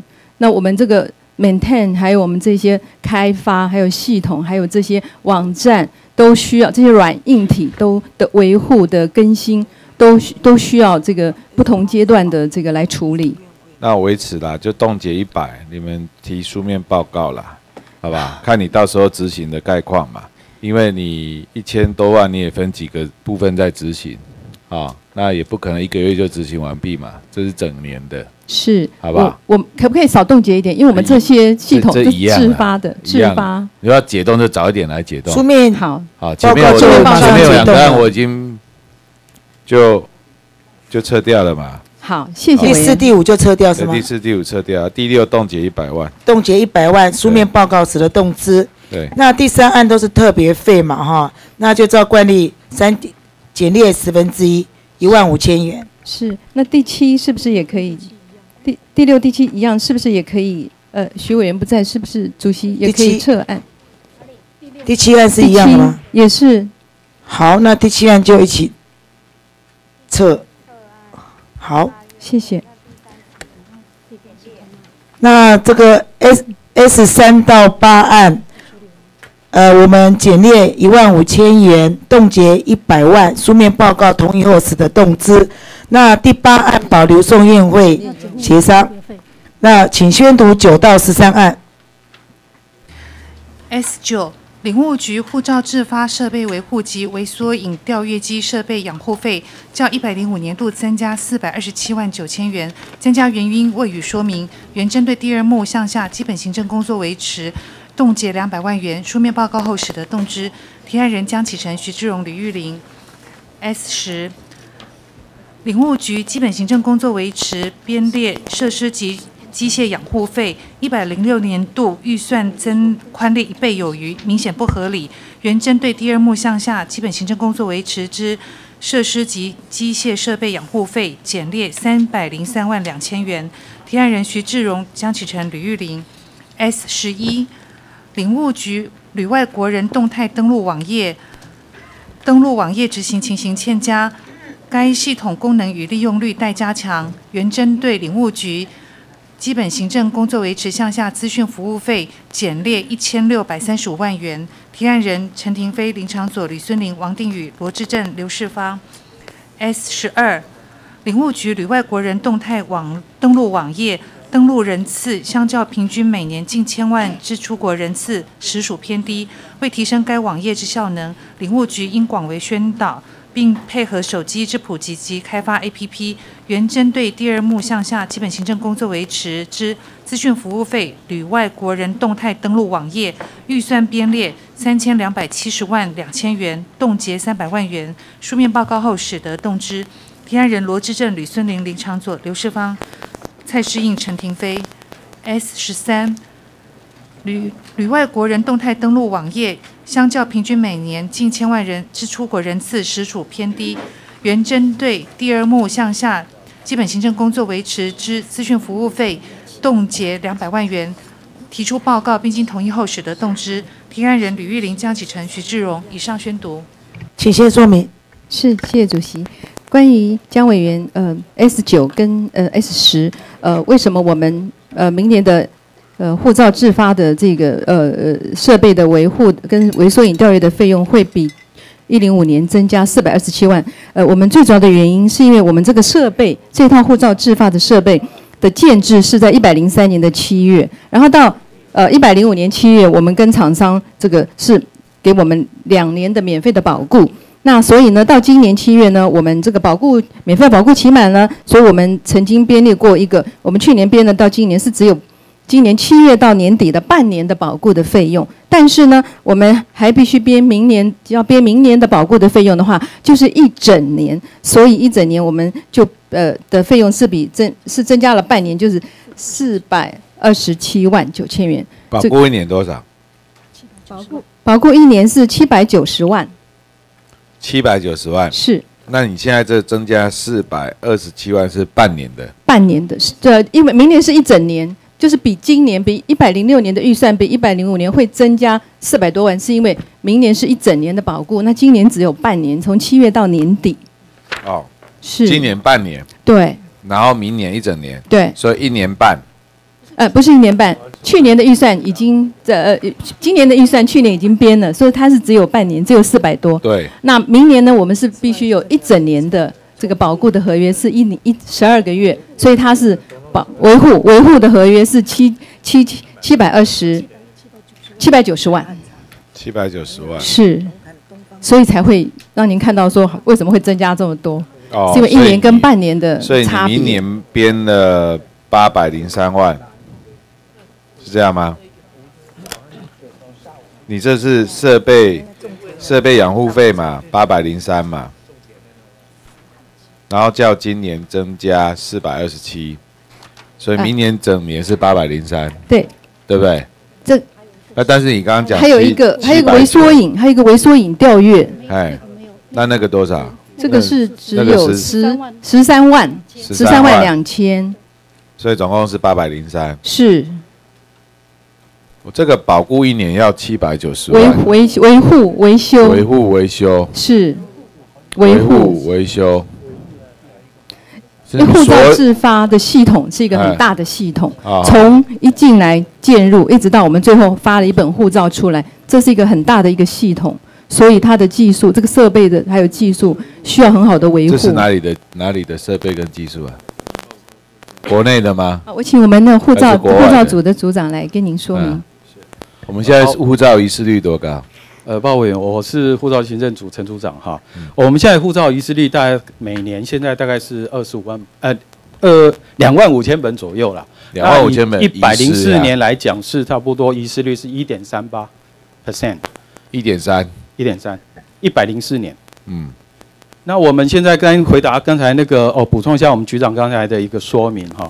基本上我们这个呃维护费用啊，是给予本局还有中部、南部、东部还有云嘉南办事处办公室五个办事处。那我们在桃园那边有个备援设备，我们在桃园那个对宏基下一个呃所谓的渴望园区那边呢、嗯我们有一个备援设备，所以我们的维护费用是这样算出来的。嗯那我们呃其实都在都是经过一定的一个所谓公开招标程序来。我请来教一下，你刚刚讲我们遗失差不多一年遗遗失两万五千本吧？啊，呃，对。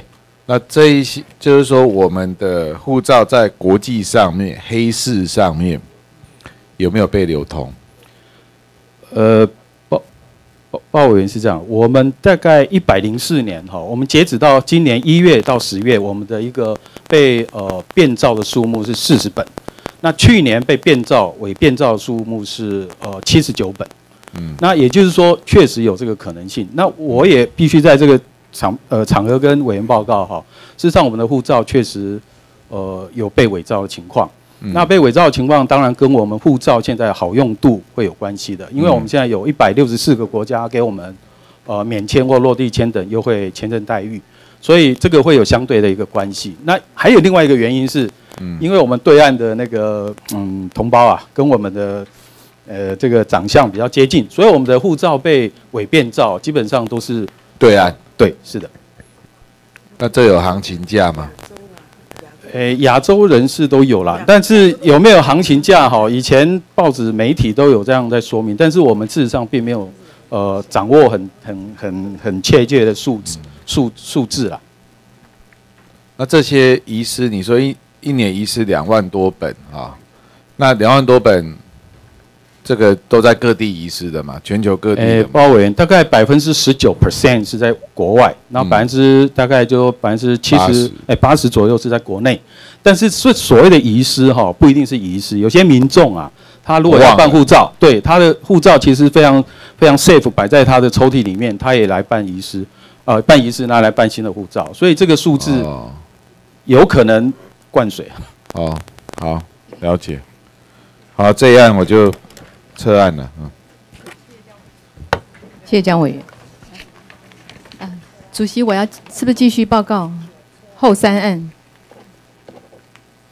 好，那个第九案就撤案，然后继续说明。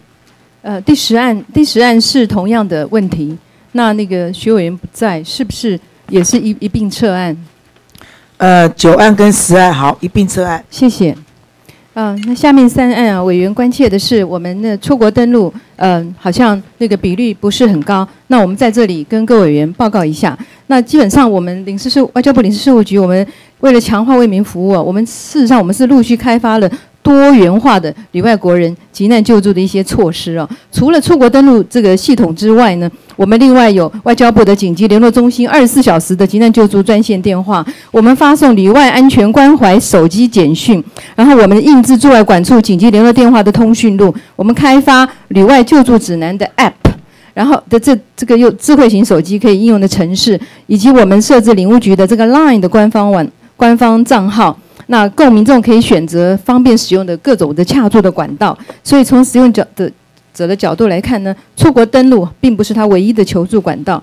那另外就是说，因为呃民众的那出国的频率很频繁。他们语言自理的能力都很强。那那个出国登录呢？呃，虽然他们知道很方便，可是大部分的民众他们现在很重视个人的隐私，他们不愿意上网来登录他们个人的身份的资料，还有他们的行程的动态。所以呢，这个因为他们都有自人都有行动的自由，我们只能这个鼓励。因为没有一个限法律来限制他们一定要出要上网登录啊，但是呢，我们其实做了很多的宣导的措施啊。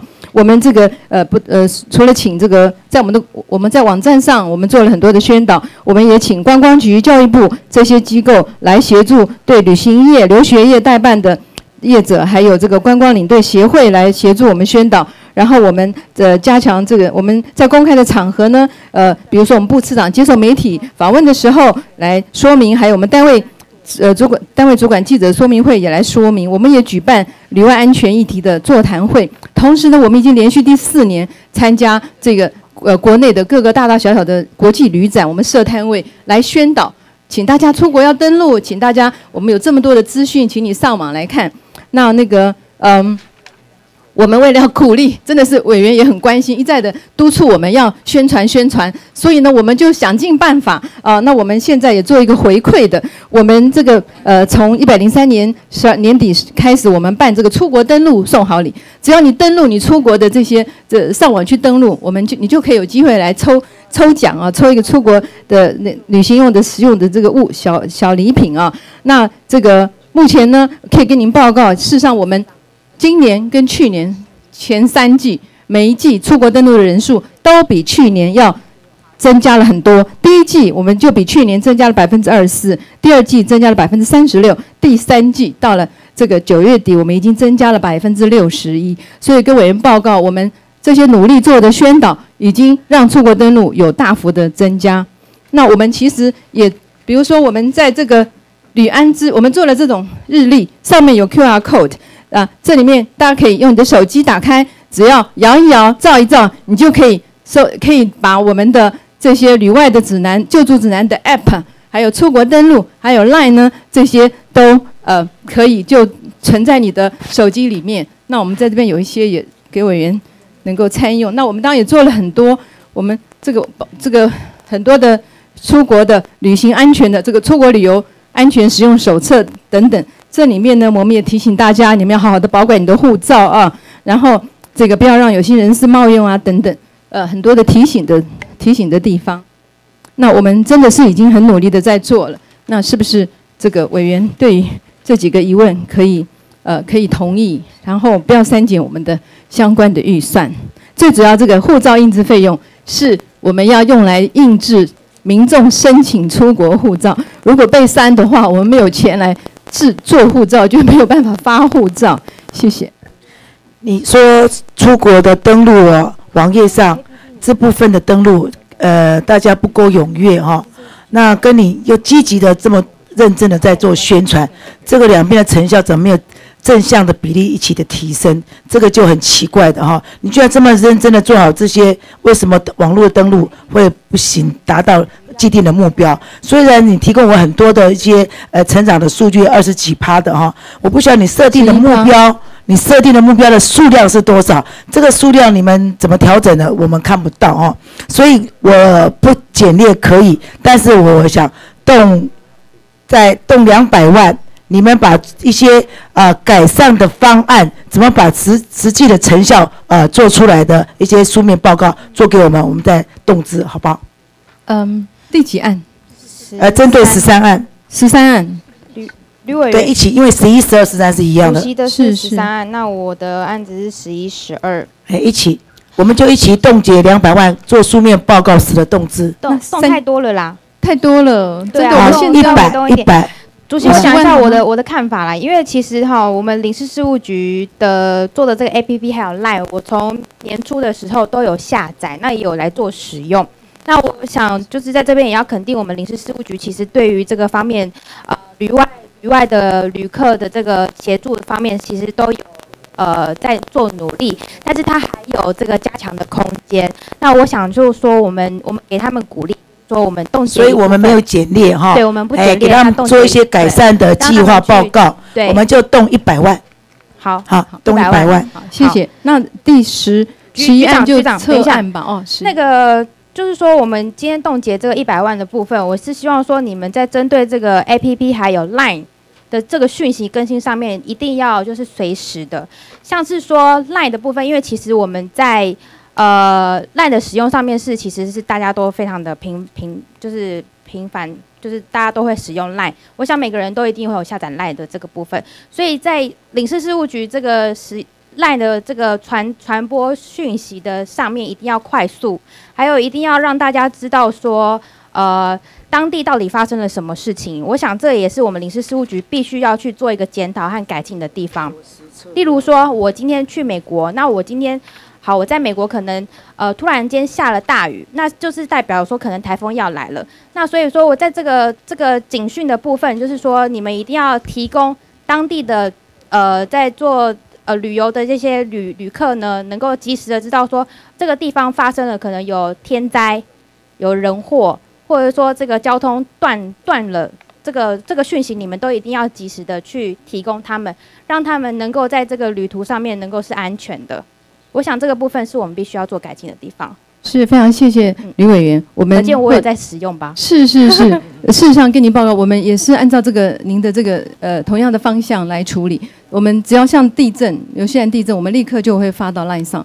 然后南亚、东南亚如果有什么暴动或者是什么，呃，那我们也会立即就就会把这个讯息从 LINE 传出去，跟您报告，还有跟呃招委报告。我们事实上我们的 LINE 今年年初才三万，可是我们现在有已经到七十万的呃好友了，所以我们这样这样大力的宣传已经是有很有成效。那出国登录也到十也到十九万。所以可见使用的人数是有在上升的，急速上升。所以等于说，你们在这个资讯更新上面一定要在更加的快速，那也要让大家知道说当地到底发生了什么事情，不只是暴动，例如说台风也好等等的。我觉得这个是及时的资讯在网络上都要公布。是我们好遵照办理。好，谢谢。那就九案跟十案撤案，那我们十一、十二、十三，我们就冻结一百万，书面报告同意后使得动资。接下来十四到二十一案，请宣读。S 十四，伪变造护照查获量逐年增加，以晶片护照居多。原针对领务局领事事务管理项下印制及制作护照，简列一亿七千零六十八万两千元。提案人陈廷飞、林长佐、吕孙林、王定宇、罗志正、刘世芳。S 十五，护照登录外包经费逐年增加，实有必要等于准结原则核实估列。原针对第二目项下印刷及制造护照预算减列五百万元。提案人徐志荣、江启臣、吕玉玲。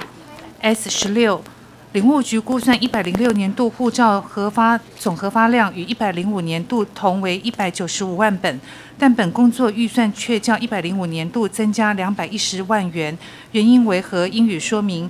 原此，针对领务局第二目向下印制及制作护照减列两百万元，冻结两百万元，书面报告后使得动之。S 十七。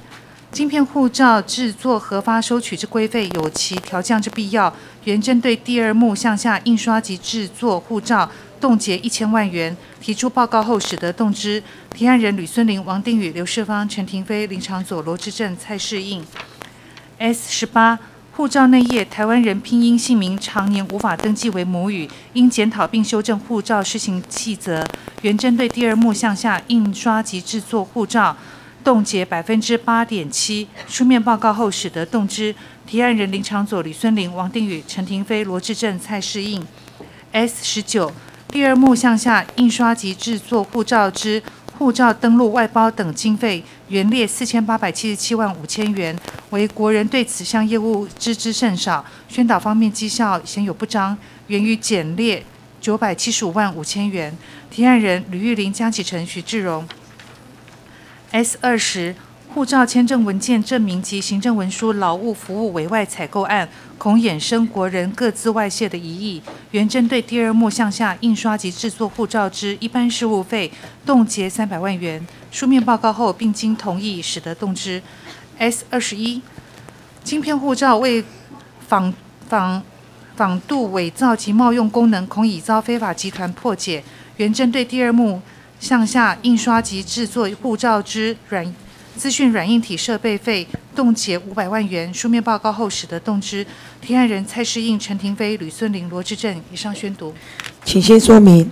是主席，关于呃委员关切的，我们这个护照，嗯、遗失的晶片护照很高。那跟您报告一下，事实上是因为我们从九十七年十二月发行晶片护照以来，我们护照核发量呢逐年增加，到了一百零五年十月为止，我们的有效的晶片护照已经在我们所有护照的百分之九十。然后我们我们到如果到一百零七年的话，晶片护照已经在我们所有核发护照的百分之九十九，因此会有大家有个错觉，哎，遗失的护照都是晶片护照。事实上，我们现在大部分都每个呃国人持的已经差不多都是晶片护照，到呃两年以后就是百分之九十九都是晶片护照。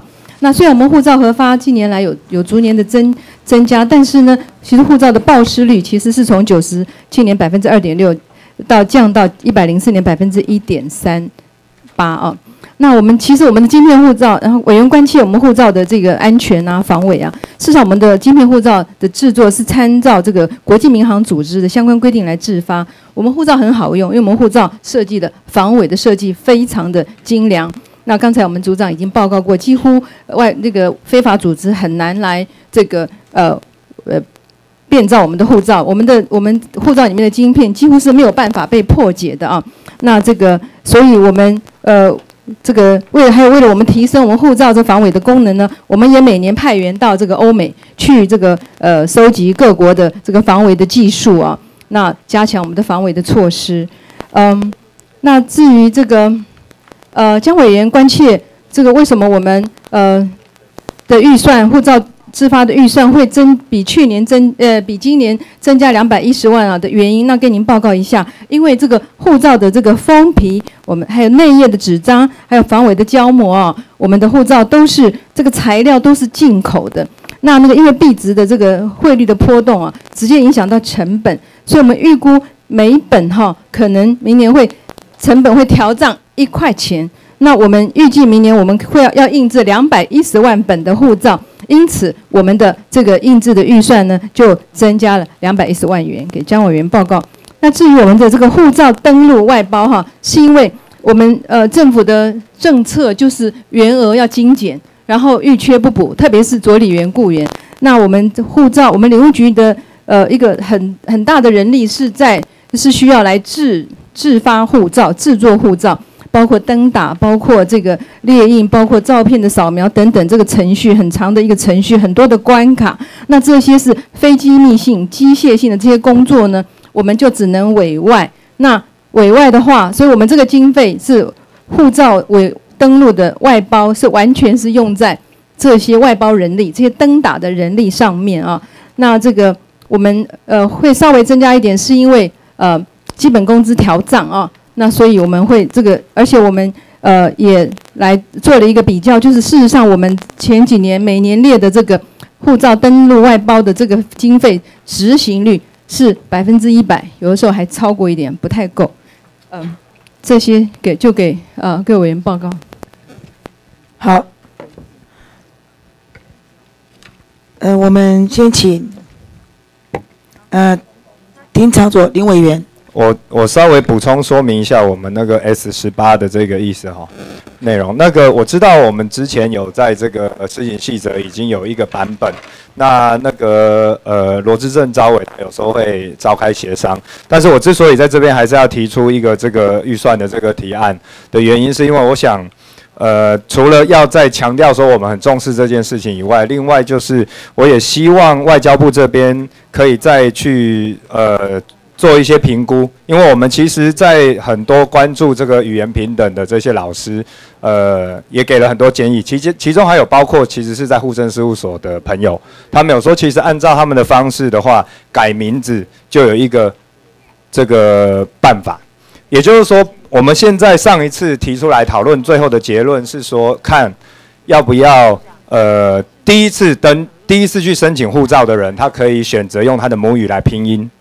那第二次以上的话，现在大概会比较复杂、比较困难了，还没有碰到这个。但是我们在这个语言教育的这些朋友、老师们，他们有说以这个户政事务所的这一个模式就好了，应该是可以参考的。因为我们既然可以在户政事务所上面改名字，其实在护照上面还不是改名字，它是改拼音而已，改成他母语的拼音而已。我想这个应该是已经有其他机关的方式可以比照来去做一个演拟啦。所以，我希望在，因为我想，我们台湾现在一直在强调多元族群、语言平等这件事。那我套一句网络上面的这个用语哈，我们的努力，如果连我们自己的母语的拼音放在自己的护照上都还没办法的话，那这个努力的成绩大概也只有八十七分，不能再高了。那所以，为什么我们的办公室是冻结八点七，也是这个原因啦，就是。我想不会让人真的感觉到我们很努力在推。如果连自己的名字都没办法用母语拼音，阿立功我们的乡土教育啊等等有多么的努力，我想这一点还是要希望可以再检讨一下，然后告诉我们说，呃，现在要第二次他要去换发的话，怎么办理？我们可以给他便利便民的可能性，这样。好，我们请那个护照组组长。请说明。呃，谢谢呃谢谢呃呃招委还有那个林委员哦。事实上，呃，有关于委员今天呃提出这个质询哦，基本上在今年的四月六号，当时外交及国防委员会啊，曾经有做过一个决议。那事实上，本局或者本部啊，也已经参照这个委员会的决议，做出一个版本，就是我们在我们的国语读音，那我们就国语及或母语读音。事实上，我们这个版本已经做出来的。那当时因为当时那个决议啊，并着那个护照条例施行细则的第三条，那是有关于护照不得正删涂改、加盖涂脱那一部分啊，因为那个部分跟台湾国贴纸当时所谓的台湾国贴纸那个案子啊绑在一起，所以这个案子后来送到四月二十二号送到呃立法院院会去去呃去审议的时候，那苏家全院长他才是说，因为呃我们呃院里面国民党跟那个亲民党党团有异议。所以交付协商，所以这个案子现在是绑在那边。事实上，我们行政部门是已经完全 ready 了，而且我们的第十四条一开始其实母就是说原住民的那个译音啊，那个完全我们都已经照办。那现在只是说要把母语这部分放进去，我们完全配合，但是就是法制作业，我们必须配合这个立法院的一些作业来完成。我印象中那个版本是只有第一次申请的可以嘛？第二次的就就是假定我现在护照要再拿去换发的话，就没办法用母语拼音嘛，对不对？我们是为了呃，因为护照哈要勾机的问题，因为人别确认勾机的问题，所以我们希望说能够能够。我想在这边上次顾问我就就不再回复那一次的状况，但是我想其实既然我们为什么我刚刚讲说这个母语教育的老师有提醒说，其实在如果在户政事务所人都可以改名字的话。你护照其实会因为这个人改名字，所以他的拼音跟他的名字都会换。所以事实上，户政事务所那边应该已经有一套方式，是我们在做护照这边就可以呃学习严拟办理的。所以我的建议是说，是不是我这边先冻结，那你们去了解户政事务所他们的方法以后，然后给我一个报告说，诶，依照他们的方式，因为我我我希望达到的是真正的便民啦，而不是第一次去申请护照了而已。那有那样子的一个方案以后，我相信，因为罗罗昭伟跟我也一直保持联系，在这个母语拼音的部分，那我们一起在这一个呃协商的时候，我们把它，你们可不可以把那一个方案也提出来？在协商的时候把那个方案也提出来，那我们就可以一起整合出一个所有的国门都国人都可以用的一个方案。好，谢谢林委员，我们会照您的那个吩咐来再演绎，怎么样把它文字再把它放进去。那但是呢，百分之八点七。对我们自自发护照是九千万，这个冻结对我们的这个业务有非常大的影响。我们可能可不可以动一百万？动一百万。好，那我想动一百万啦，可以啦，可以啦，动一百啊。哎，要够其他呀，您其他您够动的话，不行，因为我们一起一起可以吗？好，那就一起。江委员呢？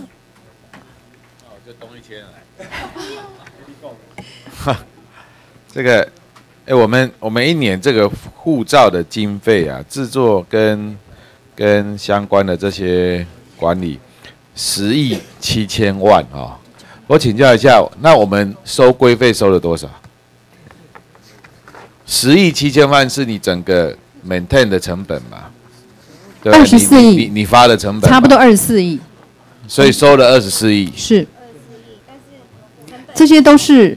这个国库的收入，所以收二十四，然后成本花十不止十亿吧？这是这是只有印制的费用，印制的费用，印制的费用，但是还有很多的这个维护费，还有机器的设备这些，这个整个的它的间接的成本加起来是就是就是一千三，就超过一千一千三。一本啊，一本的价格，一本一千三。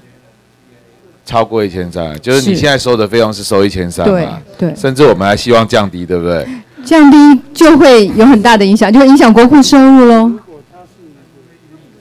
而且我们现在物价也并没有这个这个调降啊，所以我们可能不不目前是不太适合调降。我们在原所以你现在增加两百一十万，完全是因为汇率吗？两百一十万，刚刚跟您报告，就是因为我们护照的封皮啊，还有我们的内页都是进口材料，是是，一本我们预估可能会增加一块钱，但是我们要印制两百一十万本，就就就是增加两百一十万，是。那你们去年有没有结余？今年还没有嘛？今年今年到现在，今年还没有预估会不会结余？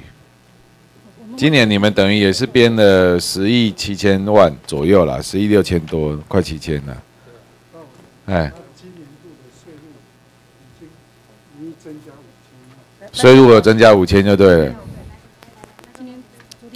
哦，昨天昨天有哎，对啊，对啊，我知道，那是我们有有要求他增加了。对了，我我的意思是说，到底这个付出跟收入之间哦、那个 balance 的情况是怎么样？我们是有算计算过这个它的间接成本、人力这个人力，然后设备，然后许许多多的这个加在一起，是需要这个它的基本的成本是需要差不多一千三百块。那我就不要简列。你不是说1300跟我就冻900吗结就好了900又是呃那个是五年的五年的护照，比如说嗯嗯十四岁以下的这个呃青青年青少年这个这他没有满纸本四岁，纸本只是它上面印的那个年限不同而已啊，那价格怎么会不一样？你怎么有一千三跟九百的？报报报委员，那个校期不一样了，十四岁以下只能发五年校期的护照。啊，所以我的意思是说，我这个校期是没有错嘛，一样是一本护照啊，上面只日期只印那个校期嘛。那你因为校期的关系，所以你收的不只是制作费，还有规费的问题是吧？哦，了解。那我们事实上好护照还有所谓返国专用的护照，那就一年校期也是也是收这个钱，啊，这个跟那个校期无关，但是跟它的使用用途有关。你们每年编十亿多都有用完吗？都有吗？不可能吧？应该都结余啦。可是我们的结余很少，因为我们一百零四年度的，不好，这我我是那个领务局主计室李玉萍，啊。我们那个呃那个就是领事事务管理的，一百零三年度我们的执行率是九十九点五三，一百零四年度是九十九点一，我们的执行率是九十九趴，对，那等于有有一趴的空间嘛？可是 那个真的很少，而且我们如果有结余的话，我们一定都缴库，哦，嘿，那他今年增加了五千万收入哦，嗯，在税出面没有没有相对的增加，没有没有增加，对不对对？对对，所以哦所以要考量这一点。但是我不能帮你加预算是啊是啊是啊是啊，啊，所以我就冻结下来了啦。对啊，不简列我了哈冻结那请李委员哎呃，我的案子是 A 十四跟 A 十七，还有二十一，二二十跟二十一。那其实我们呃在这几案，哎、在这几个案子里面，其实都有讨论到说，因为这个我们的护照非常的好用，有一百四十个国家的这个免签免签国可以做呃出入境，但是呢，因为我们使用这个呃晶片护照呢，其实它的失窃失失失窃率在九十九年到一百零四年有呃四千九百本到五千六百本，那这个遗失护照的数量比率是百分之十九。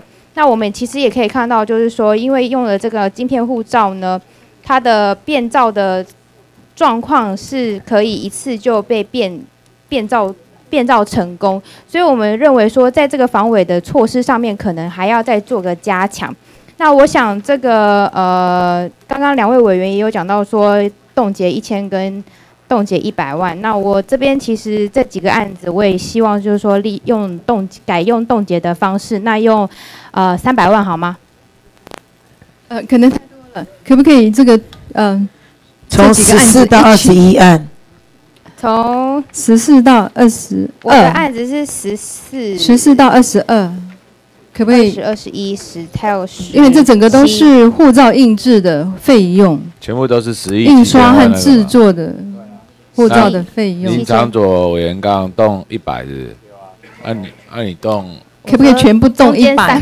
你动三百啊？对，中间，对啊，哦有，点太多了。太有哦有执行上面的困难吗？那加起来我们材料也要买啊，然后这些都要那个都要用啊十。亿嘛，总共十亿嘛，其实这样好了，就全部加起来动一千了，十分之一了，乔委员太多了，百分之一，百分之一哈。一趴啊，你看每个人嘛，像我的不不跟你解列，我也要动啊。每个人每个人这边一个人动个两百五就一千，就一千可不可以就综合一下，就三百了，最高了，最高了。三百好了啦，那你们再做个那个。他是说他个人动三百啦，全部可以吗？全部啦，全部可以吗？全部啦，不然就五百好不好？全部五百。因为你十亿金额很大哎，十亿金额是很大的。因为这个，因为这个印印制啊，这些都很多都要就按时就要付钱给。而且我记得昨天你们还说，你们预估明年你们发照量会降低耶。但是材料还是要买呀，这个薪水还是要付啊。没有错，材料要买，但是你不能买太多啊。如果说你你你你现在是预估是用两百亿来预估嘛？昨天我帮你们调到两百万而已，对不对？我们还要安全存量。你现在这边是用两百一十万本在估哎，那我昨天我们昨天审查的时候，我没有记错，你是跟我讲明年预估一百九十万本，那我说不行，要调高，所以是两百万本。我，们预预计对不对？这个预计是你只要书面报告来就动资。书面报告啊，就 OK，那是不是就动就动三百，然后我们就书面报告？啊，动五百，动五百，好了，五百了，就动五百，五百。四百反正你们都要来报告了，除非我跟你讲，你如果想要动少一点的心态，就是告诉我们说你根本不想来报告。哎，啊，不所以不差那个那你们就赶快来报告，就同意就这样的，解冻了我。我再说明一下哈，因为整个护照的那个我们的成本哈，就是说有关于那个直接成本那一部分哈，就已经是九九亿七千六百万，呃，九亿七千六百万。那这个十亿里面呢，还包括那个护照，就是所谓不要啦，你的外外包人员。你九亿是一的薪水次要花出去吗？当然是要分分三次对嘛？你怎么分？我们这动的五所以你到五百万，你你明年三四月赶快把书面报告做来，你就啊其实不用了，他明年下半年你一二月都可以。啊，对呀，你说急着要用，赶快做报告来。我们会尽快，我们不会等那么久。好不好？你提醒你们一下哦，好不好？你们结余就五百啦。最最后跟你提醒，我那个案子真的会帮到你们，因为我就改立供，如果有一些人他愿意，他要换成用母语拼音啊，客家人啊、荷兰啊，赶快去办，他又你又再收一次钱，对不？我来供，你这个是为你们好，明年税出税动了五百万突搞增加很多，搞不好是你的结余款。对啊，我是伟林后。好，我们尽快来演绎。他那好，谢都他谢。那都赔本在办的。好，所以现在十四到二十一案，我们冻结五百万，啊，书面报告同意后使得动资。那二十二案，请宣读。二十二案是不同的分支计划，所以二十二案请宣读。S 二十二，截至一百零五年七月底，累计遗失或遭窃尚未预效期护照高达十万四千余余本，恐严重影响我国免签证之待遇。原针对领务局领事事务管理印制申请护照表件及须知。预算编列一千九百六十一万九千元，减列七百万元。提案人马文君、吕玉玲、徐志荣、江启臣。以上宣读。请说明。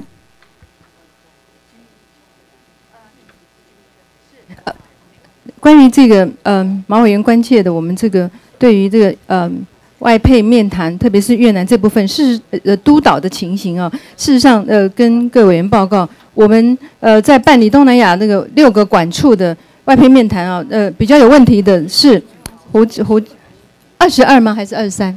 二十二，对不起，对不起。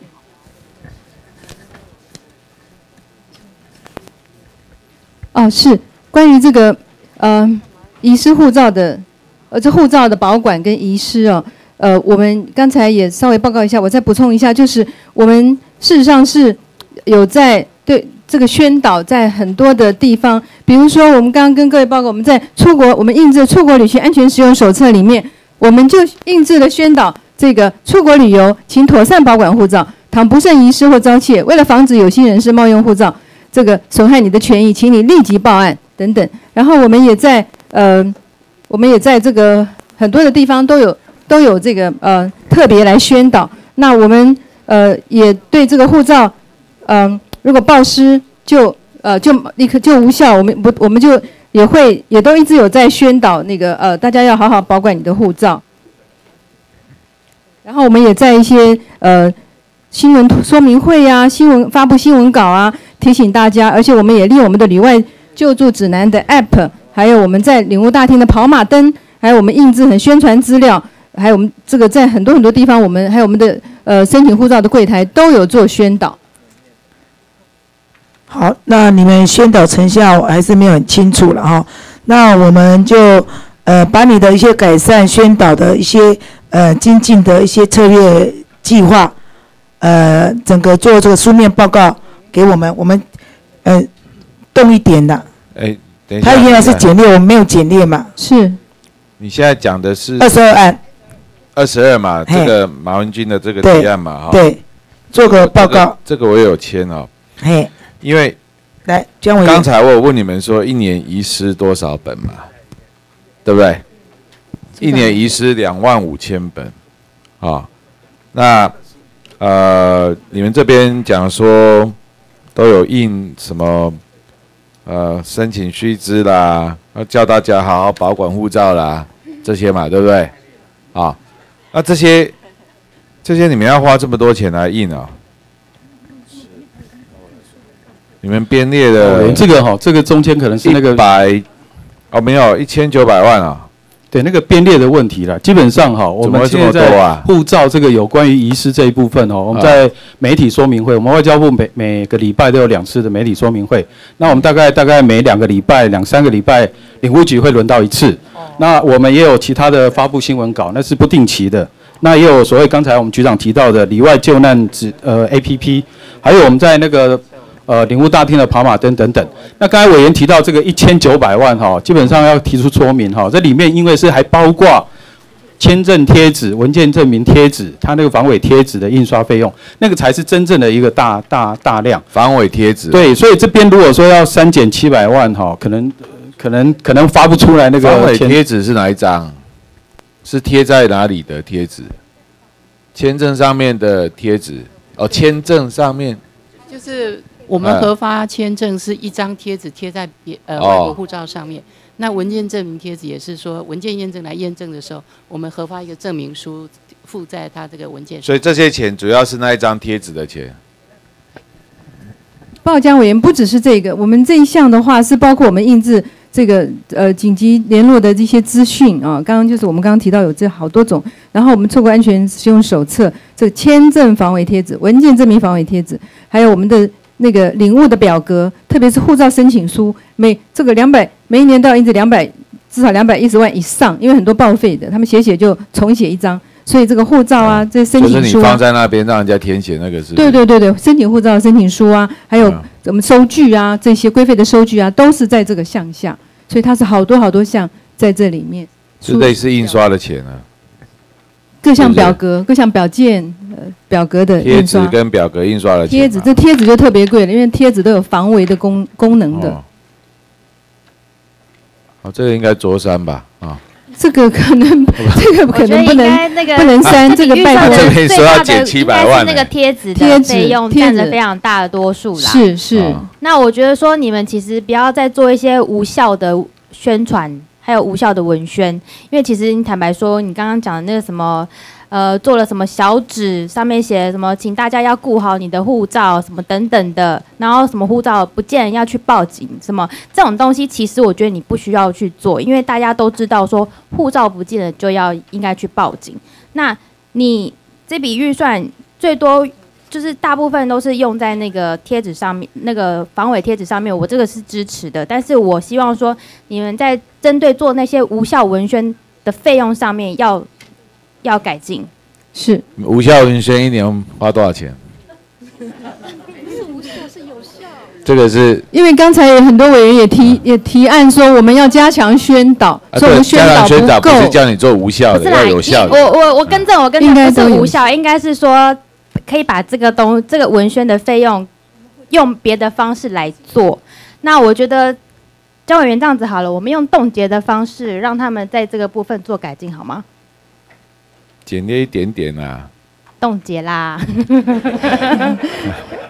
那个好不好？你招招委不是有提吗？赵伟刚刚也说冻结啊你，是要你是要冻结那我还是要也连署删？好了。呃，他有给我提供给我一些外包的一个执行计划了哈。那我看他是有在努力，一直都有成长，所以给予鼓励。我我也是，但是我觉得我是比较在意说那个，我不是说那个贴纸那个是 OK，那都没有问题，那防伪贴纸本来就应该有。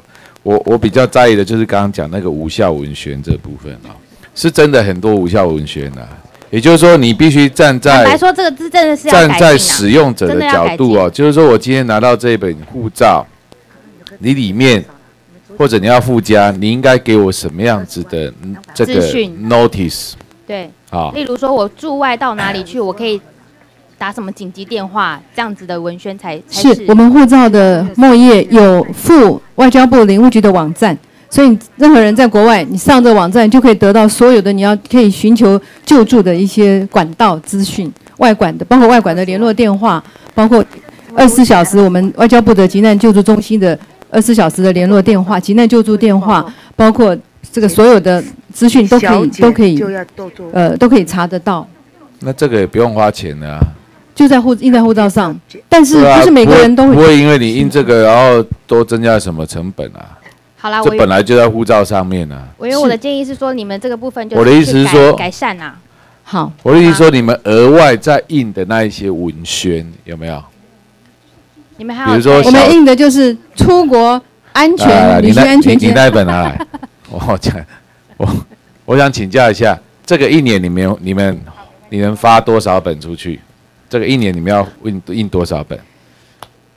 这一本数字我们来查。这个可以用电子书刊吗？因不，因为这个都是需要钱印吗这个就是钱，这就是我讲的。当然了，有些人会认为是无效文学呢，啊，那有些人认为说啊，啊有就拿一本回家放，啊，但是也不会去翻来看。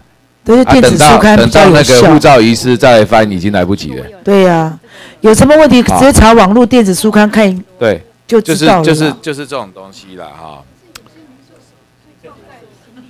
对，还是会我知道还是会有人要，但是你们的量，你们的控管的量，我不晓得你们怎么控管了啊，因为我觉得像这种你是自由取还是发的？呃，像这些柜台自由我们给他们取的我们分分每一个州，欧洲、美洲、亚那个亚洲，呃，每一个州一小本，这种可以放在口袋里面，就是我们驻外放在哪里管处的，呃，我们放在护照申请护照的领务大厅啊，还有四个半，还有机场。出国的时候，大家可以就可以拿了，就可以放着。你要去哪一个州，你就拿那一州。你一年印多少？这一年要花多少钱来来印呢、多少本就就这部分的钱呢、这部分的钱。你印几本？我们的我们文件证明组还有急难救助组的呃薛组长报告。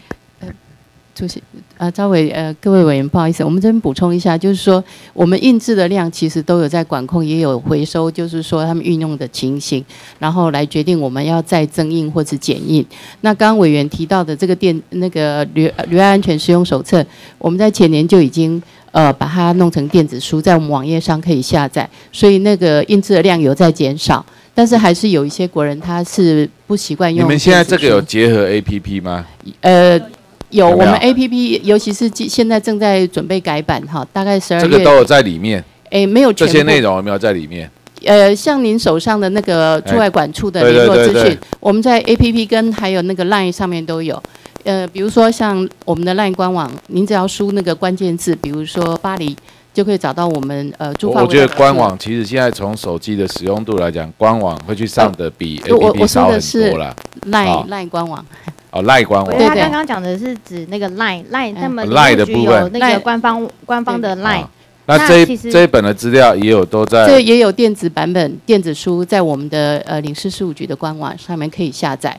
那手机版本也可以下载，都可以下载到电子书到你的呃行动载具上面。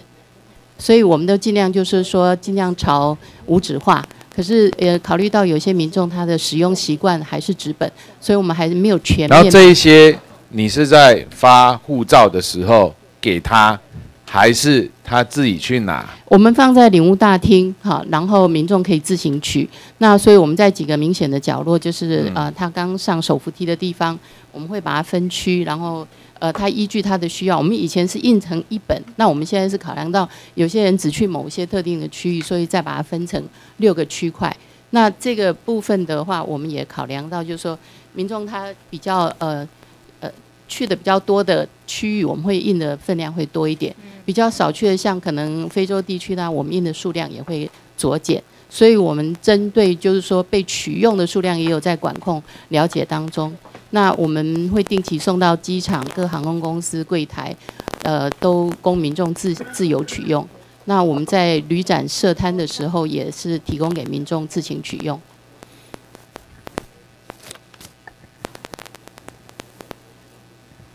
这是电板，年历年历年历，然后上面有那个 QR code QR code 可以那个马上就呃连接呃取得这些资讯，包括出国登录啊、旅外救助指南 App，还有 Line。张委员，我想这应该请他们做个改善啦。就是我想张委员其实也有很多多想法，在这个宣传的部分。那我们今天提出的质疑，都希望我们林务林市事务局能够呃把这个钱花在刀口，把用最少的钱来做最大的效益、最大的宣传。那我们也常常会看到，就是说其实印制这个纸本的文宣，现在其实呃国人的这个使用使用的这个。东西其实一直习惯阅读习惯一直在改变，我们人手一机，但是不一定会拿着这个文宣品在身上，所以这个部分我希望就是说，呃，我们来做一个检讨，那是不是有要这些宣传这些宣传品是不是有必要再印制呢？我希望你们在这个提出书面报告给我们，那这个部分就是说，我们用冻结的方式好不好？这个在什么时候吧？也都是一样，我们就是在就是我们刚刚讲的那个吧，就就是这种东西，比如说你现在说呃出国做登录安心有保障啊，你在发护照的时候，这个因为可以夹在护照上，所以我们发护照的时候就夹一本，夹一张给他，所以希望他能够做登录，夹在护照保障他的安全是。你们你们应该跟那个旅行社导游什么啊打好关系一点，叫他们帮你们做多多一点的宣传。有有有，这个我们刚刚有报告，我们就多多方管道去做宣传啦。是是是对，因为你这个如果也可以减少这个宣传的电子。化的越多，你纸本的自然就会减少了。是那你在 A P P 上面的加强也可以有更多的费用啊。是是，我们就提供多元化的这个资讯的管道。对，好，好，那就不宜简略，就冻结吧。冻结谢谢。几百二十这最多是多少？二案，二十二案，二十二案，一一百啦，冻结一百万书面五五十说明同意后 实得解冻。好，我们你们就赶快继续二十三到二十八案，请宣读。好。S 二十三，驻越南两办事处现有人力编制仅十三位面谈官来消化大量的面谈案件，面谈官人力严重不足，原针对领务局领事事务管理向下加强领务服务工作，编列六千一百五十万四千元，减列七千七减列七百万元。天人马文君、吕玉玲、徐志荣、江启臣。S 二十四。加强领务服务工作有四项重要出国计划，各项旅费预算与一百零五年度皆相同，连年相同之出国计划成效不明。原针对领务局第二目向下加强领务服务工作，减列两百万元，冻结两百万元。书面报告后使得动之。提案人江启臣、徐志荣、吕玉玲。S 二十五。据十一月八日报载，外交部领事事务局召开记者会表示，驻外管处今年处理海外国人急难救助事件中精神异常的案件增加，又以日本最多。为外界质疑与不解的部分是，领务局发布此消息之用意为何？为何不一并公布各国异精神异常增加之情况，而单单凸显特定国家？原针对领务局第二目向下加强领务服务工作。冻结一千万零四千元，请外交部说明后予以解冻。提案人陈廷飞、林长佐、李孙林、王定宇、罗志正、刘世芳。S 二十六，中央政府债务未偿余额逐年增加，编列预算必须准于准结原则核实估列。原针对第二目向下加强领务服务工作，冻结六百万元。书面报告后使得动之。提案人徐志荣、江启臣、吕玉玲。S 二十七，跨国结婚面。境外面谈的审查制度严重挑战各驻处工作顺畅，恐排挤其他重要外交业务的推动。原针对第二目向下加强领务服务工作，冻结十分之一。提出报告后使得动之。提案人吕孙林、王定宇、刘世芳、陈廷飞、林长佐、卢志正、蔡世应。S 二十八，旅外国人动态登录网页网页。与近年平均每年高达一千万出国人次相比，使用数量颇有悬殊。原针对第二目项下加强领务服务工作之业务费、一般事务费减列两百万元。提案人蔡诗应、陈廷飞、吕孙林、罗志正。以上宣读。嗯，先跟各位委员呃说明一下哈，我们单位领务事务局的我们呃审查完毕，我们就呃我们没没有，我审查完毕就就结束了哈。那因为我们外交部还有机密，是不是还有机密的，所以我们下一次排机密的再一起跟后面的一起审。但是是公开的。对对，因为我们还再排一次。可以的，都是要时间的，好也不可能今天把对，不可能今天，因为还有一次机密的，再跟机密的一起。我们原则上跟那个领务，因为已经现在到六点了，我们把那个把那个领务局的审查完毕就 OK 了哈。好，那先请说明。S 的审查完了，是报告关于这个呃改善外配面谈的机制，我们已经呃召开了呃五次的公听会说明会啊，呃包括我们自己主办或者是由委员来主办的，然后我们也跟这个呃相关的机关召开了跨部会的协调会议，嗯、那至于特别大家关切的这个越南这部分哦，胡志明市他的外配特别多的，我们也立即发现他们外配等待的时间过长的时候，我们立即就呃指示他们做一些精进改善的措施，包括机动的呃来调整他们呃的面谈的措施，缩短面谈的时间，增加每对面谈的这个对数。而且我们外交部立刻派了拨派了一位呃副处长过去支援，然后我们领务局也专案派了两位人员啊，抽调两位人员到呃胡志明市去协助他们疏解这个面谈量过大的这个压力。那目前他们已经呃提前了三到四个月啊，那这个呃，所以我们我们这个已经做了呃这个许多的对于这个疏解这个外配面谈的这个呃等待期的这些的呃的改善的呃改善的这些措施。那我们希望那呃至于这个呃关我们出国计划，这个是呃我们是这些计划对我们来说都是呃非常重要的，因为我们这个呃我们的护照防围的设计的是呃虽然我们呃委员只是说我们没有讲得很清楚，是因为每一年在世界各国都有呃一些防围的一些会议跟一些展览，一些护照相关的机具的展览，我们在选定之后，我们会这个我们再再确认我们去的那个参加的哪一项。那我们这这对我们来说非常重要，我们吸取各国防伪设计的这个些资讯，然后提升我们护照的品质啊。然后领悟视导也是呃非常必要的，因为每一年我们必须到一不同的呃州、不同的管处地区去这个呃实地的考、实际的去看他们做的有没有问题。如果有问题的话，我们立刻就替他们来研议这个解决的方案。所以每次这个去视察之后，我们回来都会做成这个报告，而且追踪啊。那至于还有我们到我们的呃出国计划，是我们的资讯人员要到各外馆去协助他们的那个资讯的建制，还资讯的呃呃做制作呃这个防火墙啊、安全啊、安全设备啊等等啊，软软硬体的汰换呐、这些，因为外管没有领悟的人，没有这个资讯的人力，所以都需要从领务局我们国内要派人去，所以这些呃呃给委员做补充报告，谢谢。好，我们请提案委员有没有意见？江委员，二十四案这个出国的计划哦，是，呃，你刚刚虽然有说明的，不过，嗯，我还是觉得这这里面这些，你跟一百零五年的全部都相同嘛，对不对我？们是选择不同的地区，因为我们有一百多个，比如说那个资讯的汰换，我们有一百多个外管，那每一年我们只能选定几个馆，这因为这些旅费啊那你们这些都还没有选定嘛？嗯，我们是要，我们是要看各，我们会去各馆去看他们的需求，来来做这个呃选择的对象。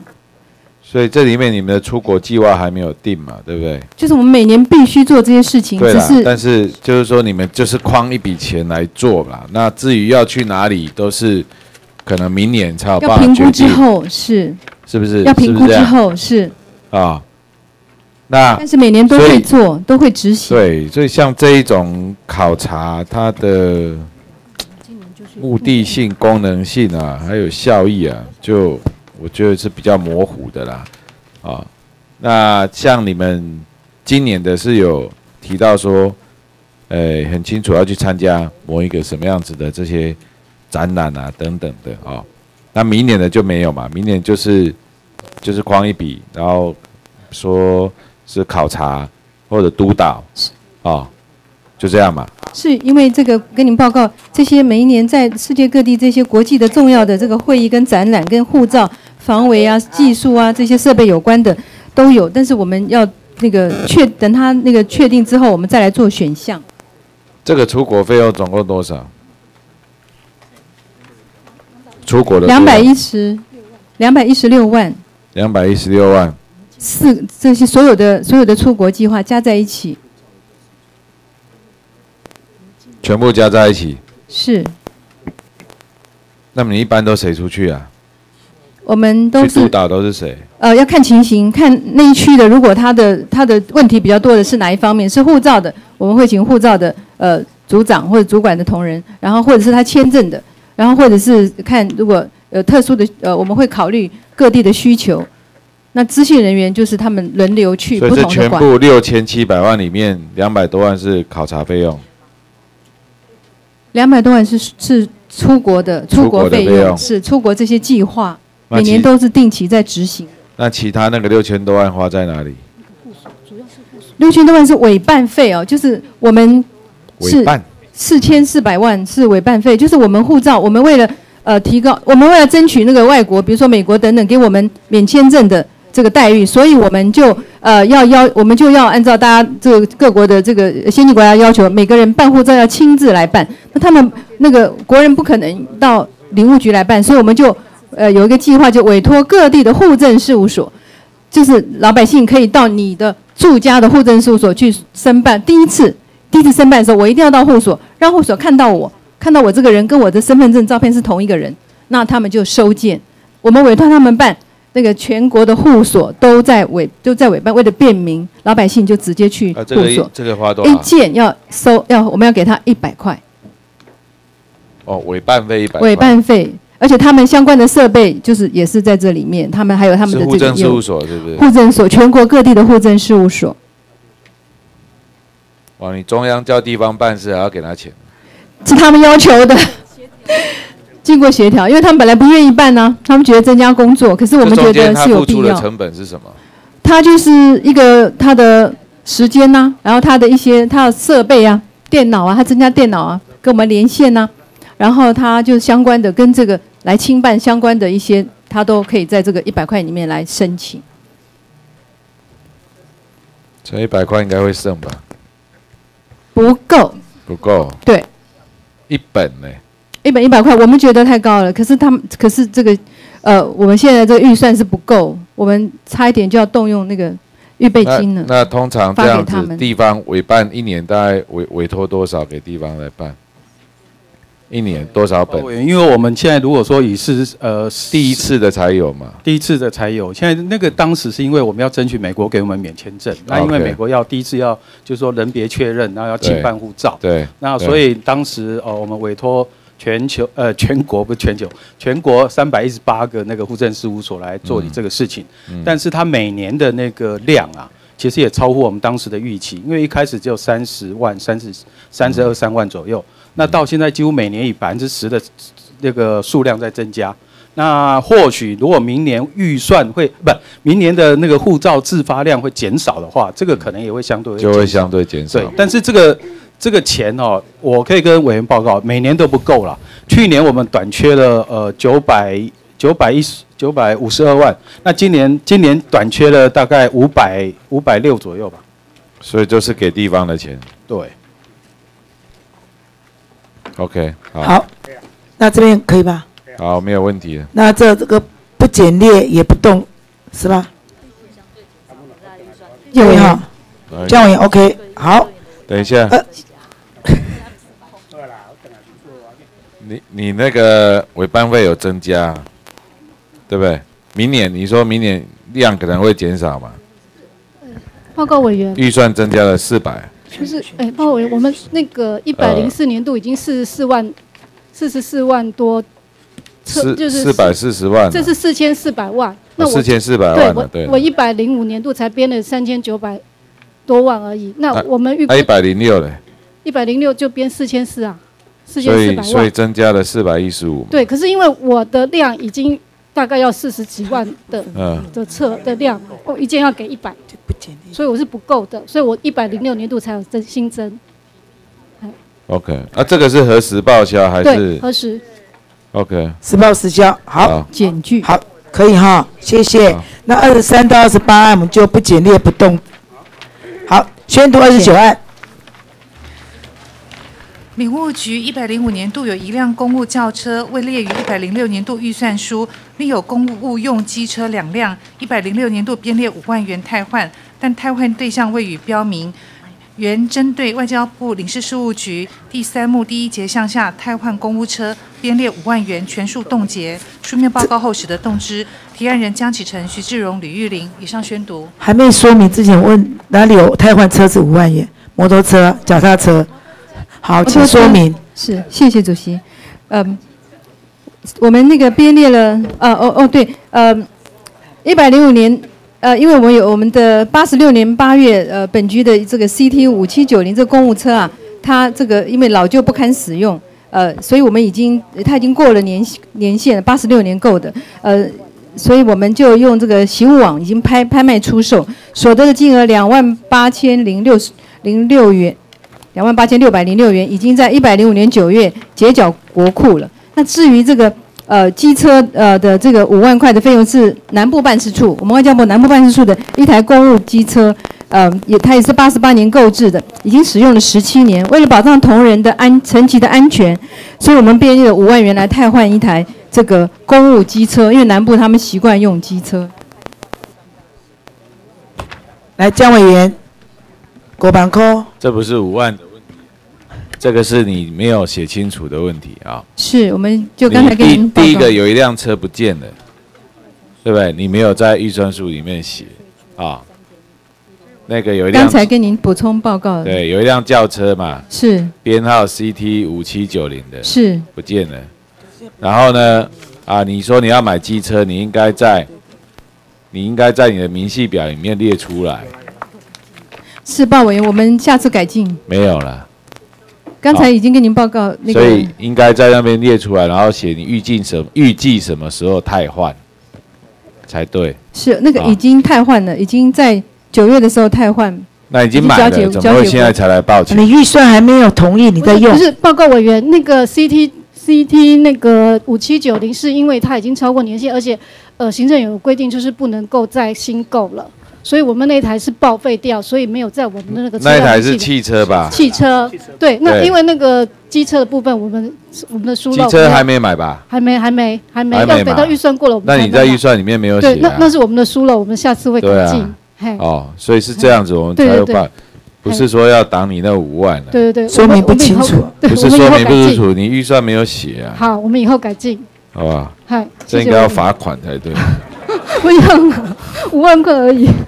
好，这麻烦我一下。所以细部说明一定要清楚，就是看不懂，又是机轿车啊，太太旧换新，怎么会是五万块？轿车没有胎换。就胎换掉了啦。汰换机哎是好，那这个也不予简列。嗨，谢谢委好员。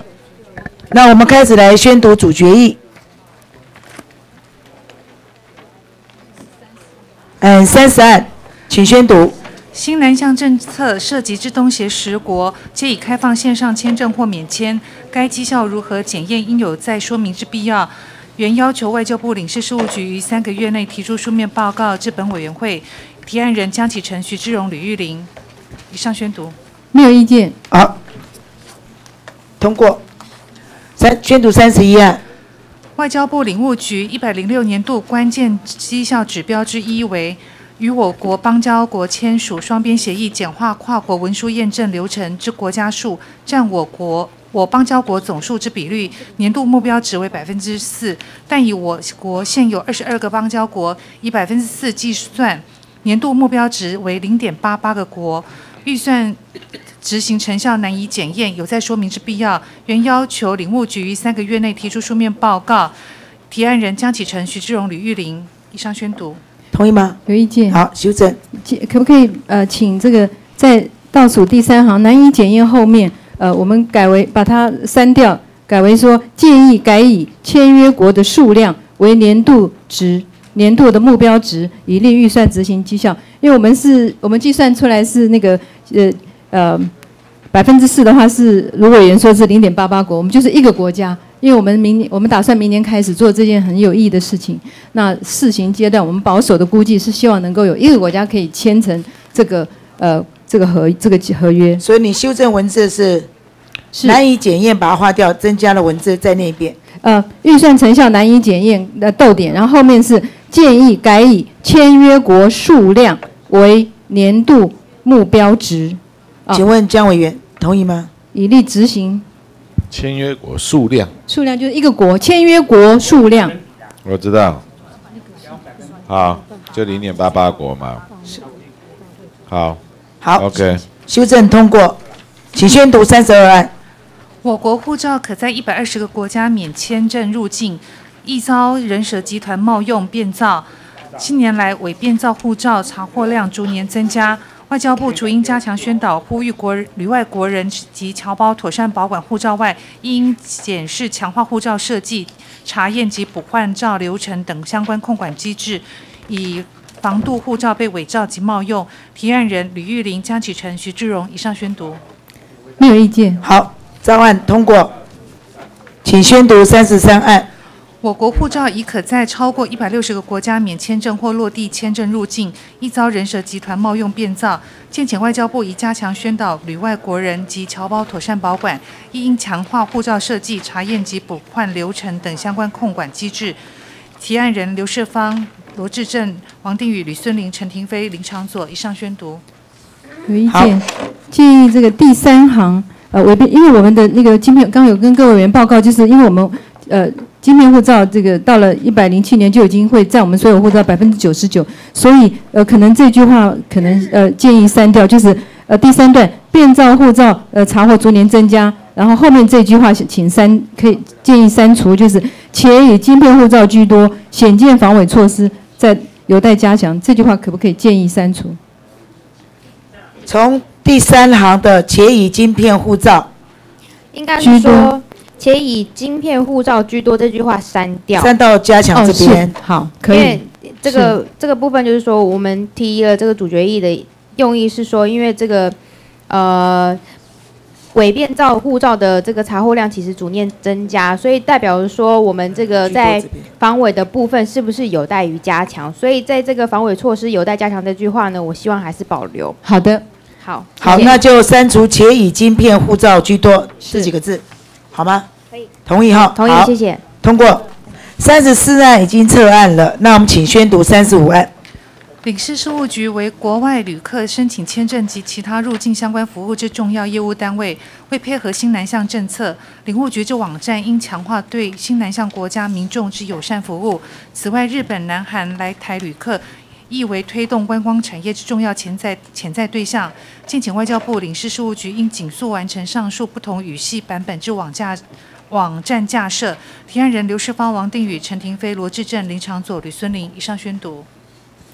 嗯，同意意见。啊，请修正。因为我们各驻外管处都有当地语言的这个网站，所以我们将来自呃会遵照委员的指示，我们会做更好的引导，让民众可以。借借由这个呃引导，可以可以去到呃这个相关的网站，所以我们请建我们建议这个倒数第二行的刻不容缓就是一个句点，然后后面呢后面就呃请呃三请改为鉴于相关驻外管处已建制不同语系之网站资讯，建议外交部领事事务局妥为强化说明，引导民众至驻外管处及观光局网页。取得各语系之资讯，这样可以吗？加这么多，罗委员、李委员同意吗？谢谢。好，好，同意，照案通过。呃，我们今天要审到领事事务局哈，那跟大家说明，呃，因为还有机密，我们跟下次一起排。嘿，好，呃，说明一下，税入增列五千万，三减一呃一万五千元。冻结八百万，那另外有一案是保留，呃，送党团协商，就是我们的慰问金的部分。好，那好，那今天就好，我们散会。方案，好，方案呢不行了？谢，谢谢。谢谢。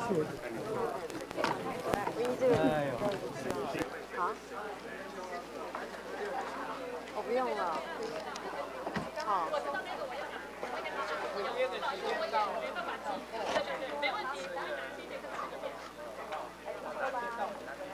哦，好啊，好啊，好好好。我去讲那个的时候，我晚上去找。哦。再就送了就要赶回来。对对，我知道，大家来来那边的人来来去去，所以大家都很快就跑走了。对对对对对。没关系啊，我们再约。再约。好。